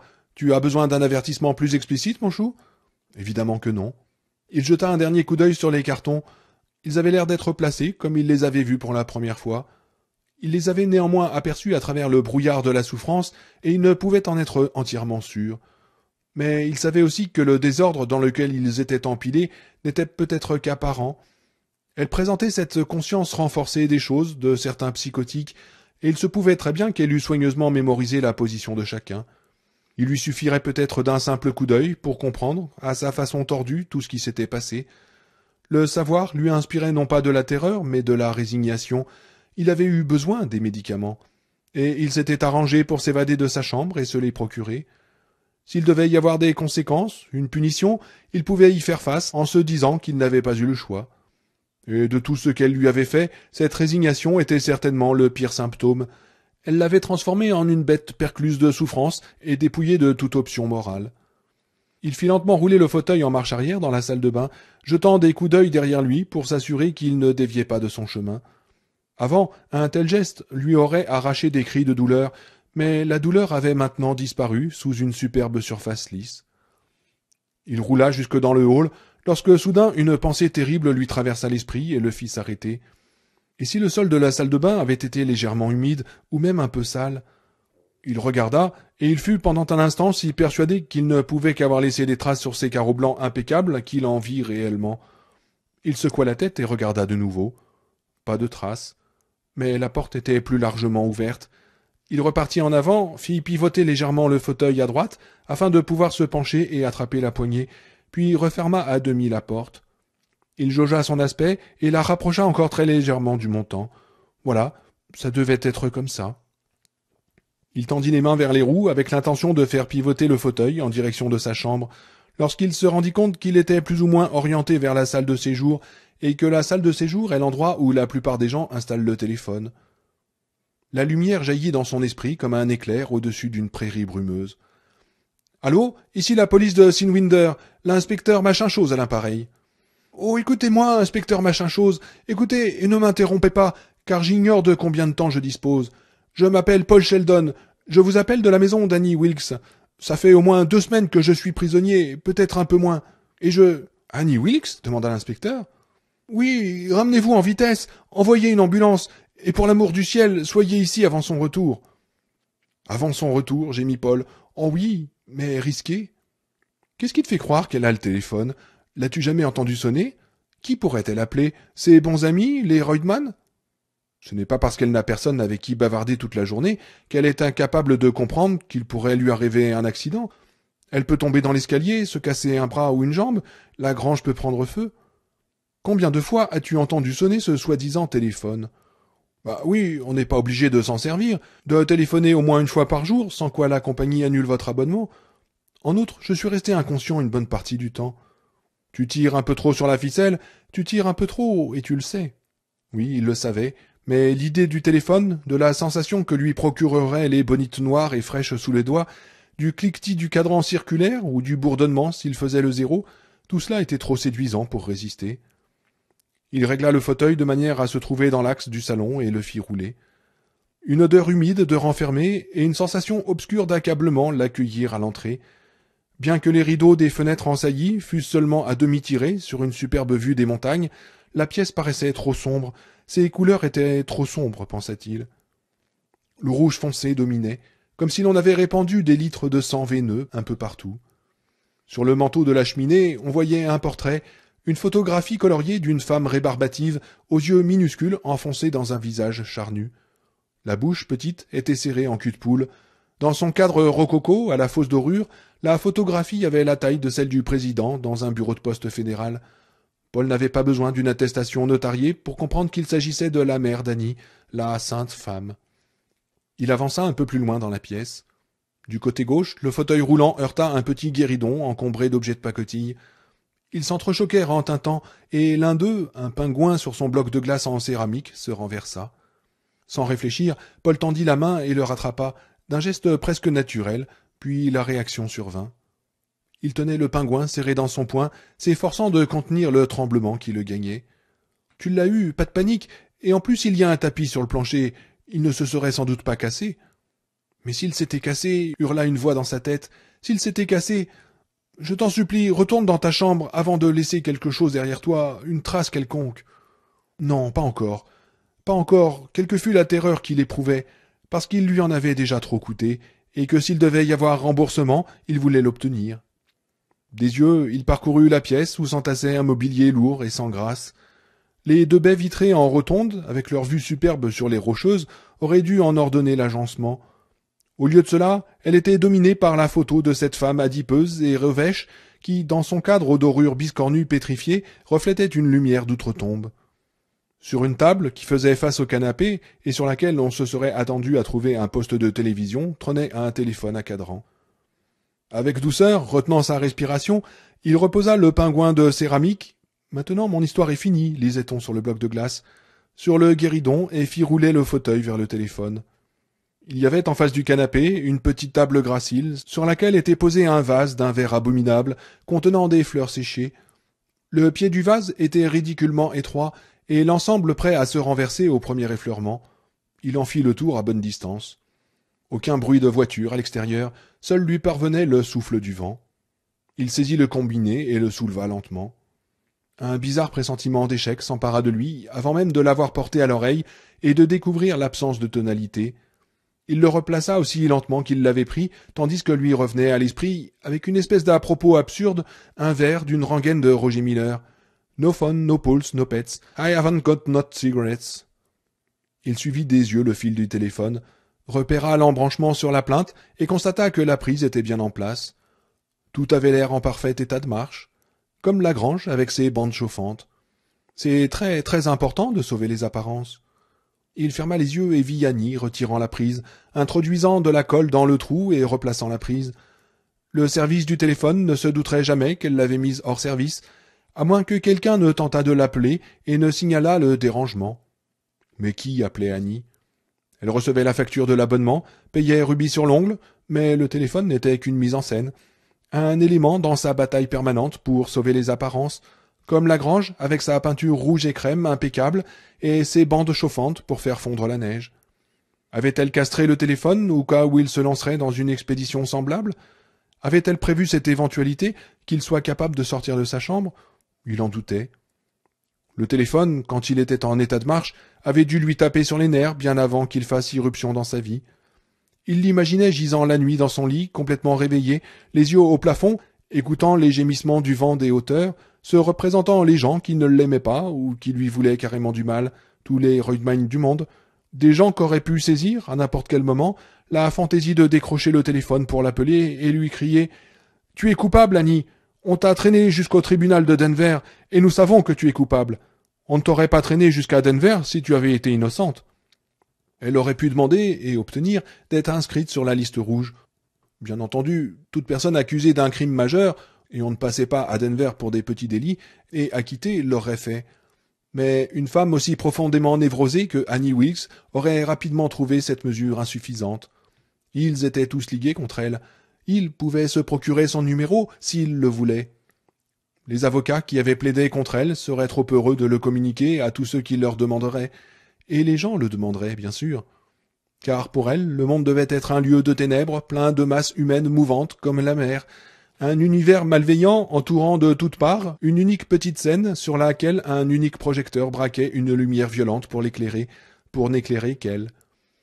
Alors autant éliminer le téléphone, le rendre définitivement silencieux, comme elle le rendrait définitivement silencieux, lui, si elle apprenait qu'il s'était rendu jusqu'ici. Soudain, un vent de panique se leva dans sa tête, lui disant qu'il devait immédiatement quitter cette pièce et retourner dans la chambre, cacher les gélules quelque part et regagner sa place près de la fenêtre, afin qu'à son retour elle ne vît pas la moindre différence, pas la moindre. Et cette fois-ci, il fut d'accord avec la voix, sans la plus petite réserve. Il recula avec précaution pour s'éloigner du téléphone, puis, une fois atteint un endroit suffisamment dégagé, il entreprit la tâche laborieuse qui consistait à faire faire demi-tour au fauteuil sans heurter table, console et guéridon. Il avait presque fini la manœuvre quand il entendit un véhicule qui approchait. Il sut avec une certitude absolue que Annie Wilkes revenait de la ville. Il fut sur le point de s'évanouir, pris d'un accès de terreur, comme il n'en avait jamais connu, une terreur qui le remplissait d'une culpabilité aussi profonde qu'incontrôlable. Il se souvint soudain du seul événement de sa vie qu'il put vaguement rapprocher de celui-ci par l'intensité du désespoir qui l'avait marqué. Il avait douze ans. C'étaient les vacances d'été. Son père travaillait et sa mère avait été passer la journée à Boston avec madame Casbrack, la voisine d'en face. Il avait trouvé un paquet de ses cigarettes et en avait allumé et fumé une avec enthousiasme, se sentant à la fois nauséeux et bien, se sentant comme il imaginait les voleurs devaient se sentir lorsqu'ils attaquaient une banque. Alors que la cigarette était à moitié consumée et la pièce pleine de fumée, il l'entendit qui ouvrait la porte d'entrée. Polly, c'est moi, j'ai oublié mon sac. Il avait commencé par chasser frénétiquement la fumée avec les mains, conscient que ça ne changerait rien, que de toute façon il était pris, et qu'il aurait droit à sa correction. Ce serait plus qu'une correction cette fois. Il se rappela le rêve qu'il avait fait pendant l'un de ses évanouissements, Annie relevant les percuteurs jumeaux du fusil de chasse et disant Puisque vous tenez tant que ça à votre liberté, Paul, je vais avoir la joie de vous l'accorder. Le grondement du moteur commença à baisser, marquant le ralentissement de la voiture qui approchait. C'était elle. Paul posa des mains qu'il sentait à peine sur les roues et poussa le fauteuil vers le couloir, non sans jeter au passage un coup d'œil au pingouin sur son bloc de glace. L'avait-il remis exactement à sa place? Impossible à dire, il fallait l'espérer. Il roula dans le couloir en direction de sa chambre, prenant de la vitesse. Il espérait grâce à elle forcer le passage, mais il n'avait pas visé assez juste. Il manquait un rien, mais un rien était déjà trop puisqu'il n'avait aucune marge. Le fauteuil cogna le jambage droit de la porte et rebondit. Pourvu que je n'ai pas écaillé la peinture, hurla la voix dans sa tête. Ô Seigneur, est-ce que je n'ai pas écaillé la peinture, laissé une trace? Non, rien. Ou plutôt un léger enfoncement, mais la peinture avait tenu, grâce à Dieu. Il recula, se replaça, pris de frénésie, essayant de négocier au plus près le passage trop étroit. Le bruit du moteur indiquait que la voiture continuait de se rapprocher tout en ralentissant. Il entendit le crissement des pneus sur la neige. En finesse, ne force pas. Il repartit vers l'avant, et les moyeux des roues se fichèrent dans le chambranle de la porte.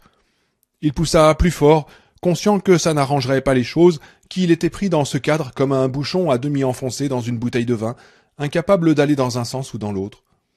Il produisit un ultime effort, les muscles des bras vibrant comme les cordes trop tendues d'un violon, et le fauteuil roulant passa en émettant le même couinement retenu que la première fois. La Cherokee s'engagea dans l'allée.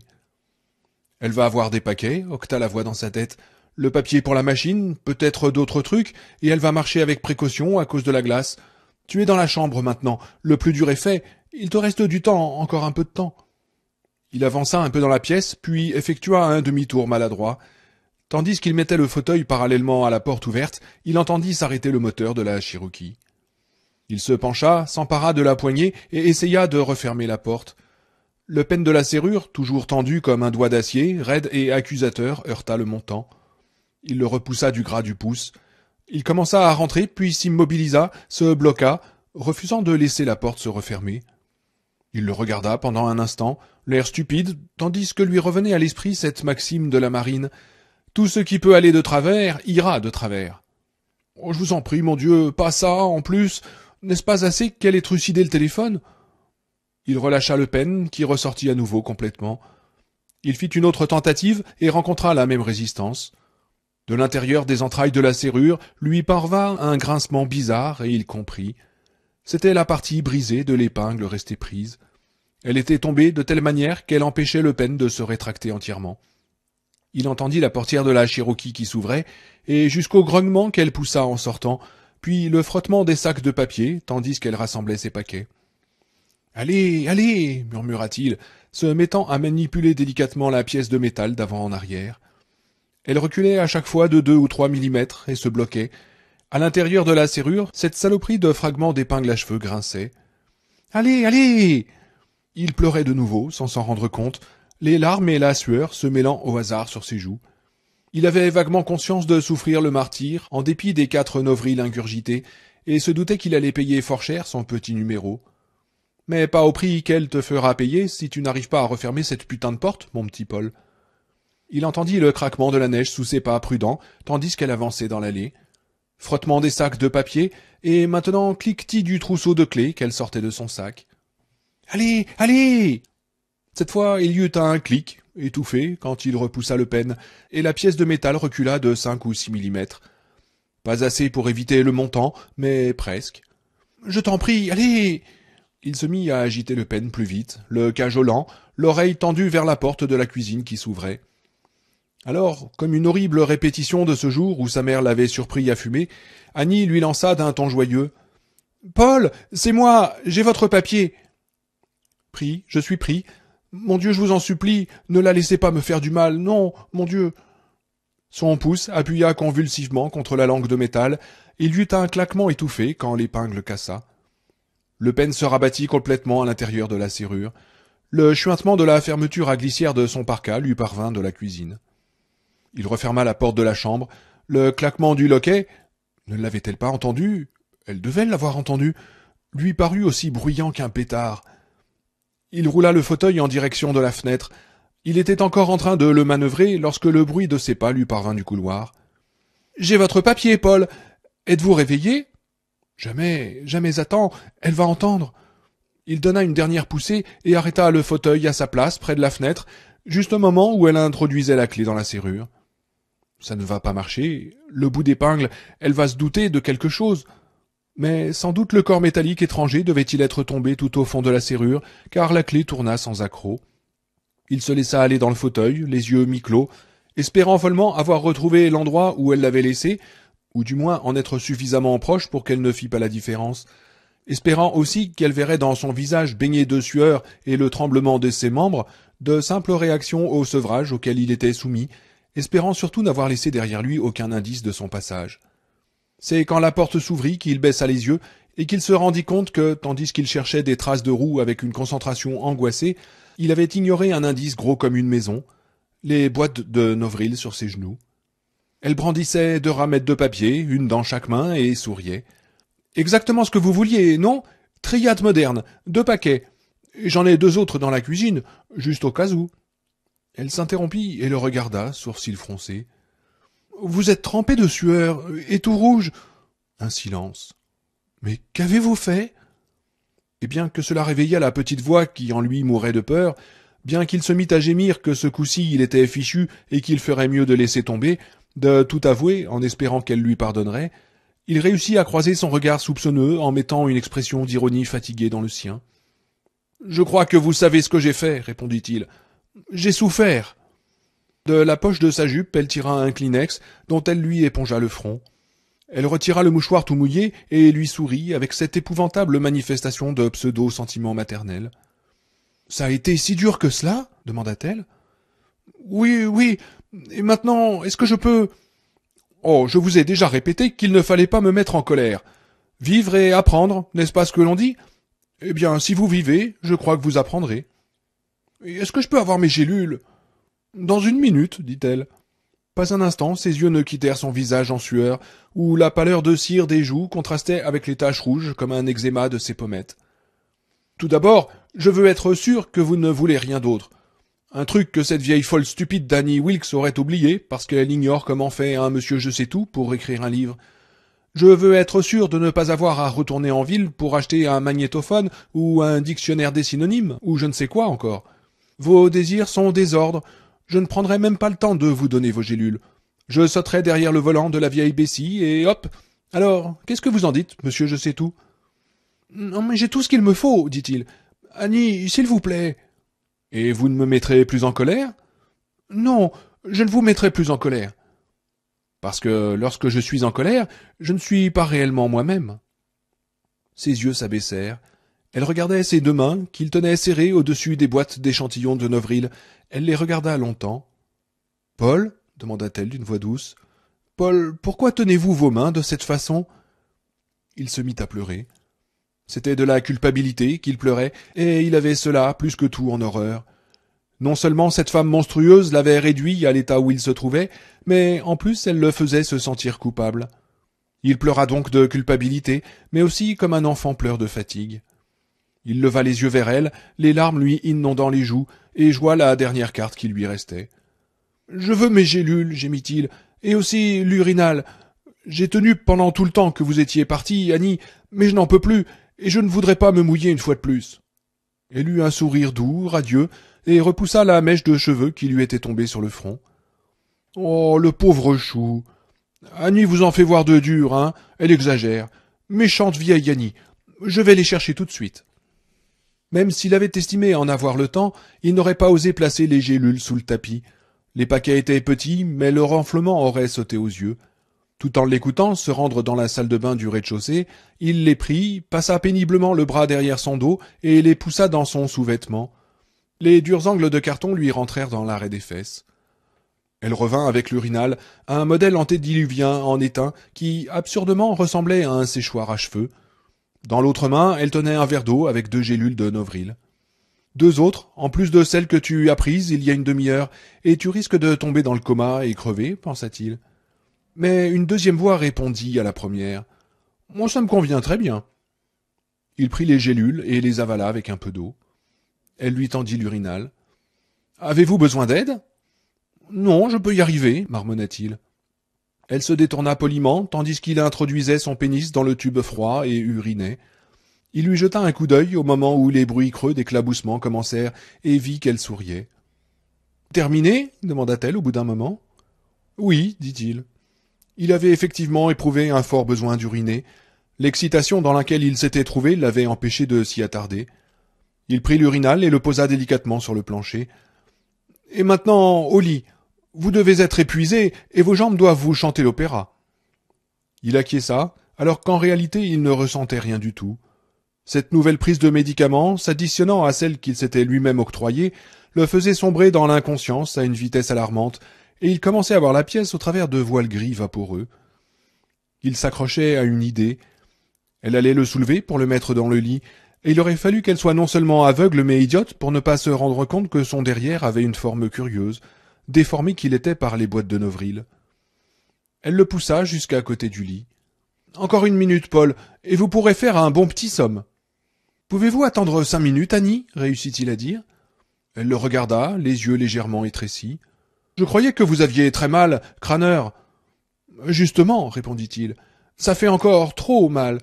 Mon genou, surtout, là où, euh, où vous vous êtes mis en colère.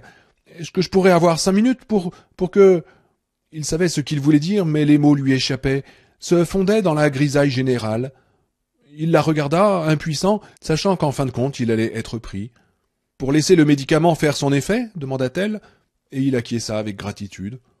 Bien sûr, je vais faire un peu de rangement et je reviens tout de suite. Dès qu'elle fut sortie, il passa un bras derrière son dos et en retira les petites boîtes qu'il fourra sous le matelas une à une. Les voiles de grisaille s'épaississaient et devenaient de plus en plus sombres. Pousse-les aussi loin que tu peux, se dit-il. Fais en sorte qu'elle ne puisse pas les tirer avec le drap de dessous lorsqu'elle refera le lit. Pousse-les aussi loin, aussi loin. Il enfourna la dernière boîte, puis se laissa retomber contre le dossier du fauteuil, les yeux au plafond. Les S et les L dansaient, comme pris d'ivresse. Il pensa Afrique. Il pensa Maintenant, il faut que je rince. Il pensa Oh, dans quel pétrin je me trouve? Des traces Est-ce que j'ai laissé des traces? Est-ce que. Paul Sheldon sombra dans l'inconscience. Quand il se réveilla, quatorze heures s'étaient écoulées, et de nouveau il neigeait dehors.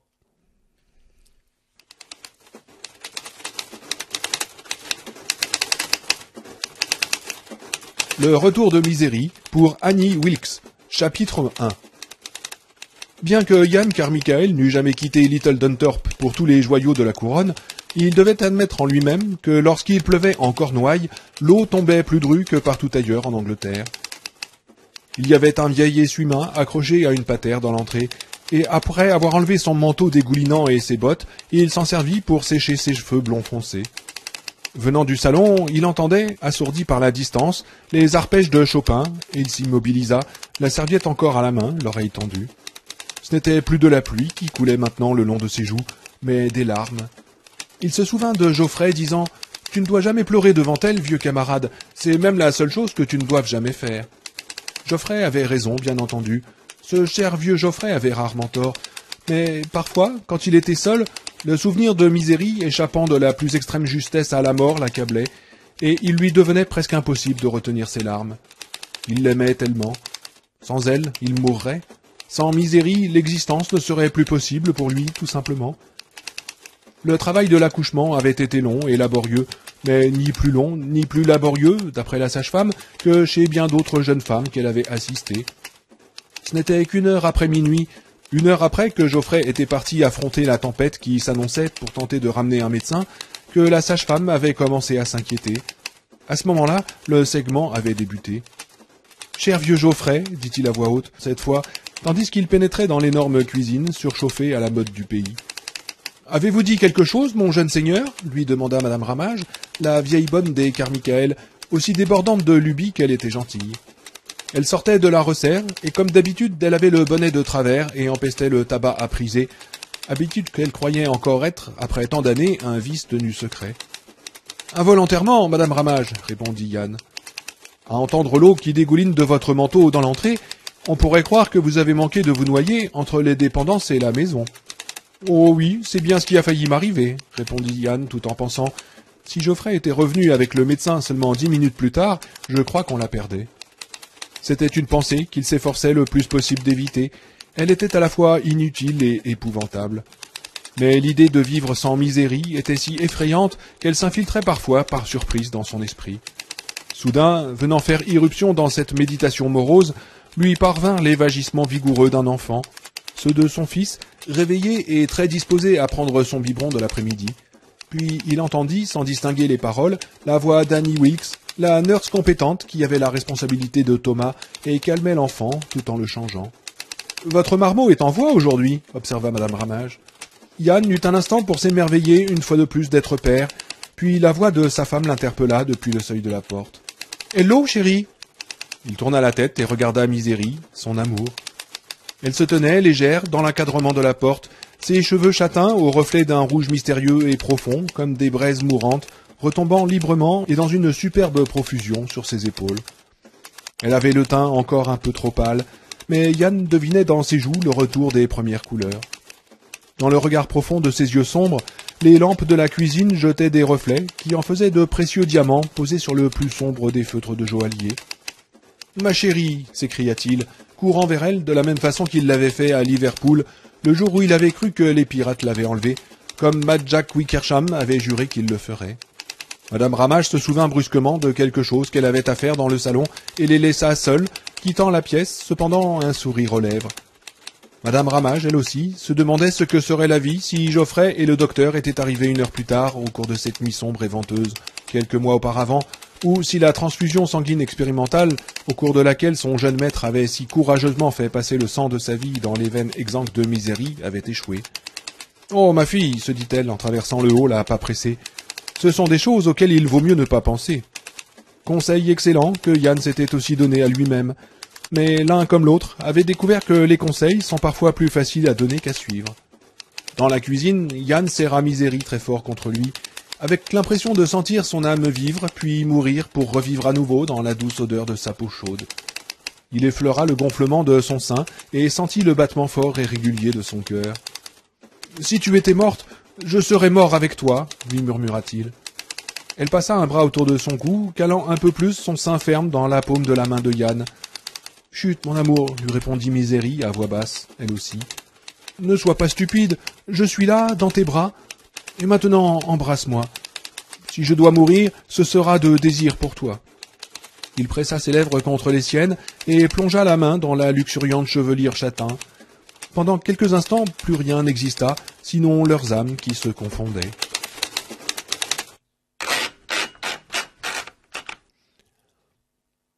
Annie posa les trois pages du manuscrit sur la table de nuit, à côté de lui, et il attendit de voir quelle serait sa réaction. Il était curieux, mais pas réellement nerveux. Il avait été sincèrement surpris de l'aisance avec laquelle il s'était de nouveau coulé dans l'univers de Misérie. Un univers conventionnel et mélodramatique, mais cela ne changeait rien au fait que le retrouver n'avait nullement été aussi désagréable que ce qu'il avait tout d'abord craint. En fait, il l'avait trouvé plutôt réconfortant, la même impression que lorsque l'on glisse les pieds dans une bonne vieille paire de pantoufles. C'est pourquoi il resta à bouche bée, franchement estomaqué, lorsqu'elle lui dit C'est pas ça. Ça ne vous plaît pas? Il n'arrivait pas à y croire. Comment avait-il pu aimer les autres romans de la série Misérie et ne pas aimer ce début? C'était tellement miséresque qu'il frôlait la caricature avec le personnage de la vieille et maternelle Madame Ramage, qui prisait en secret dans la resserre, avec Yann et Misérie, qui se pelotaient comme deux adolescents un vendredi soir, en sortant du bal de la promo du collège. Mais c'était elle qui à son tour prenait une expression stupéfaite. Ne me plaît pas? Oh si, bien sûr que si, c'est superbe. J'ai pleuré au moment où Yann la prend dans ses bras. Je n'ai pas pu m'en empêcher. Elle avait effectivement les yeux un peu rouges. Et l'idée de donner mon nom à la nurse de Thomas, j'ai trouvé ça très gentil. Il pensa, et pas bête non plus, c'est au moins ce que j'espère. Et au fait, ma cocotte, le nom du bébé était Sin au début, au cas où ça vous intéresserait. Je l'ai changé parce que cela faisait encore un putain de haine à se farcir à la main. Alors, dans ce cas, je ne comprends pas, dit-il. Oh, je vois bien que vous ne comprenez pas, reprit-elle.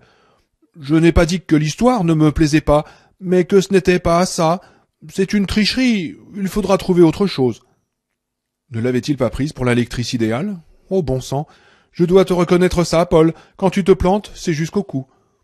La fidèle et idéale lectrice venait de se transformer en un redoutable comité éditorial. Sans même qu'il s'en rendît compte, le visage de Paul venait d'adopter l'expression d'authentique concentration qu'il prenait toujours en écoutant les sermons des directeurs littéraires. Il l'avait même surnommé son expression en quoi puis-je vous être utile, ma chère dame?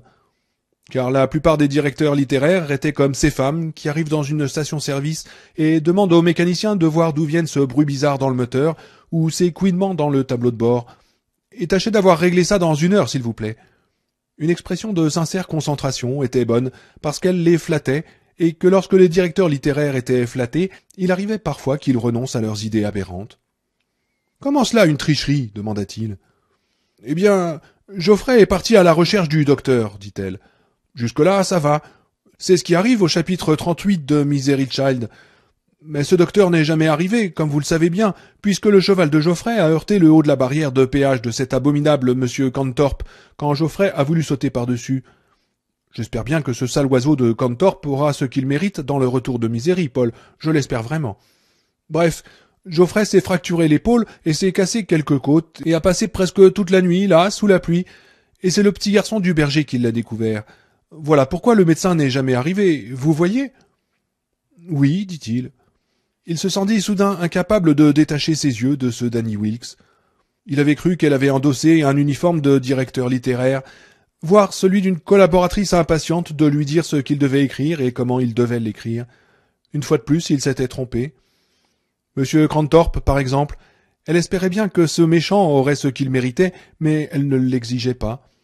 Elle voyait dans le développement créatif de l'histoire quelque chose qui lui échappait, en dépit du contrôle évident qu'elle exerçait sur celui qui l'écrivait. Certaines choses, simplement, étaient impossibles à faire. La créativité, ou son absence, n'avait rien à voir là.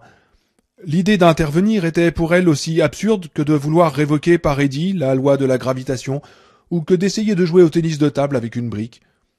Elle était réellement la fidèle lectrice type, mais fidèle lectrice n'était pas synonyme de lectrice gobe-tout. Elle ne lui permettait pas de tuer Misérie, mais elle n'admettait pas non plus son retour à la vie par un tour de passe-passe. Mais bon Dieu, pensa-t-il fatigué, je l'ai tué. Qu'est-ce qu'il faut que je fasse maintenant? Quand j'étais enfant, reprit Annie, il y avait des feuilletons au cinéma, un épisode par semaine.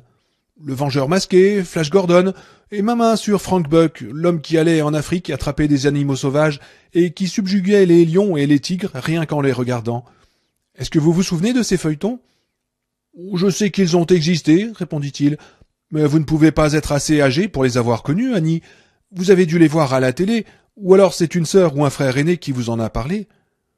Deux fossettes se creusèrent brièvement dans la compacité de la peau au coin de ses lèvres, puis disparurent. Oh, vous, espèce de baratineur. C'est vrai, j'avais un frère aîné avec qui j'allais au cinéma tous les samedis après-midi, à Bakersfield en Californie, l'endroit où j'ai grandi. Et même si j'aimais bien les actualités et les dessins animés, et aussi les grands films, c'étaient les nouveaux feuilletons que j'attendais avec le plus d'impatience. Il m'arrivait d'y penser aux moments les plus inattendus pendant la semaine. Si je m'ennuyais en classe, ou si j'allais garder les quatre morveux de madame Krentmins au rez-de-chaussée. Je les avais en horreur, ces gosses. Annie se tut, mélancolique, le regard perdu dans un coin de la chambre. Elle venait de se débrancher. C'était la première fois depuis plusieurs jours, et il se demanda, inquiet, si elle n'entamait pas la partie inférieure de son cycle. Si oui, il avait tout intérêt à ferler les voiles et à arrimer la cargaison. Finalement, elle sortit de son état, avec comme toujours une expression de léger étonnement. On aurait dit qu'elle ne s'attendait pas à retrouver le monde tel qu'elle l'avait laissé. Mon préféré était Rocketman, reprit-elle.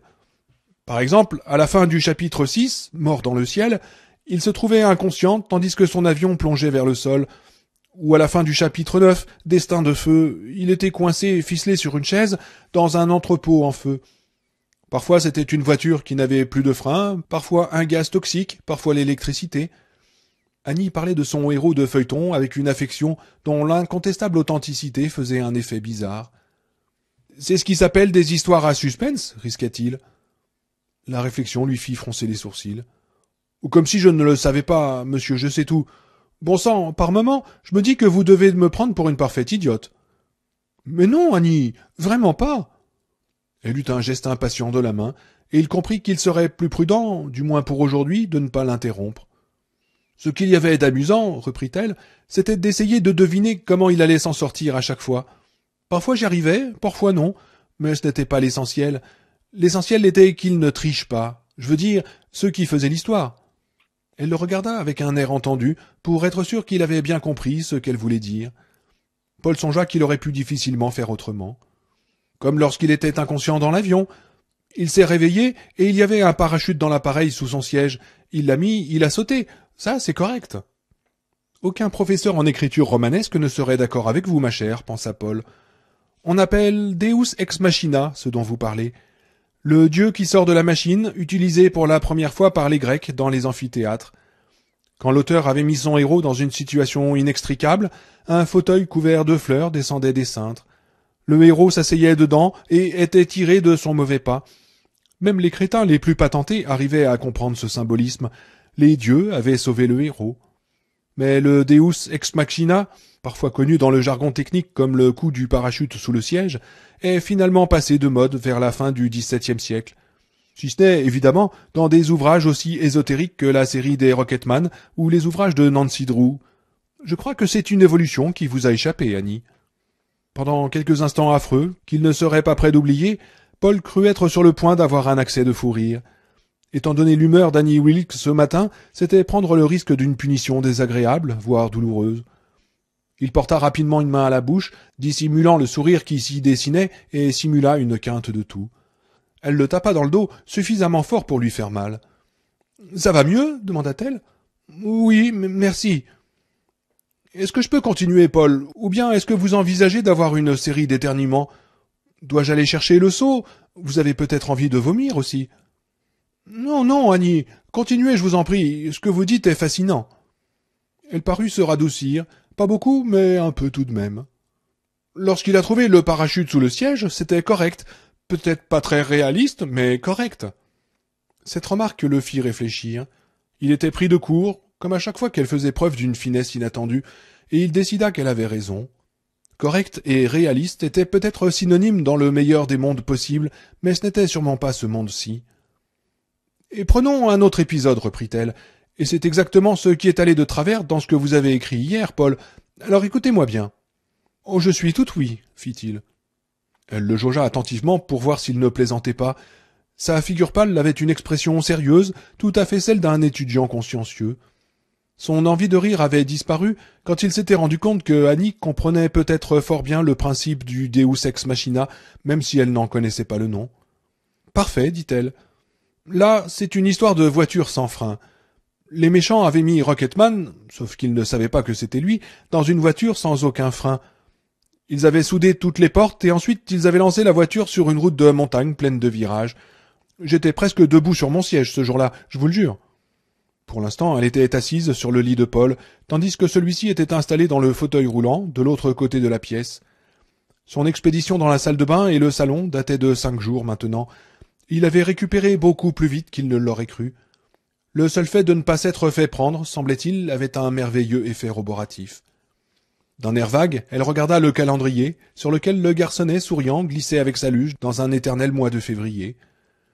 Donc voilà notre pauvre Rocketman prisonnier de cette voiture, sans ses fusées, ni même son casque spécial avec son viseur spécial, en train de la piloter tout en essayant de l'arrêter et d'ouvrir la portière, tout cela en même temps. Plus affairé qu'un manchot qui pose du papier peint tout seul, on peut le dire. Oui, Paul arriva soudain à se représenter la scène et il comprenait de façon instinctive qu'aussi absurdement mélodramatique qu'elle fût, son suspense n'en était pas moins réel. Le paysage, incliné selon un angle vertigineux, défilait à toute vitesse. Gros plan sur la pédale de frein, qui s'enfonce sans résistance jusqu'au plancher lorsque le pied de l'homme, il voyait très bien à la chaussure un modèle à bout ouvert des années quarante, pèse dessus. Plan cut sur son épaule, avec laquelle il cogne la porte. Plan cut sur l'extérieur du véhicule où l'on voit la soudure irrégulière qui scelle la portière. Pour être stupide, c'était stupide. Rien de littéraire là-dedans. Mais on pouvait en tirer quelque chose. Provoquer l'accélération du pouls des spectateurs. Ce n'était pas la grande fine champagne, mais l'équivalent romanesque d'un torboyau sorti d'un alambic clandestin. On voit alors que la route s'arrête abruptement au bord de la falaise, poursuivit-elle, et tout le monde dans le cinéma savait que si Rocketman n'arrivait pas à sortir avant de la voiture, il était fichu. Oh bon sang, il était toujours prisonnier, à essayer de freiner et de forcer la porte, lorsque tout d'un coup il s'envole. La voiture bondit en l'air et commence à retomber. À mi-chemin, elle heurte la falaise, prend feu et finalement s'enfonce dans l'océan. Là-dessus arrive le message à suivre. La semaine prochaine, chapitre 11, le vol du dragon. Assise sur le bord du lit, se serrant vigoureusement les mains, elle respirait plus fort, son opulente poitrine se soulevant et retombant à un rythme accéléré. Eh bien, fit-elle sans le regarder, les yeux toujours fixés sur le mur, après ça, c'est à peine si j'ai vu le film. Pendant toute la semaine qui suivit, je n'arrêtais pas de penser à Rocketman. Pas une fois de temps en temps, non, tout le temps. Comment avait-il pu s'en sortir? Je n'arrivais pas à en avoir la moindre idée. Le samedi suivant, j'étais devant le cinéma à midi alors que la caisse n'ouvrait pas avant une heure et quart, et que le film ne commencerait qu'à deux heures. Mais, Paul, vous ne devinerez jamais ce qui est arrivé. Paul ne répondit rien, mais il avait son idée. Il comprenait maintenant comment elle avait pu aimer ce qu'il avait écrit tout en trouvant que ce n'était pas correct et que ça sonnait faux. Et le dire, non point en employant le langage sophistiqué parfois discutable d'un directeur littéraire, mais avec la conviction sans phare et impossible à déraciner du lecteur fidèle. Il comprit donc, et à sa grande stupéfaction eut honte de lui. Elle avait raison. Il avait écrit un truc bidon. Le nouvel épisode, reprit-elle, commençait toujours en reprenant la fin du précédent. On le voyait foncer sur la pente, on voyait la falaise, on le voyait qui cognait contre la porte et essayait de l'ouvrir. Puis, juste avant que la voiture ne s'envole par-dessus la falaise, la porte s'ouvrait d'un seul coup et il sautait sur la route. La voiture continuait dans le vide, et tous les gamins hurlaient de joie dans la salle parce que Rocketman s'en était tiré. Mais moi, j'étais loin de crier de joie, Paul, je vous assure. J'étais furieuse, et je me suis mise à protester aussi fort que les autres. Ce n'est pas ce qui est arrivé la semaine dernière. Ce n'est pas ce qui est arrivé la semaine dernière. Je disais. Annie bondit sur ses pieds et commença à aller et venir d'un pas vif dans la chambre, tête baissée, ses cheveux frisottés lui retombant sur les yeux frappant du poing dans la paume de son autre main à coups réguliers, des étincelles dans les yeux. Mon frère a essayé de me faire taire, dit-elle. Comme il n'y arrivait pas, il a voulu me mettre la main devant la bouche, et moi je l'ai mordu, et j'ai recommencé à crier. Ce n'est pas ce qui est arrivé la semaine dernière. Êtes-vous idiot? Est-ce que vous ne vous en souvenez pas? Vous êtes tous devenus amnésiques ou quoi? Et mon frère disait Mais t'es cinglé, Annie Mais je savais que ce n'était pas vrai. Alors le gérant est intervenu et a dit que si je ne me taisais pas, il allait me demander de quitter la salle. Et moi je lui ai répondu Et comment que je vais la quitter? Parce que ce n'est que de la triche, c'est dégoûtant, et ce n'est pas ce qui s'est passé la semaine dernière. Elle le regarda, et Paul lut, sans erreur possible, le meurtre dans ses yeux. Il n'est pas sorti de sa voiture biscornouille quand elle est passée par-dessus la falaise. Il était encore dedans. Est-ce que vous comprenez ça, Paul? Oui, dit Paul. Est-ce que vous comprenez ça? Elle bondit soudain vers lui, avec son espèce de souple férocité, et bien qu'il eût la certitude de son intention de lui faire mal, comme la fois précédente, vraisemblablement parce qu'elle ne pouvait pas s'en prendre au sale oiseau de scénariste qui avait triché en retirant sournoisement Rocketman de la voiture avant qu'elle ne s'envolât au-dessus de la falaise, il ne bougea pas d'un cheveu, tandis qu'il prenait la mesure de son instabilité actuelle grâce à la fenêtre qu'elle venait juste d'ouvrir pour lui sur son passé, et que ce qu'il découvrait le laissait frapper de stupeur. Le sentiment d'injustice qu'elle ressentait, aussi enfantin qu'il fût, était complètement et indiscutablement authentique. Elle ne le frappa pas. Au lieu de cela, elle le saisit par le devant de sa robe de chambre et l'attira à elle jusqu'à ce que leurs visages en vinssent presque à se toucher. Vous comprenez? Oui, Annie, absolument. Elle le regarda fixement, de ce regard noir et furieux qu'il redoutait, et sans doute lut-elle la sincérité dans ses yeux, car au bout de quelques instants elle le rejeta dans le fauteuil avec un geste méprisant. L'explosion épaisse de douleur le fit grimacer avant de s'atténuer peu à peu. Et vous savez ce qui ne va pas dit-elle. Je suppose que oui, répondit-il. Sauf que je veux bien que Dieu me donne si je découvre comment m'en sortir. À quoi l'autre voix dans sa tête répondit aussitôt. J'ignore si Dieu te damnera ou te sauvera, mon petit Paul, mais une chose est sûre, si tu ne trouves pas le moyen de rendre misérie à la vie, un moyen qui lui paraisse crédible, elle te tuera. Eh bien, changez-le, conclut-elle abruptement en quittant la chambre. Paul regarda la machine à écrire. La machine le regarda. Les N. Jamais il n'avait songé qu'il pût y avoir tant de N dans une ligne de texte moyenne. Je croyais que tu passais pour avoir du talent, lui dit la machine à écrire. Dans sa tête, il lui avait attribué une voix immature et ricanante, celle d'un brandisseur de revolver encore adolescent dans un western hollywoodien, un gosse n'ayant qu'un désir, se tailler rapidement une réputation de tueur au pays des cow-boys. T'es pas si terrible que ça, vieux. Mon Dieu, t'es même pas foutu de faire plaisir à une ancienne infirmière obèse et complètement givrée. Peut-être ta bosse de l'écriture a-t-elle pris un coup dans cet accident de voiture, sauf qu'elle n'a pas l'air de repousser. Il se pencha en avant aussi loin qu'il put dans le fauteuil roulant et ferma les yeux. Il aurait supporté plus facilement devoir critiquer ce qu'il avait écrit s'il avait pu en rejeter la responsabilité sur ses souffrances. Mais la vérité obligeait à dire qu'il ne souffrait plus autant maintenant. Les gélules volées se trouvaient bien en sécurité, loin au milieu du lit, entre le matelas et le sommier. Il n'en avait pris aucune. Il savait qu'il était important d'en avoir de côté, une sorte d'assurance anti-Yanni, elle les trouverait si elle se mettait dans l'idée de retourner son matelas, évidemment, mais c'était un risque qu'il acceptait de courir. Il n'y avait eu aucune escarmouche entre eux depuis la querelle sur le papier machine. Elle lui donnait régulièrement ses médicaments, et il les prenait. Il se demandait si elle ne se doutait pas de la dépendance dans laquelle il se trouvait. Voyons, mon petit Paul, tu n'en rajoutes pas un peu, non? Non, il n'en rajoutait pas. Trois nuits auparavant, alors qu'il était sûr qu'elle était au premier, il avait récupéré une des boîtes d'échantillons et lu tout ce qu'il y avait sur l'étiquette. Il se dit d'ailleurs qu'il en savait déjà suffisamment quand il découvrit quel était le principal ingrédient du novril. L'aspirine. C'était peut-être de l'acide acétylsalicylique, mais le novril s'appelait codéine. Le fait est que tu guéris, Paul. En dessous des genoux, tes jambes ressemblent à un bonhomme dessiné par un gamin de quatre ans, mais tu es en train de guérir. Tu pourrais tenir avec de l'aspirine ou de l'empirine. Mais ce n'est pas ton organisme qui a besoin de Novril, c'est, comme dit le proverbe, le singe que tu as accroché dans le dos. Il allait devoir se rationner, trouver un moyen de ne pas prendre toutes les gélules. Tant qu'il n'en serait pas capable, elle le tiendrait comme s'il avait été enchaîné au fauteuil roulant par une chaîne de gélules de Novril. D'accord, une fois sur deux, je prendrai une gélule de moins en la mettant sous la langue pendant que j'avalerai l'autre. Puis je la collerai avec les autres sous le matelas pendant qu'elle remportera le verre d'eau. Mais pas aujourd'hui. Je ne me sens pas prêt à commencer aujourd'hui. Je m'y mettrai demain. Dans sa tête, il crut entendre la voix de la reine de cœur sermonnant Alice. Ici en bas, nous avons bien agi hier, et nous envisageons de bien agir demain, mais nous n'agissons jamais bien aujourd'hui. Oh oh, Polly, tu te déchaînes, mais pas dans le bon sens, fit la machine à écrire de la voix de Rogom qu'il lui avait donnée. Nous autres sales oiseaux ne sommes jamais bien drôles, mais nous ne cessons jamais d'essayer, grommela-t-il. Oui, eh bien, tu ferais mieux de te mettre à réfléchir à toute la cam dont tu te bourres, Paul, de te mettre à y réfléchir très sérieusement. Il décida soudain, sous le coup de l'inspiration, de commencer à réduire ses prises de gélules dès qu'il aurait couché sur le papier un chapitre qui plairait à Annie, un chapitre qu'elle ne considérerait pas comme une tricherie. Une partie de lui-même, celle qui écoutait de mauvaise grâce même les suggestions les plus intelligentes des directeurs littéraires, protesta.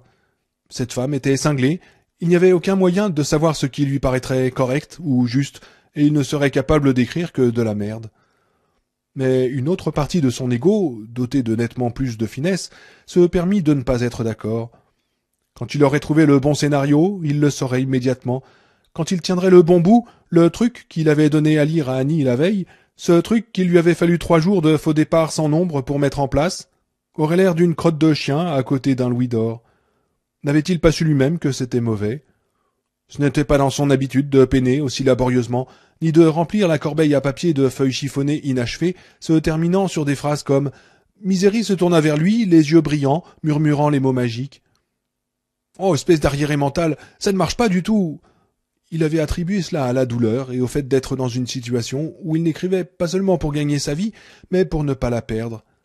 Point de vue plausible, mais mensonger. Le fait était qu'il se trouvait en panne d'inspiration. Les choses avaient mal tourné pour la simple raison qu'il trichait et le savait. Eh bien, elle a vu à travers de toi, tête de nœud, lui déclara la machine à écrire de son horrible voix insolente. Tu vois bien, non? Alors, que vas-tu faire maintenant? Il l'ignorait, mais il soupçonnait fortement qu'il lui fallait faire quelque chose, et vite. Il n'avait pas pris sa mauvaise humeur au sérieux ce matin. Il supposa qu'il devait s'estimer heureux de ne pas avoir eu les jambes de rechef cassées avec une batte de baseball, ou qu'elle ne lui eût pas fait les ongles avec de l'acide à batterie, ou quelque chose de ce genre, afin de manifester son mécontentement sur la manière dont il avait commencé son livre. De telles réactions critiques étaient toujours possibles, étant donné le point de vue particulier d'Annie sur le monde.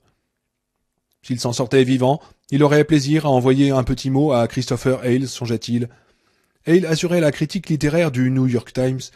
Il y dirait chaque fois que mon éditeur m'appelait pour me dire que vous prépariez le compte-rendu de l'un de mes livres pour votre quotidien, j'en avais les genoux qui faisaient des castagnettes. Vous m'avez fait quelques bonnes critiques, mais vous m'avez aussi étrié plus d'une fois, comme vous le savez très bien. Bref, je voulais simplement vous dire de continuer et de vous en donner à cœur joie. J'ai découvert une manière de critiquer radicalement nouvelle, mon ami. On pourrait appeler ça l'école de pensée Colorado Barbecue ou Sodo Savonneuse. Du coup, les trucs que vous faites, en comparaison, paraissent aussi effrayants qu'un tour sur les chevaux de bois. Tout cela, c'est très amusant, mon petit Paul. Très bon pour le moral d'adresser des billets doux au fiel aux critiques.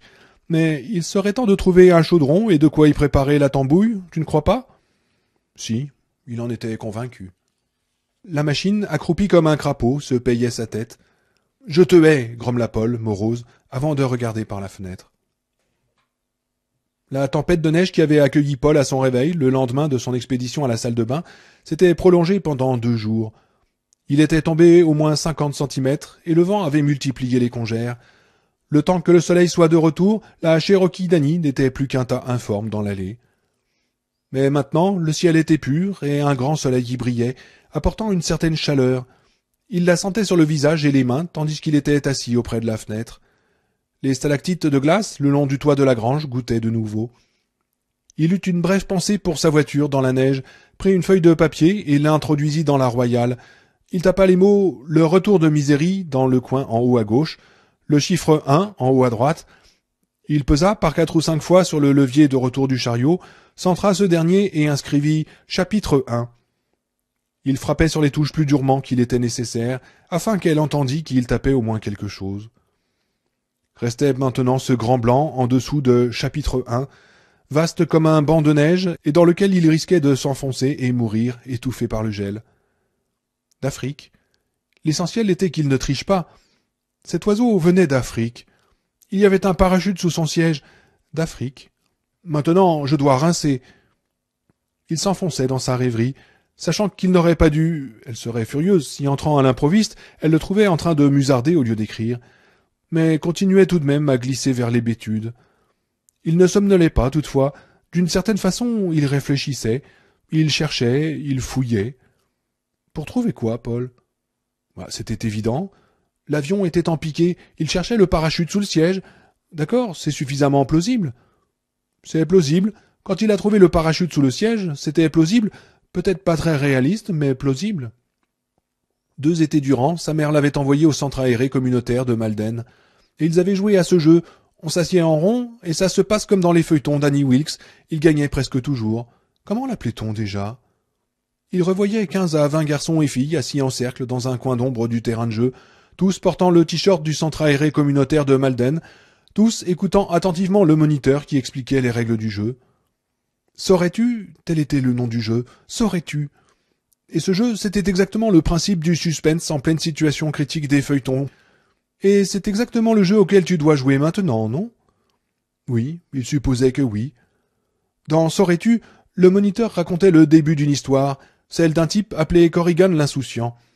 L'insouciant se perd dans la jungle sans piste d'Amérique du Sud. Soudain, il se retourne et s'aperçoit que des lions le suivent, qu'il y en a d'autres de chaque côté de lui, et, bon sang, qu'il y en a aussi devant lui.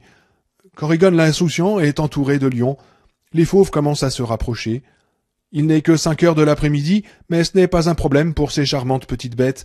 Pour les lions d'Amérique du Sud, le coup du dîner à huit heures, c'est bon pour les tarés.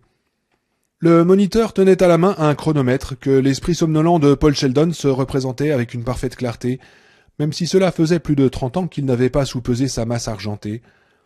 Il voyait la fine découpe des chiffres, l'aiguille plus petite en bas qui enregistrait les dixièmes de seconde, la marque imprimée en petits caractères, annexe. Le moniteur regardait alors le cercle des enfants et désignait l'un d'eux. Daniel, disait-il, saurais-tu?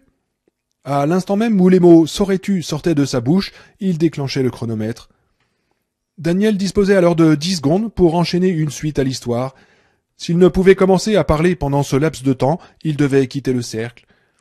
Mais s'il arrivait à tirer Corrigan des griffes des lions, le moniteur parcourait de nouveau le cercle des yeux et posait une deuxième question, une qui ne rappelait que trop la situation actuelle à Paul. La question A-t-il su? Pour cette partie du jeu, les règles étaient exactement celles définies par Annie. On demandait de la vraisemblance, pas du réalisme. Par exemple, Daniel pouvait répondre Heureusement, Corrigan l'insouciant avait avec lui sa Winchester et plein de munitions. Il tua les trois premiers lions et les autres s'enfuirent. Dans ce cas de figure, Daniel avait su. On lui donnait le chronomètre et il poursuivait l'histoire, qu'il laissait en suspens au moment où l'insouciant se retrouvait par exemple pris jusqu'aux hanches dans des sables mouvants, Là, il demandait à quelqu'un d'autre Saurais-tu? et déclenchait de nouveau le chronomètre. Mais dix secondes, c'était bien court, et il était facile de s'empêtrer, facile aussi de tricher. Le gamin suivant pouvait dire par exemple Juste à ce moment-là, un grand oiseau, un vautour des Andes, je crois, vint voler au-dessus de Corrigan. Corrigan l'attrapa par le cou, et en se débattant, l'oiseau le sortit des sables mouvants. Quand le moniteur demandait A-t-il su? On levait la main, si on pensait que oui, sinon on ne bougeait pas, dans le cas du vautour des Andes, l'auteur de cette trouvaille aurait certainement été invité à quitter le cercle. Sauras-tu, Paul? Ouais, c'est comme ça que j'ai survécu. C'est comme ça que j'ai pu me payer un appartement à New York et une maison à Los Angeles, et plus de bagnoles en état de marche que l'on en trouve dans certains garages. Parce que oui, je sais, et je n'ai pas à m'en excuser, bon Dieu. D'accord, il y a des tas de types qui écrivent dans une prose plus châtiée que la mienne, et qui ont une meilleure compréhension de ce que sont réellement les gens ou du sens de la vie. Fichtre, je le sais. Cependant, lorsque le moniteur demandait A-t-il su à ces types, il arrivait qu'ils ne fussent pas très nombreux à lever la main. Mais ils levaient la main pour moi, ou pour Misérie, et, en fin de compte, je crois que cela revint au même. Saurais-je? Mais comment je saurais?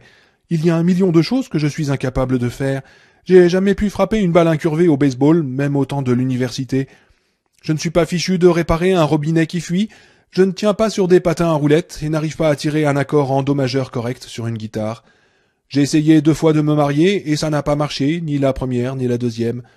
Mais si vous voulez que je vous emmène en balade, que je vous fiche la frousse, que je vous fasse pleurer ou sourire, alors là, oui, je suis votre homme. Je peux le faire et continue jusqu'à ce que vous criez pouce. Je sais faire cela, je sais. L'insolente voix de Rogom de la machine à écrire s'insinua dans l'assoupissement qui le gagnait. Ce que nous avons là, les amis, c'est beaucoup de deux choses, beaucoup de baratins et beaucoup de pages blanches. Sauras-tu? Oui, oui. A-t-il su? Non, il a triché. Dans Misery Child, le médecin n'est jamais arrivé. Peut-être qu'il y en a parmi vous qui ont oublié l'épisode de la semaine dernière, mais l'idole de Pierre, elle, n'oublie jamais. Paul devait quitter le cercle. Pardonne-moi, s'il te plaît. Maintenant, je dois rincer.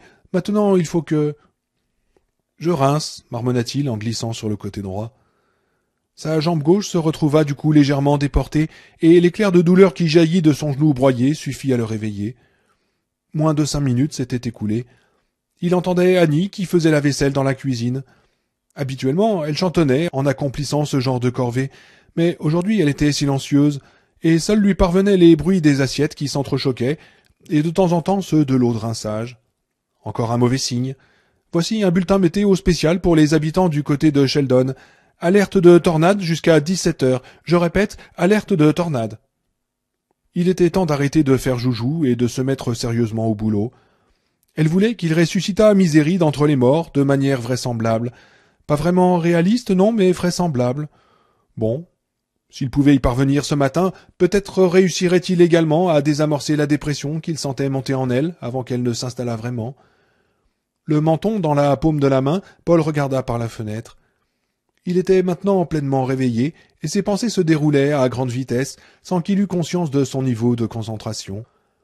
Les deux ou trois premiers niveaux de son activité mentale, ceux qui traitaient des questions comme savoir de quand datait son dernier shampoing, ou si Annie serait ou non à l'heure pour lui administrer sa prochaine ration de médicaments, semblaient avoir complètement déserté la scène.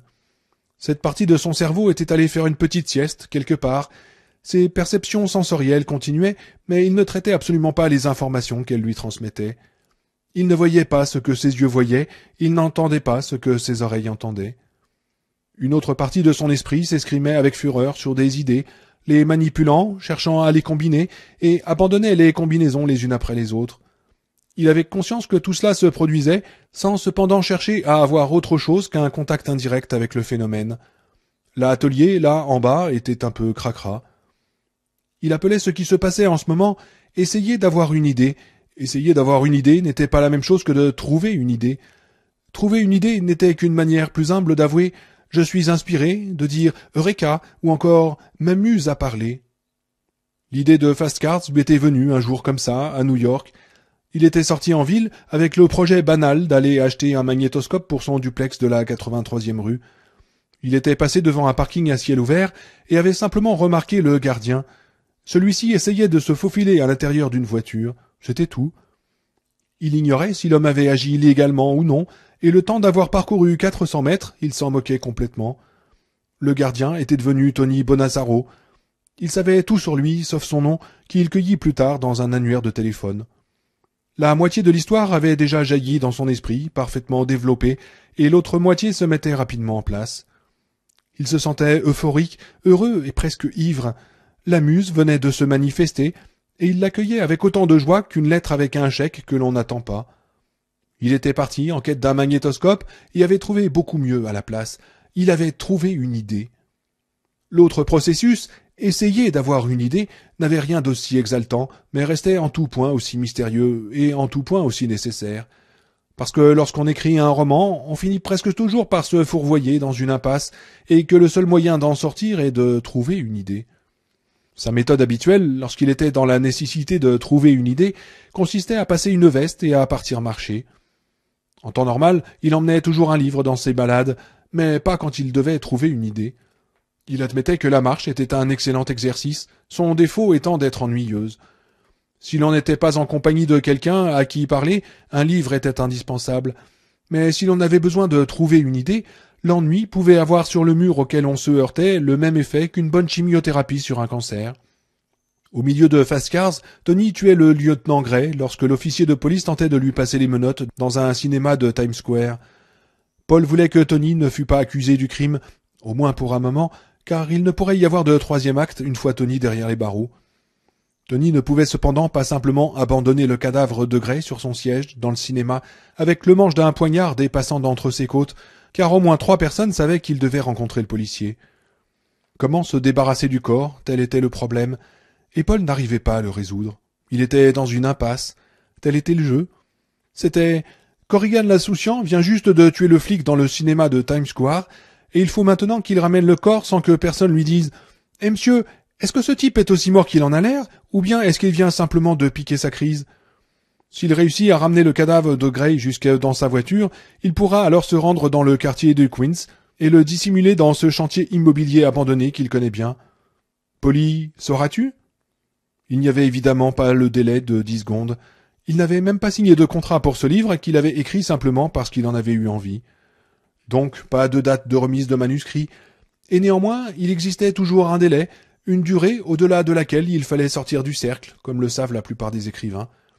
Si un livre reste trop longtemps bloqué dans une impasse, il commence à se déliter, à tomber en morceaux.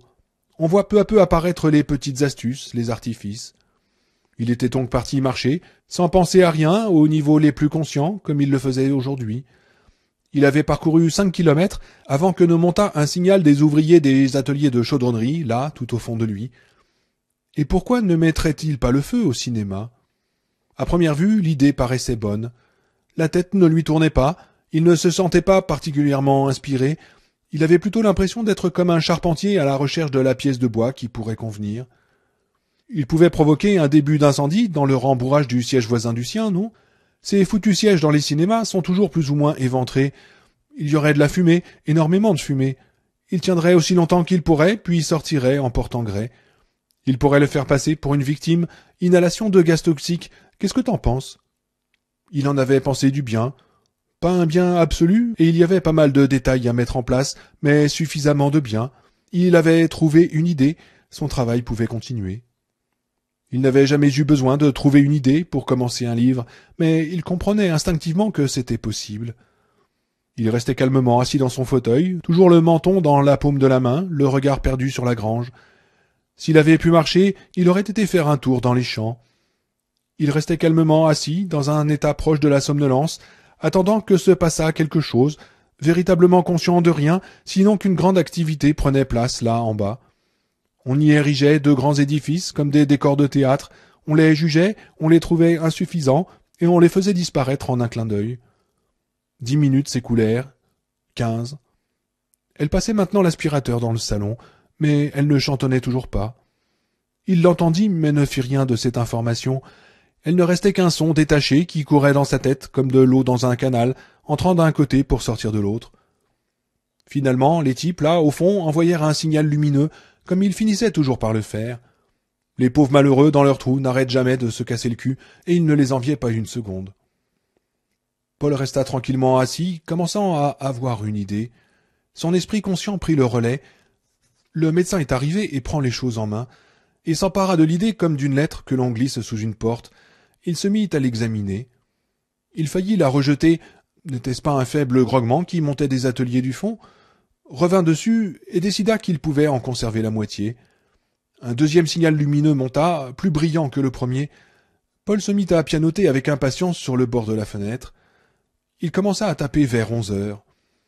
Au début, il n'avança que très lentement, Presque chaque claque de la machine était suivie d'un long silence, s'étirant parfois sur quinze secondes. Équivalent acoustique d'un archipel vu désert, une série de bosses basses séparées par de vastes étendues de bleu. Peu à peu, les intervalles de silence se mirent à se réduire, tandis que les rafales de frappe s'allongeaient, musique qui aurait été agréable sur la machine électrique de Paul, mais qui n'était que claquement lourd et agaçant sur la vieille royale. Paul, cependant, ne prêtait pas attention au timbre à la de Key de la machine. Il commença à s'échauffer dès le bas de la première page. Au bas de la deuxième, il avait atteint sa vitesse de croisière. Au bout d'un moment, Annie arrêta de passer l'aspirateur et vint se tenir dans l'encadrement de la porte. Elle le regarda sans que Paul se doutât un instant de sa présence. Lui-même ne savait pas qu'il était là. Il avait finalement réussi à s'évader. Il se trouvait dans le cimetière du Little Dunthorpe, il respirait l'air humide de la nuit, chargé d'odeurs de mousse, de terre et de brume. Il entendit l'horloge du clocher sonner deux coups, et tous les moindres détails se mirent en place dans le récit. Quand c'était très bon, il avait l'impression de voir à travers le papier. En ce moment, il était transparent. Annie le regarda longtemps. Son lourd visage ne souriait pas, ne bougeait pas. Mais on pouvait y lire quelque chose comme de la satisfaction. Au bout d'un moment, elle partit. Son pas était lourd, mais Paul ne l'entendit pas non plus. Il travailla jusqu'à trois heures de l'après-midi, et à huit heures ce soir-là, il demanda à Annie de l'aider à s'asseoir de nouveau dans le fauteuil roulant. Il écrivit pendant encore trois heures, en dépit de la douleur qui avait commencé à le tarauder vers dix heures. Annie vint à onze heures. Il lui demanda encore un quart d'heure. Non, Paul, ça suffit. Vous êtes blanc comme un linge. Elle le mit au lit et il s'endormit en trois minutes. Il ne se réveilla pas de la nuit pour la première fois depuis qu'il était sorti du nuage gris, et pour la première fois aussi pas un seul rêve ne vint troubler son repos. Il avait déjà rêvé, éveillé. Le retour de Misery pour Annie Wilkes de Paul Sheldon. Chapitre 1 Pendant quelques instants, Geoffrey Halliburton ne fut pas sûr de l'identité du vieil homme debout à sa porte. Cela ne tenait pas seulement au fait que la cloche l'avait tiré de l'assoupissement qui le gagnait.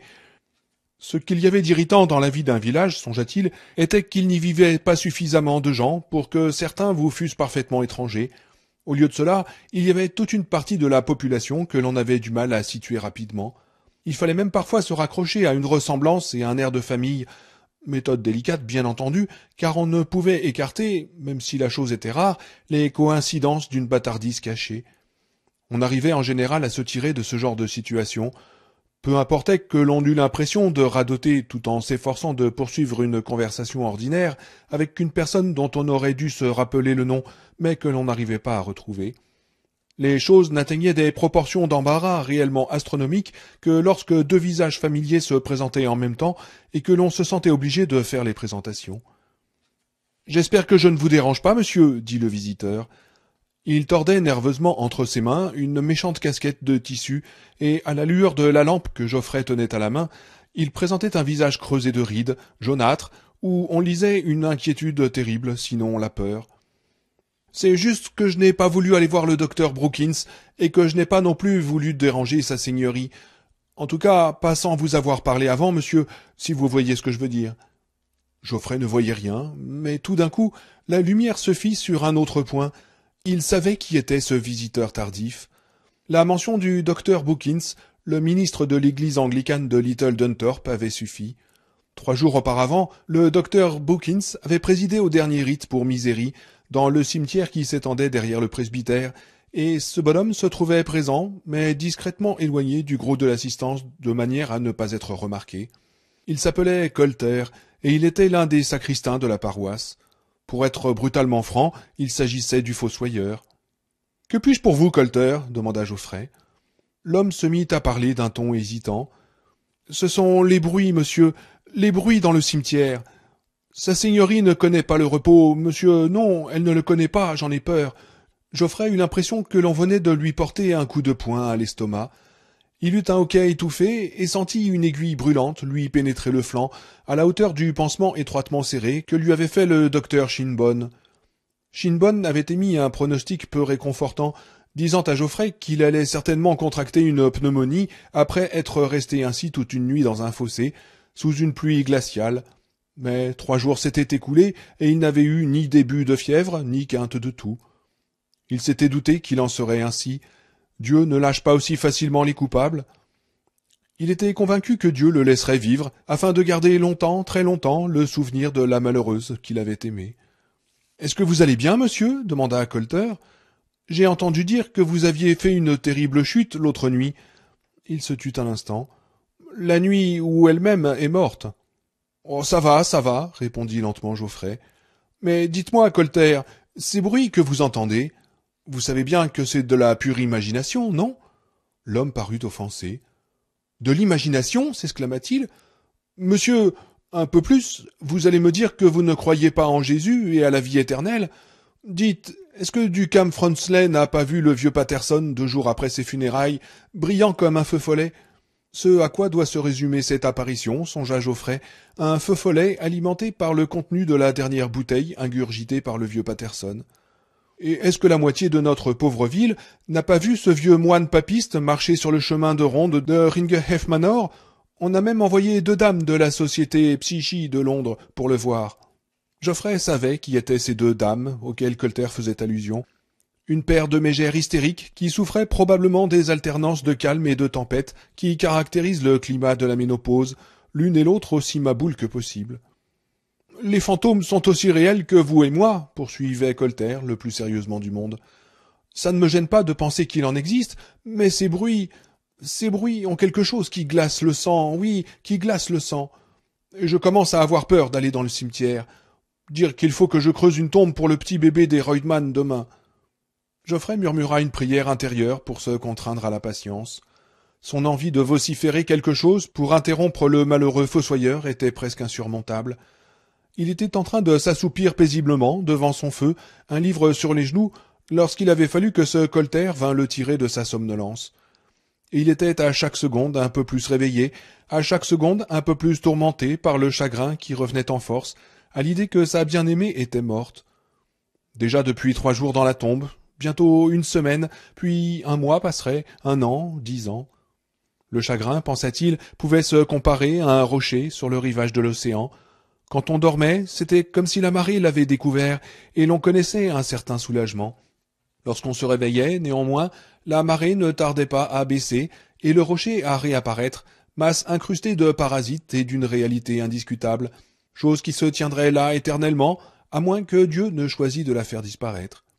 Et ce fou avait le toupet de venir ici lui conter des balivernes sur des fantômes.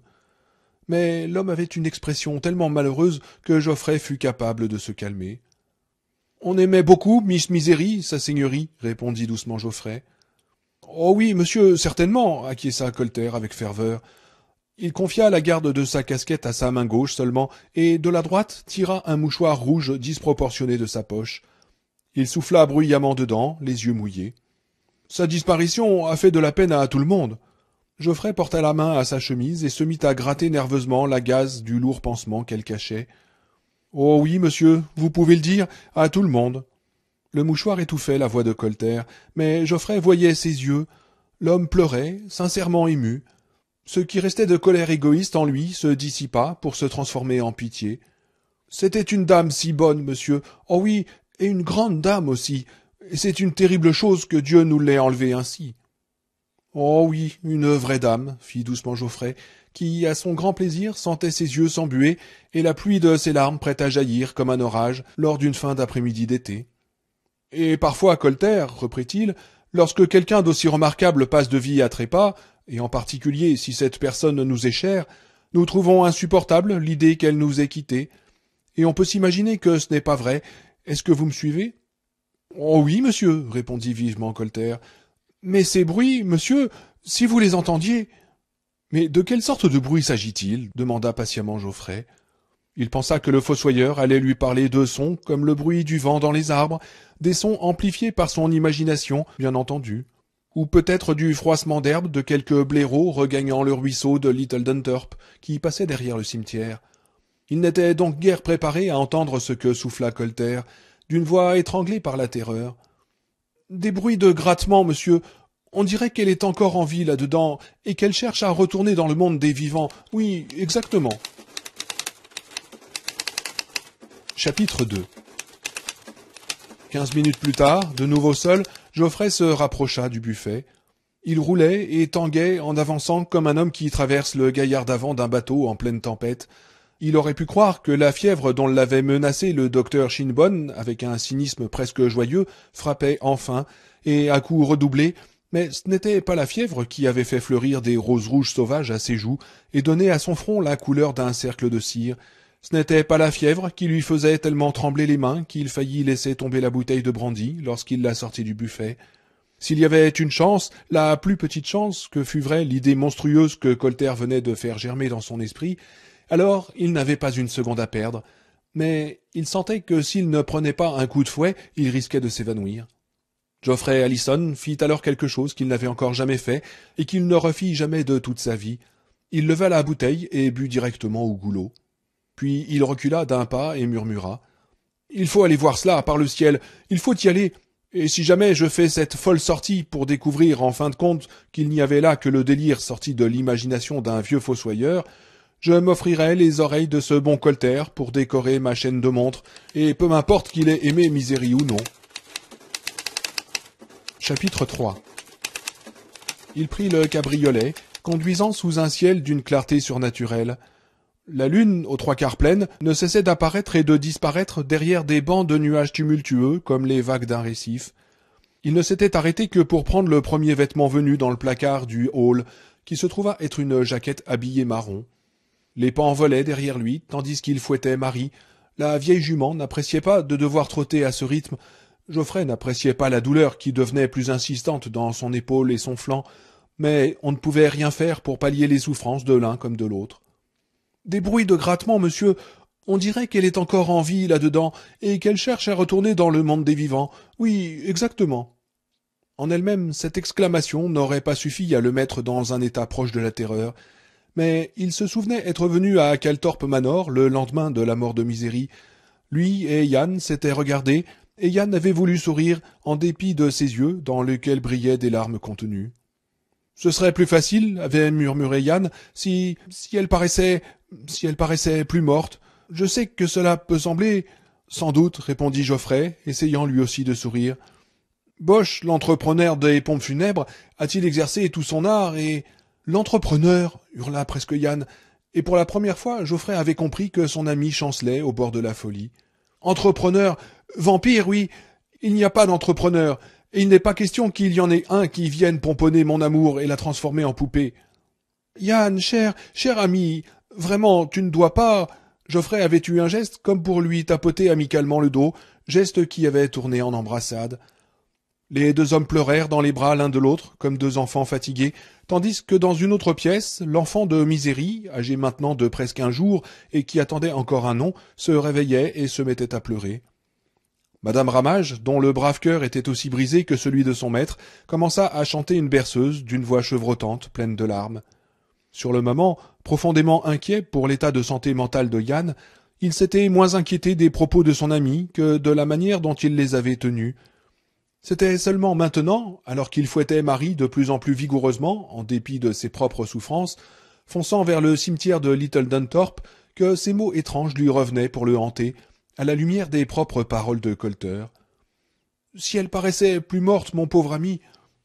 Mais ce n'était pas tout. Tard dans l'après-midi, ce même jour, et alors que les premiers habitants du village gravissaient la colline de Calthorpe Manor pour venir présenter leurs condoléances à leur seigneur en deuil, Shinbon était revenu, il paraissait épuisé, pas très bien lui-même. Pas étonnant de la part d'un homme qui disait avoir serré la main de Wellington lorsqu'il était enfant, lui-même, non pas Wellington. Geoffrey pensait que l'histoire de Wellington était une invention, mais le vieux Chini, comme Yann et lui l'appelaient lorsqu'ils étaient gamins, avait soigné toutes les maladies d'enfants de Geoffrey, et déjà à l'époque il lui paraissait très très âgé. Certes, pour un enfant, quiconque a plus de vingt-cinq ans est déjà un ancien, mais Chini devait bien avoir soixante-quinze ans à l'heure actuelle. Il était vieux, et il venait de passer vingt-quatre heures terribles, frénétiques. Un homme âgé et fatigué n'aurait-il pas pu commettre une erreur? Une terrible et effroyable erreur? C'était cette pensée, plus que tout le reste, qui l'avait poussé dans son état à affronter cette nuit de froid et de vent, à courir sous une lune qui bégayait d'incertaines apparitions entre les nuages. Aurait-il pu commettre une telle erreur? Une partie de lui-même, partie pusillanime et couarde, aurait presque préféré perdre Misérie pour toujours qu'envisager les conséquences inévitables d'une telle erreur. Presque préféré nier que ce fût possible. Mais lorsque Chini était arrivé, Geoffrey s'était trouvé assis à côté de Yann, qui évoquait à mots hachés et dans des phrases presque incohérentes comment ils avaient tous les deux tiré Misérie des griffes du vicomte de Leroux, le français fou, lequel la tenait enfermée dans une oubliette puis comment il s'était échappé dans une charrette de foin, et comment, à un moment critique, Misérie avait détourné l'attention des gardes du vicomte en faisant sortir une jambe superbe et dénudée du foin et en l'agitant délicatement. Geoffrey se trouvait lui-même sous le coup de ses propres souvenirs de l'aventure, et sous le coup encore plus grand de son chagrin. Il maudissait maintenant ce chagrin, car pour lui, comme certainement pour Yann, c'est à peine s'il avait remarqué le vieux médecin. Celui-ci ne lui avait-il pas paru étrangement distant, étrangement préoccupé? Était-ce seulement de la fatigue, ou y avait-il autre chose? Un vague soupçon? Non, sûrement, protesta une voix en lui-même, d'un ton peu convaincu. Le cabriolet volait sur la côte qui menait au manoir. Celui-ci était sombre, mais ah bien, il aperçut encore une lumière dans le cottage de madame Ramage. Hue Marie cria-t-il en faisant claquer son fouet, ce qui lui arracha une grimace. Encore un petit effort, et tu pourras te reposer, ma fille. Ce n'est certainement pas, certainement pas ce que tu t'imagines.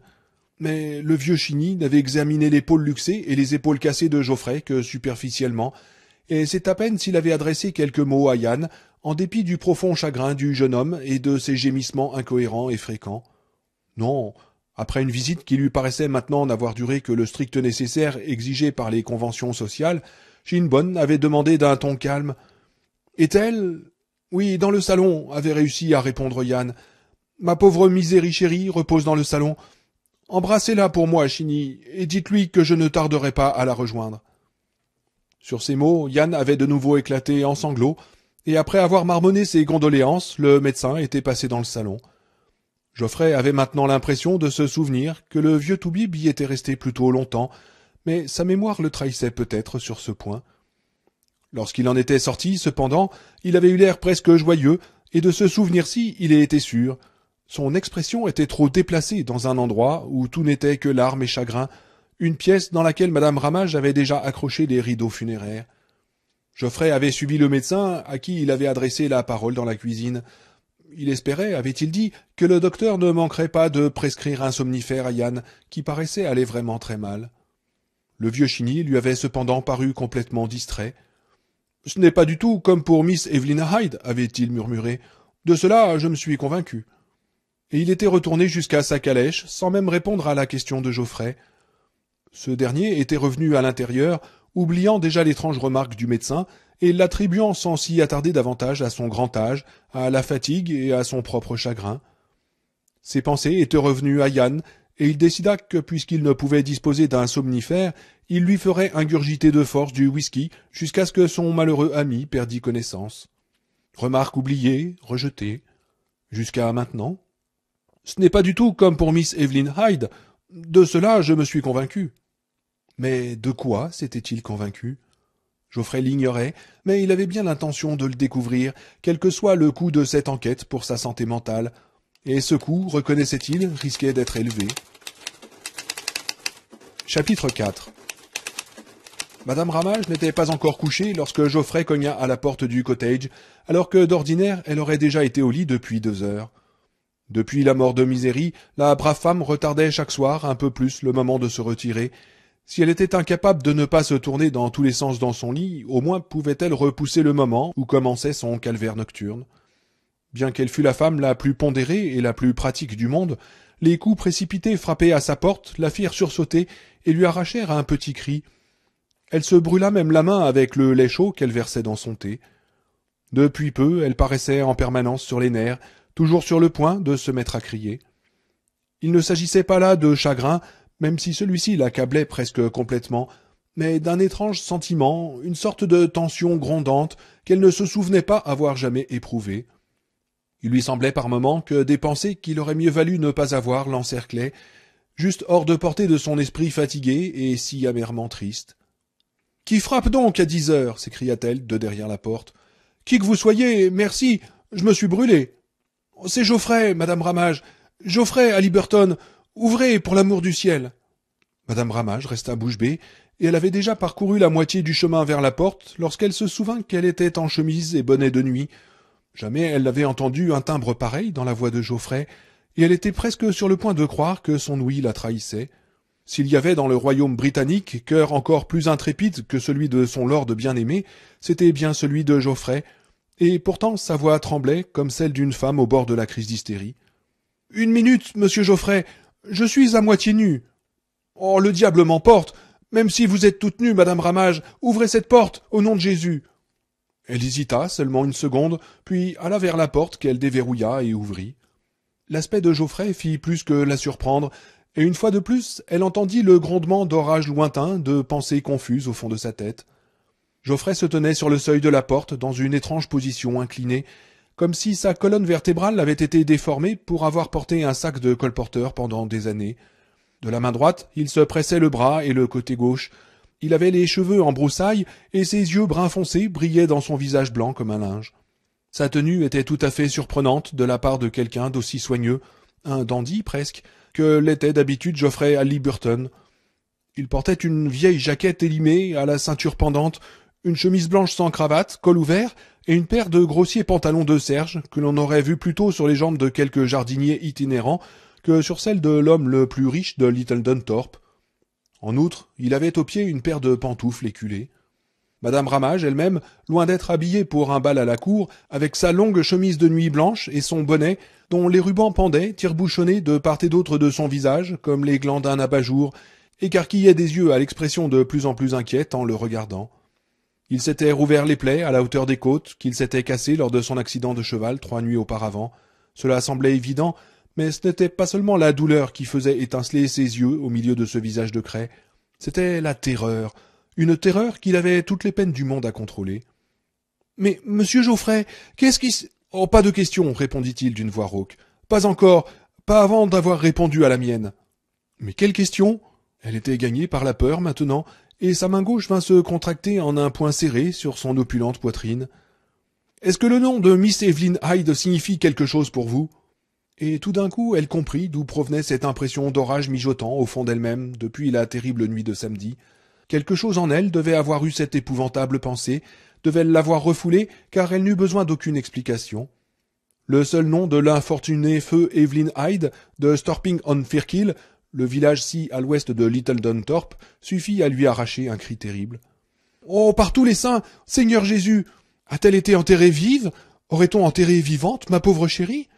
Et avant même que Geoffrey eût le temps de répondre, ce fut au tour de la solide et inaltérable Madame Ramage de faire quelque chose qu'elle n'avait jamais fait auparavant et qu'elle ne referait jamais. Elle perdit connaissance et s'effondra d'un seul coup sur le sol.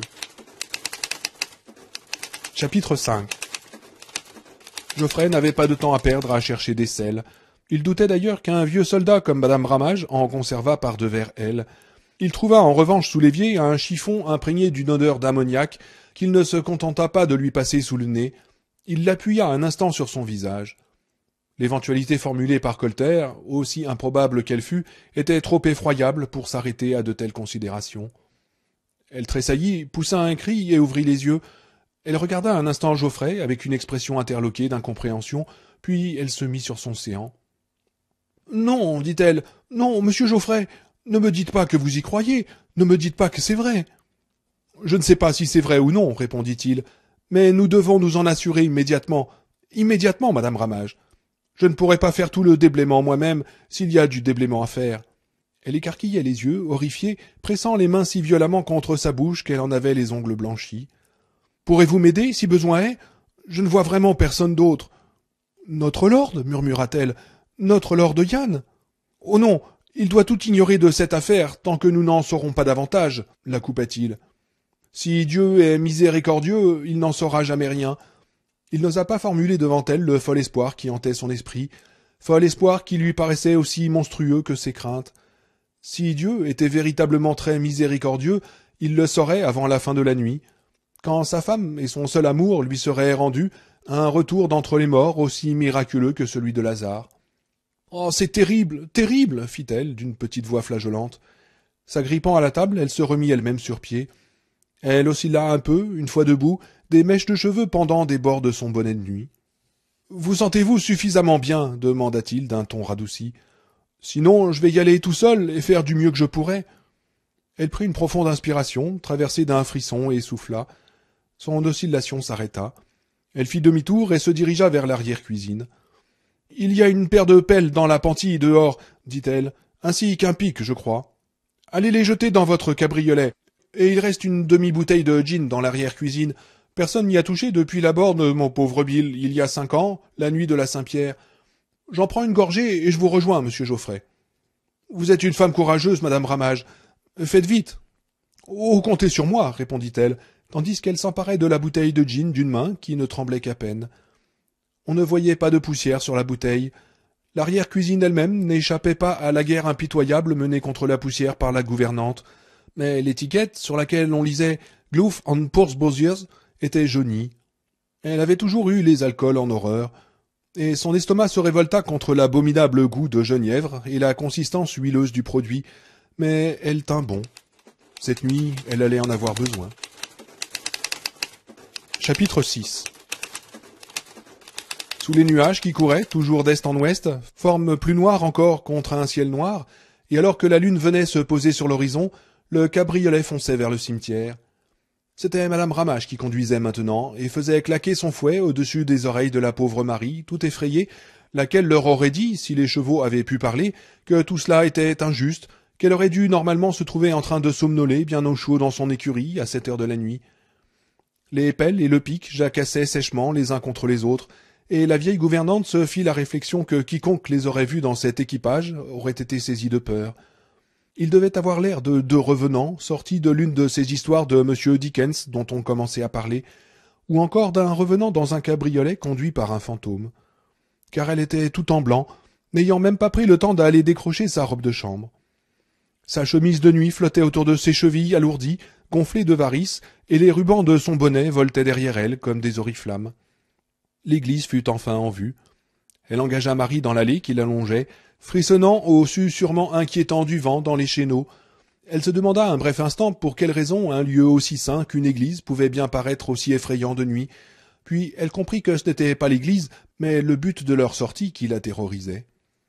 Sa première pensée, en sortant de son évanouissement, avait été que Lord Yann devait les aider. N'avait-il pas été présent en toutes circonstances, grandes ou petites, sans jamais faire preuve de faiblesse? L'instant suivant, elle se rendait compte de la folie de cette idée. Ce n'était pas le courage de Lord Yann qui était en question, mais sa santé mentale. Elle n'avait pas eu besoin de se le faire dire par M. Geoffrey. Le souvenir de la pauvre Evelyn Hyde avait suffi. Il lui vint tout à coup à l'esprit que ni Lord Yann, ni M. Geoffrey ne s'étaient trouvés à Little Dunthorpe lorsque le drame s'était produit il y avait environ six mois de cela. Misery venait d'entrer dans la période faste de sa grossesse. Les nausées matinales étaient terminées, son ventre n'avait pas encore cette lourdeur des derniers mois et l'inconfort qui en résulte, et elle avait joyeusement envoyé les deux hommes passer une semaine à Oak Hall, à Doncaster, pour chasser le coq de bruyère, jouer aux cartes, faire des parties de football, le nouveau jeu à la mode, et se livrer à toutes les folies masculines que l'on pouvait imaginer. Lord Yann s'était montré tout d'abord réservé, mais Misery lui avait juré qu'elle allait admirablement bien, et elle avait presque dû le mettre dehors. Madame Ramage ne doutait pas que Misery irait parfaitement bien, mais à chaque fois que Lord Yann et M. Geoffrey partaient pour Doncaster, elle se demandait si l'un d'eux, sinon tous deux, n'allait pas revenir les pieds devant sur une charrette. Le château de Hawk Hall était la propriété de la famille d'Albert Fossington, un ami de Yann et de Geoffrey du temps du collège. Madame Ramage croyait sincèrement que Bertie Fossington était fou. Quelques années auparavant, il avait mangé son poney de polo favori. L'animal s'était cassé deux jambes et avait dû être abattu. Le manger avait été un geste d'affection, d'après Lord Albert. J'ai appris ça chez les guerriers nègres du Cap, avait-il expliqué. Les Gricas. Des types merveilleux mettent des tas de trucs dans leur babine. Il y en a, on dirait qu'ils pourraient se fourrer l'encyclopédie royale en dix volumes dans la lèvre inférieure. Ha ha, ils m'ont appris qu'un homme doit manger les choses qu'il aime. Poétique dans le genre macabre, non? En dépit de cette bizarrerie de comportement, Lord Yann et M. Geoffrey éprouvaient la plus grande affection pour Lord Albert. Je me demande si ça veut dire qu'ils devront le manger lorsqu'il sera mort s'était interrogé Madame Ramage à l'issue d'une visite de Bertie Fossington, au cours de laquelle il avait voulu jouer au croquet avec l'un des chats de la maison, auquel il avait bien failli casser la tête. Et ils avaient passé près de dix jours à Oak Hall au cours de ce dernier printemps. À peine un jour ou deux après leur départ, on avait trouvé Miss Charlotte Evelyn Hyde, morte sur la pelouse derrière sa maison.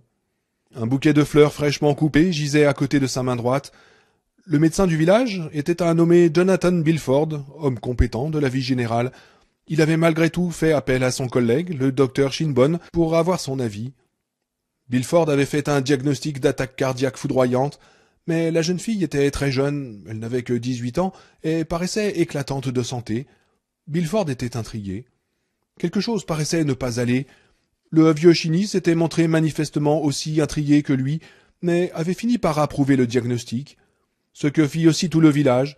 Le cœur de la pauvrette était mal constitué, c'était tout. De telles choses sont rares, mais chacun se rappelait un cas semblable s'étant produit à un moment ou à un autre. C'est probablement cet accord unanime qui empêcha le docteur Bilford de perdre sa clientèle, sinon sa tête, après le sinistre dénouement de l'affaire. Car si tout le monde trouvait bizarre la mort de la jeune fille, il n'était venu à l'idée de personne qu'elle ne fût point morte.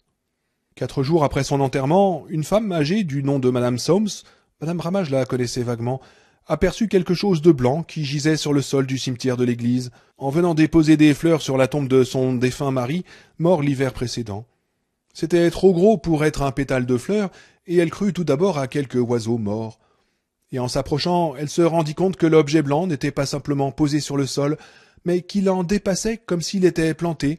Faisant encore deux ou trois pas hésitants, elle vit alors une main qui se tendait à travers la terre d'une tombe fraîchement creusée, les doigts pétrifiés en un geste horrible de supplication, tous les doigts sauf le pouce se terminant par un os ensanglanté. Madame Soms courut hors du cimetière en criant et galopa ainsi sans s'arrêter jusqu'à la grande rue de Storping, une course de près de deux kilomètres, pour aller informer le barbier qui faisait également office de comptable local. Sur quoi elle avait perdu connaissance, on dut la accoucher et elle resta alitée presque un mois, Personne au village n'y trouva à redire. On avait bien entendu exhumer le cadavre de la malheureuse Evelyn Hyde, et tandis qu'il s'approchait du portail du cimetière de Little Dunthorpe, Madame Ramage se mit à regretter amèrement d'avoir écouté le récit de cette exhumation. Il était épouvantable. Le docteur Bilford, lui-même secoué au point d'être à deux doigts de perdre la raison, émit un diagnostic de catalepsie. La malheureuse enfant s'était retrouvée dans une sorte d'état de transe proche de la mort, tout à fait semblable à celui que savent provoquer à volonté certains fakirs indiens avant d'être enterrés vivants ou de se faire traverser la peau par des aiguilles. Elle était restée dans cet état de transe pendant au moins quarante-huit heures, et peut-être soixante. Assez longtemps, en tout cas, pour se réveiller non pas sur la pelouse de la maison, où elle cueillait des fleurs, mais enterrée vive dans son cercueil. La jeune fille s'était farouchement battue pour sa vie, et madame Ramage trouvait maintenant, tout en suivant Geoffrey dans le cimetière, au milieu d'une brume de sol qui transformait les croix des tombes en îlots isolés, que ce qui aurait dû être une preuve de noblesse ne faisait qu'ajouter en horreur à ce tragique événement. La jeune fille était fiancée. À sa main gauche, pas celle qui était sortie du sol, pétrifiée comme une main de noyer, elle avait sa bague de fiançailles, surmontée d'un diamant. Elle avait commencé par déchirer la garniture de satin de son cercueil, et pendant Dieu seul savait combien d'heures, elle s'en était servie pour creuser petit à petit le couvercle de bois.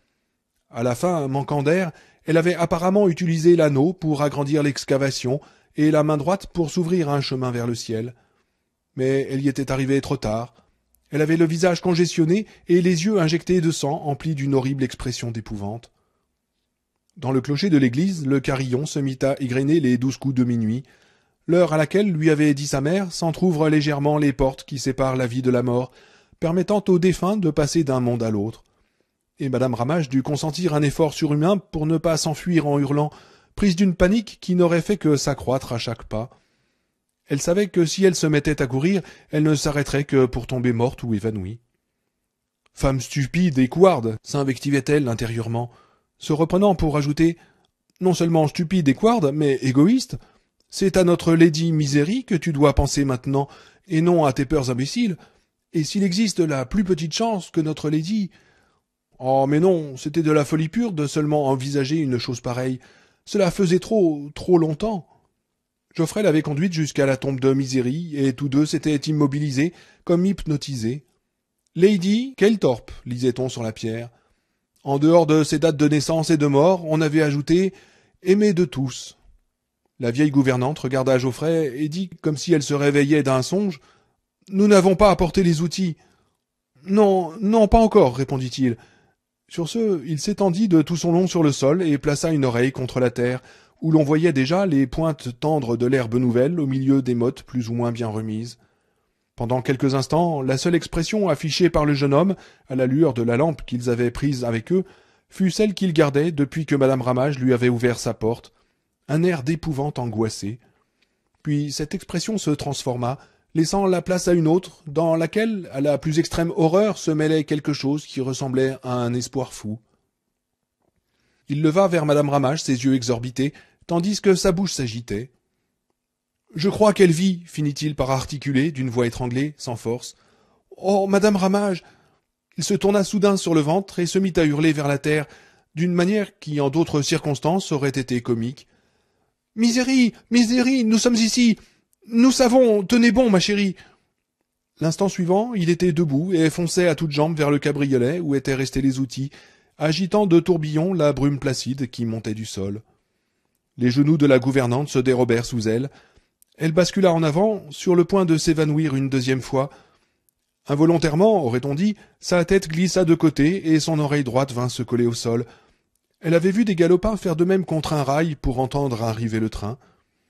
Et elle l'entendit, des grattements presque imperceptibles montant de la terre, non pas le bruit d'un animal qui creuse, mais celui de doigts impuissants à entamer du bois. Elle prit une grande inspiration qui provoqua un hoquet, mais qui parut faire repartir son cœur. À son tour, elle cria Nous arrivons, ma lady Loué soit Dieu, et prions Jésus pour que nous arrivions à temps. Elle se mit aussitôt à arracher frénétiquement les mottes encore mal tassées de ses doigts tremblants, et alors que Geoffrey n'avait mis qu'un instant pour revenir, à son retour elle avait déjà creusé un trou de vingt centimètres.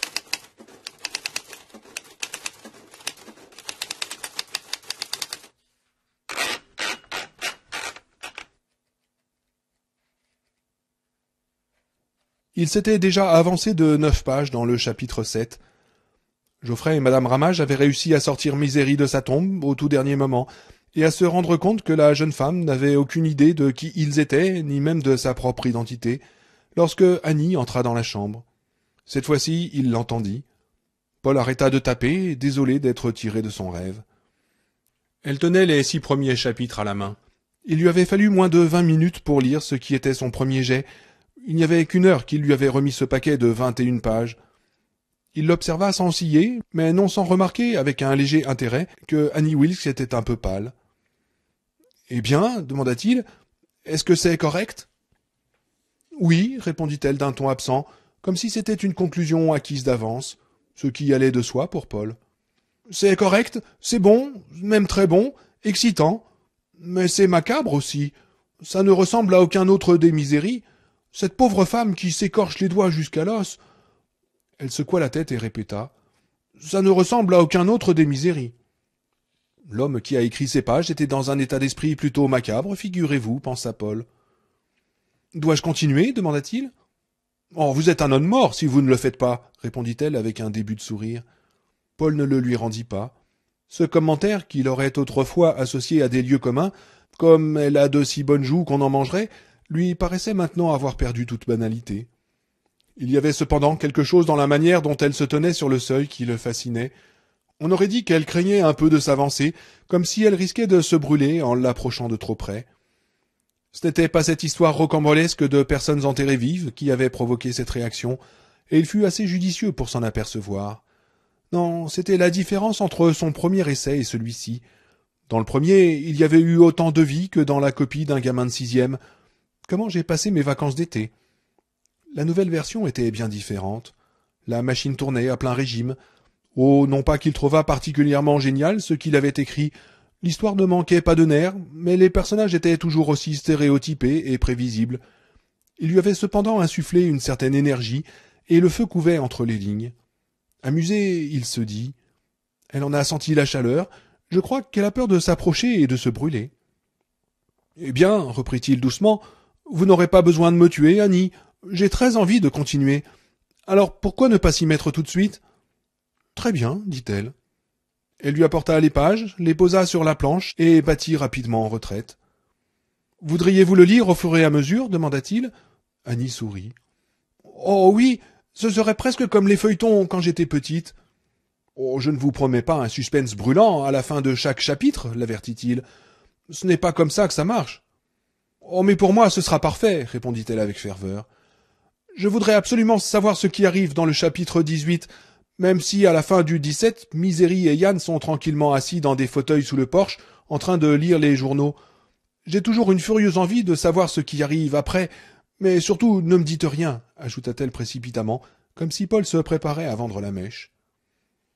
Eh bien, en général, je ne montre pas mon travail tant qu'il n'est pas terminé, répondit-il, avec un sourire cette fois. Mais étant donné que ceci est une situation particulière, je serais heureux de vous le laisser lire chapitre par chapitre. Et voilà comment ont commencé les mille et une nuits de Paul Sheldon, pensa-t-il.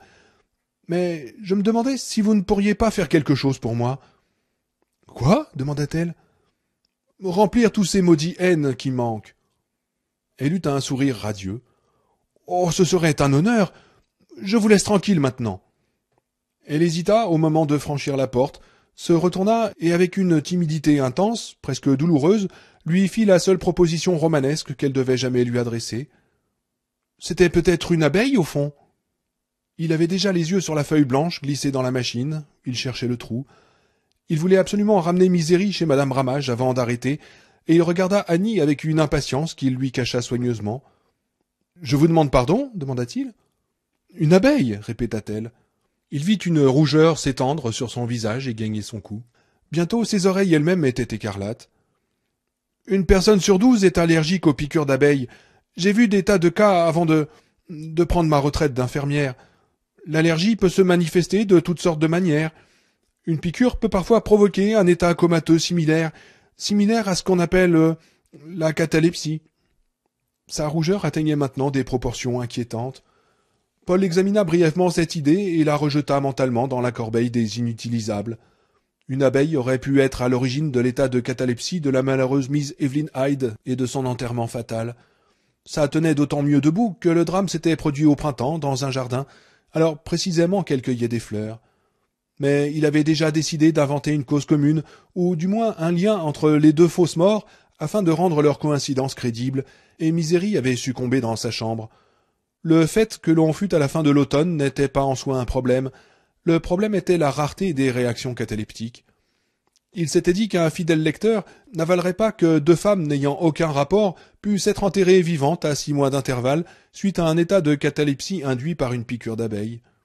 Il ne pouvait cependant l'expliquer à Annie, et pas seulement parce qu'elle pourrait s'irriter. Il était hors de question de le lui dire, car cela la froisserait profondément, et en dépit de tout le mal qu'elle lui avait fait, il ne tenait pas à la blesser de cette manière. On l'avait lui-même blessée ainsi. Il s'en tira en faisant appel à l'euphémisme habituel des ateliers d'écriture dans ce cas-là. C'est une possibilité, c'est vrai, dit-il. Je vais la mettre de côté, mais j'ai déjà mon idée sur la question. Il se peut qu'elle ne cadre pas avec. Oh, je comprends cela, répondit-elle. C'est vous l'écrivain, pas moi. Oubliez ce que j'ai dit, je suis désolé. Mais ne soyez pas ri. Mais elle avait disparu, et son pas précipité et lourd était presque celui de quelqu'un qui court. Elle avait pris la direction du salon et lorsque Paul leva la tête, il ne vit que l'encadrement vide de la porte, et soudain ses yeux s'agrandirent. Sur chacun des montants, à environ vingt-cinq centimètres du sol, il y avait une marque noire, celle qu'avait laissée, comprit-il aussitôt, les capuchons du moyeu de ses roues lorsqu'il avait forcé le passage. Jusqu'ici, elle ne les avait pas remarqués.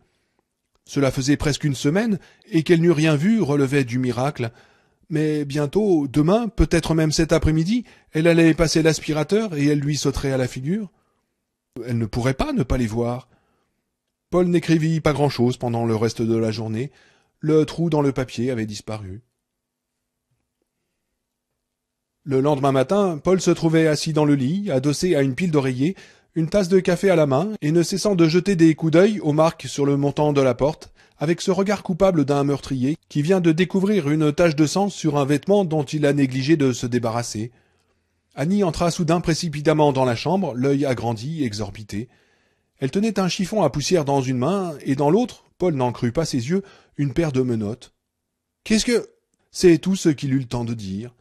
Elle le saisit avec une vigueur qui trahissait sa panique et l'assit bien droit dans le lit. La douleur, pour la première fois depuis des jours, fulgura dans ses jambes et il cria. La tasse de café lui échappa des mains et alla se fracasser sur le sol.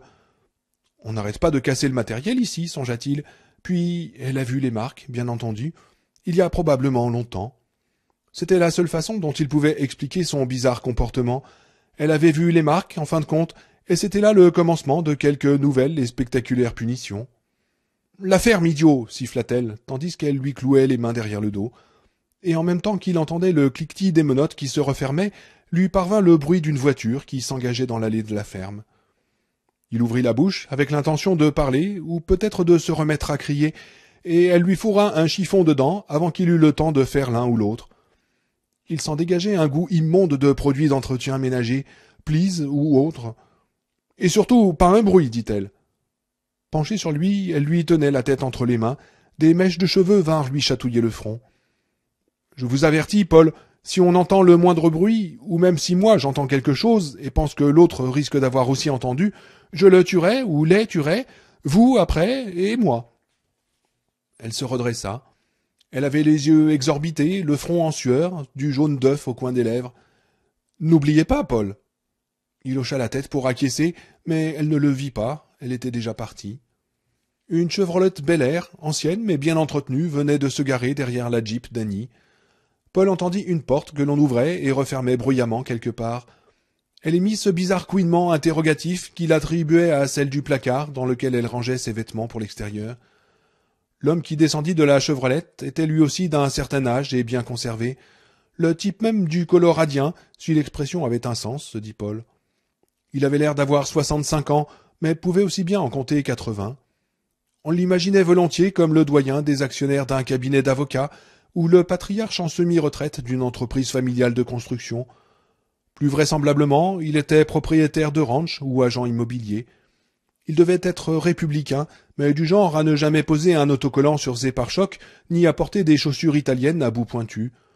Sans doute avait-il quelque poste officiel en ville et était-il ici en visite officielle, car il n'y avait que pour raison officielle qu'un homme comme lui et une femme vivant aussi à l'écart que Annie Wilkes puissent se rencontrer. Paul aperçut cette dernière qui se hâtait dans l'allée, plus soucieuse de l'intercepter que d'aller courtoisement à sa rencontre. Voici ce que produisait finalement quelque chose qui ressemblait beaucoup à ce qu'il avait imaginé récemment. Non pas un flic, mais un personnage représentant l'autorité. L'autorité était arrivée jusqu'à Annie, et cet événement concourait inévitablement à lui raccourcir la vie. Pourquoi ne pas l'inviter à entrer, Annie pensa-t-il, avec un effort pour ne pas s'étouffer avec le chiffon à poussière? Pourquoi ne pas l'inviter pour lui montrer votre oiseau africain? Pas de danger. Elle n'inviterait pas davantage l'homme d'affaires des Rocheuses qu'elle n'amènerait Paul à l'aéroport de Denver avec un billet de première classe pour New York dans la poche. Elle se mit à parler avant même d'être à sa hauteur, son haleine lui sortant de la bouche en bulle de bande dessinée qui n'aurait pas eu de légende. Il tendit une main également gantée de noir. Elle y jeta un bref coup d'œil, plein de mépris, et se mit à agiter un doigt sous le nez de l'homme, tandis que de nouvelles bulles sans légende montaient de ses lèvres. Elle finit d'enfiler son parka et interrompit son geste du doigt pour remonter la fermeture à glissière. L'homme mit la main dans la poche de son manteau et en sortit un papier.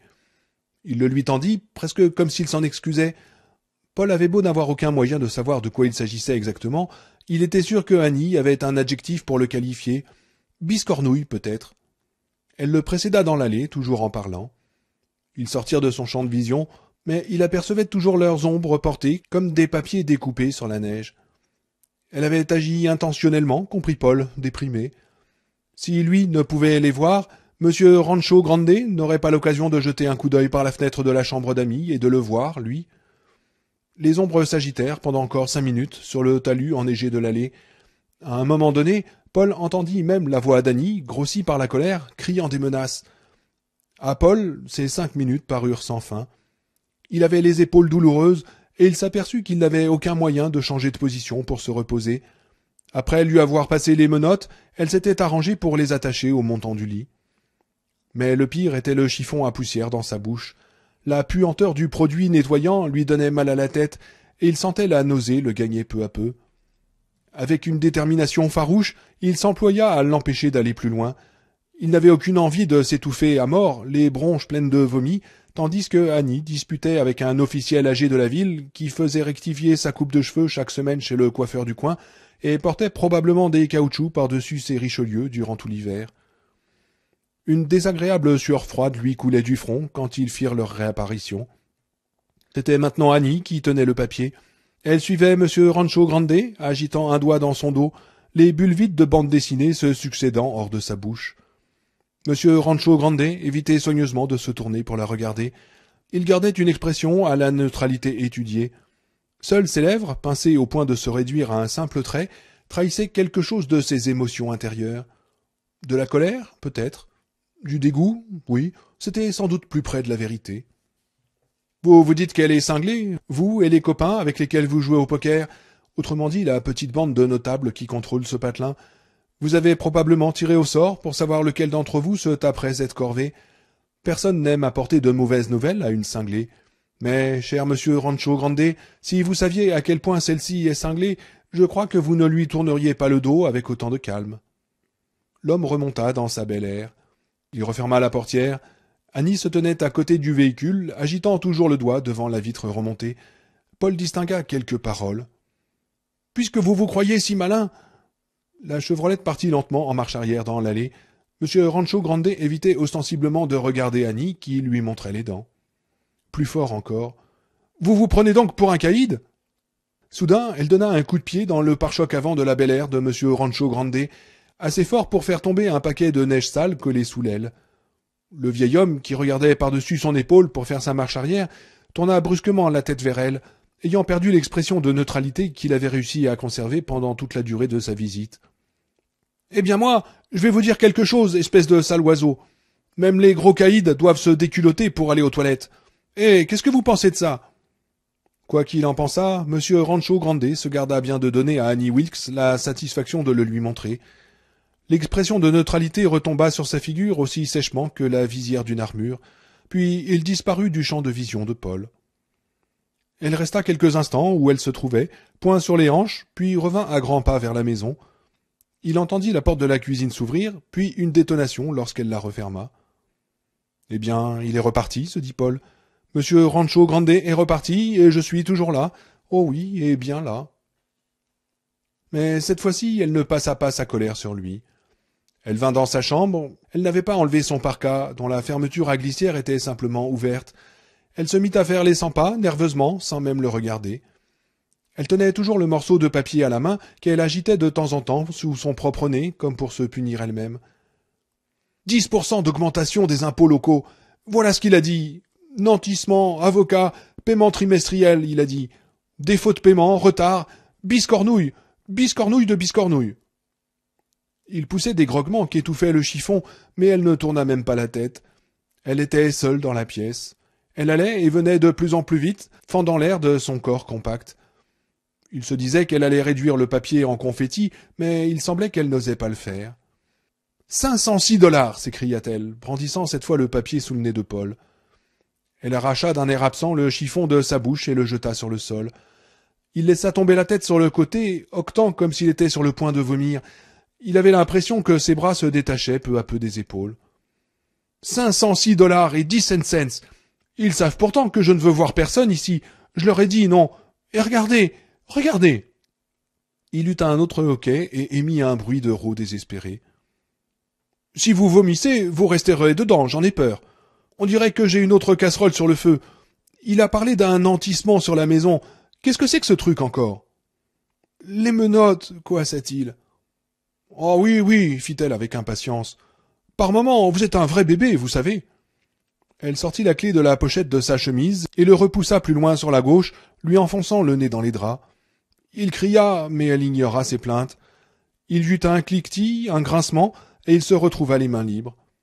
Il s'assit, la respiration haletante, puis se laissa lentement glisser contre les oreillers, prenant garde à bien pousser les jambes droits devant lui, ce faisant. Il vit deux sillons pâles sur ses poignets, qui se mirent à rougir peu à peu sous ses yeux. L'air toujours aussi absent, Annie glissa les menottes dans sa poche, comme si ces méthodes de discipline policière étaient des choses aussi courantes dans les maisons honnêtes que la présence de Kleenex ou de porte-manteau. Qu'est-ce que c'est qu'un nantissement? reprit-elle. Est-ce que ça veut dire que ma maison leur appartient? C'est bien cela Non, répondit-il. Ça signifie que vous. Il s'éclaircit la gorge et eut droit à une autre bouffée de l'odeur immonde du chiffon. Sa poitrine se souleva et il octa de nouveau. Elle n'y fit pas attention, se contentant de le regarder avec une expression d'impatience. Elle attendait qu'il pût parler. Juste que vous ne pouvez pas la vendre. Juste Juste. Vous avez de drôles d'idées sur ce qui est juste, monsieur Paul Sheldon mais je suppose que les ennuis d'une pauvre veuve comme moi ne doivent pas paraître bien importants aux yeux d'un monsieur je sais tout comme vous. Bien au contraire, dit-il. Je pense que vos ennuis sont aussi les miens, Annie. Je voulais simplement dire qu'un nantissement n'est pas bien grave comparé à ce qu'il pourrait faire si vous aviez des arrérages importants. Mais est-ce le cas? Des arrérages? Cela veut dire que je suis dans le rouge, n'est-ce pas? Oui, dans le rouge, en retard, oui. Oh, je ne suis pas un clodo irlandais qui fait les poubelles, moi. Il vit apparaître l'éclat de ses dents, comme sa lèvre supérieure se soulevait. Je paie mes notes. Simplement, cette fois, j'ai simplement. Vous avez oublié, hein Vous avez oublié, tout comme vous avez oublié de changer le mois de février sur le foutu calendrier. Oublié d'effectuer son règlement trimestriel d'impôt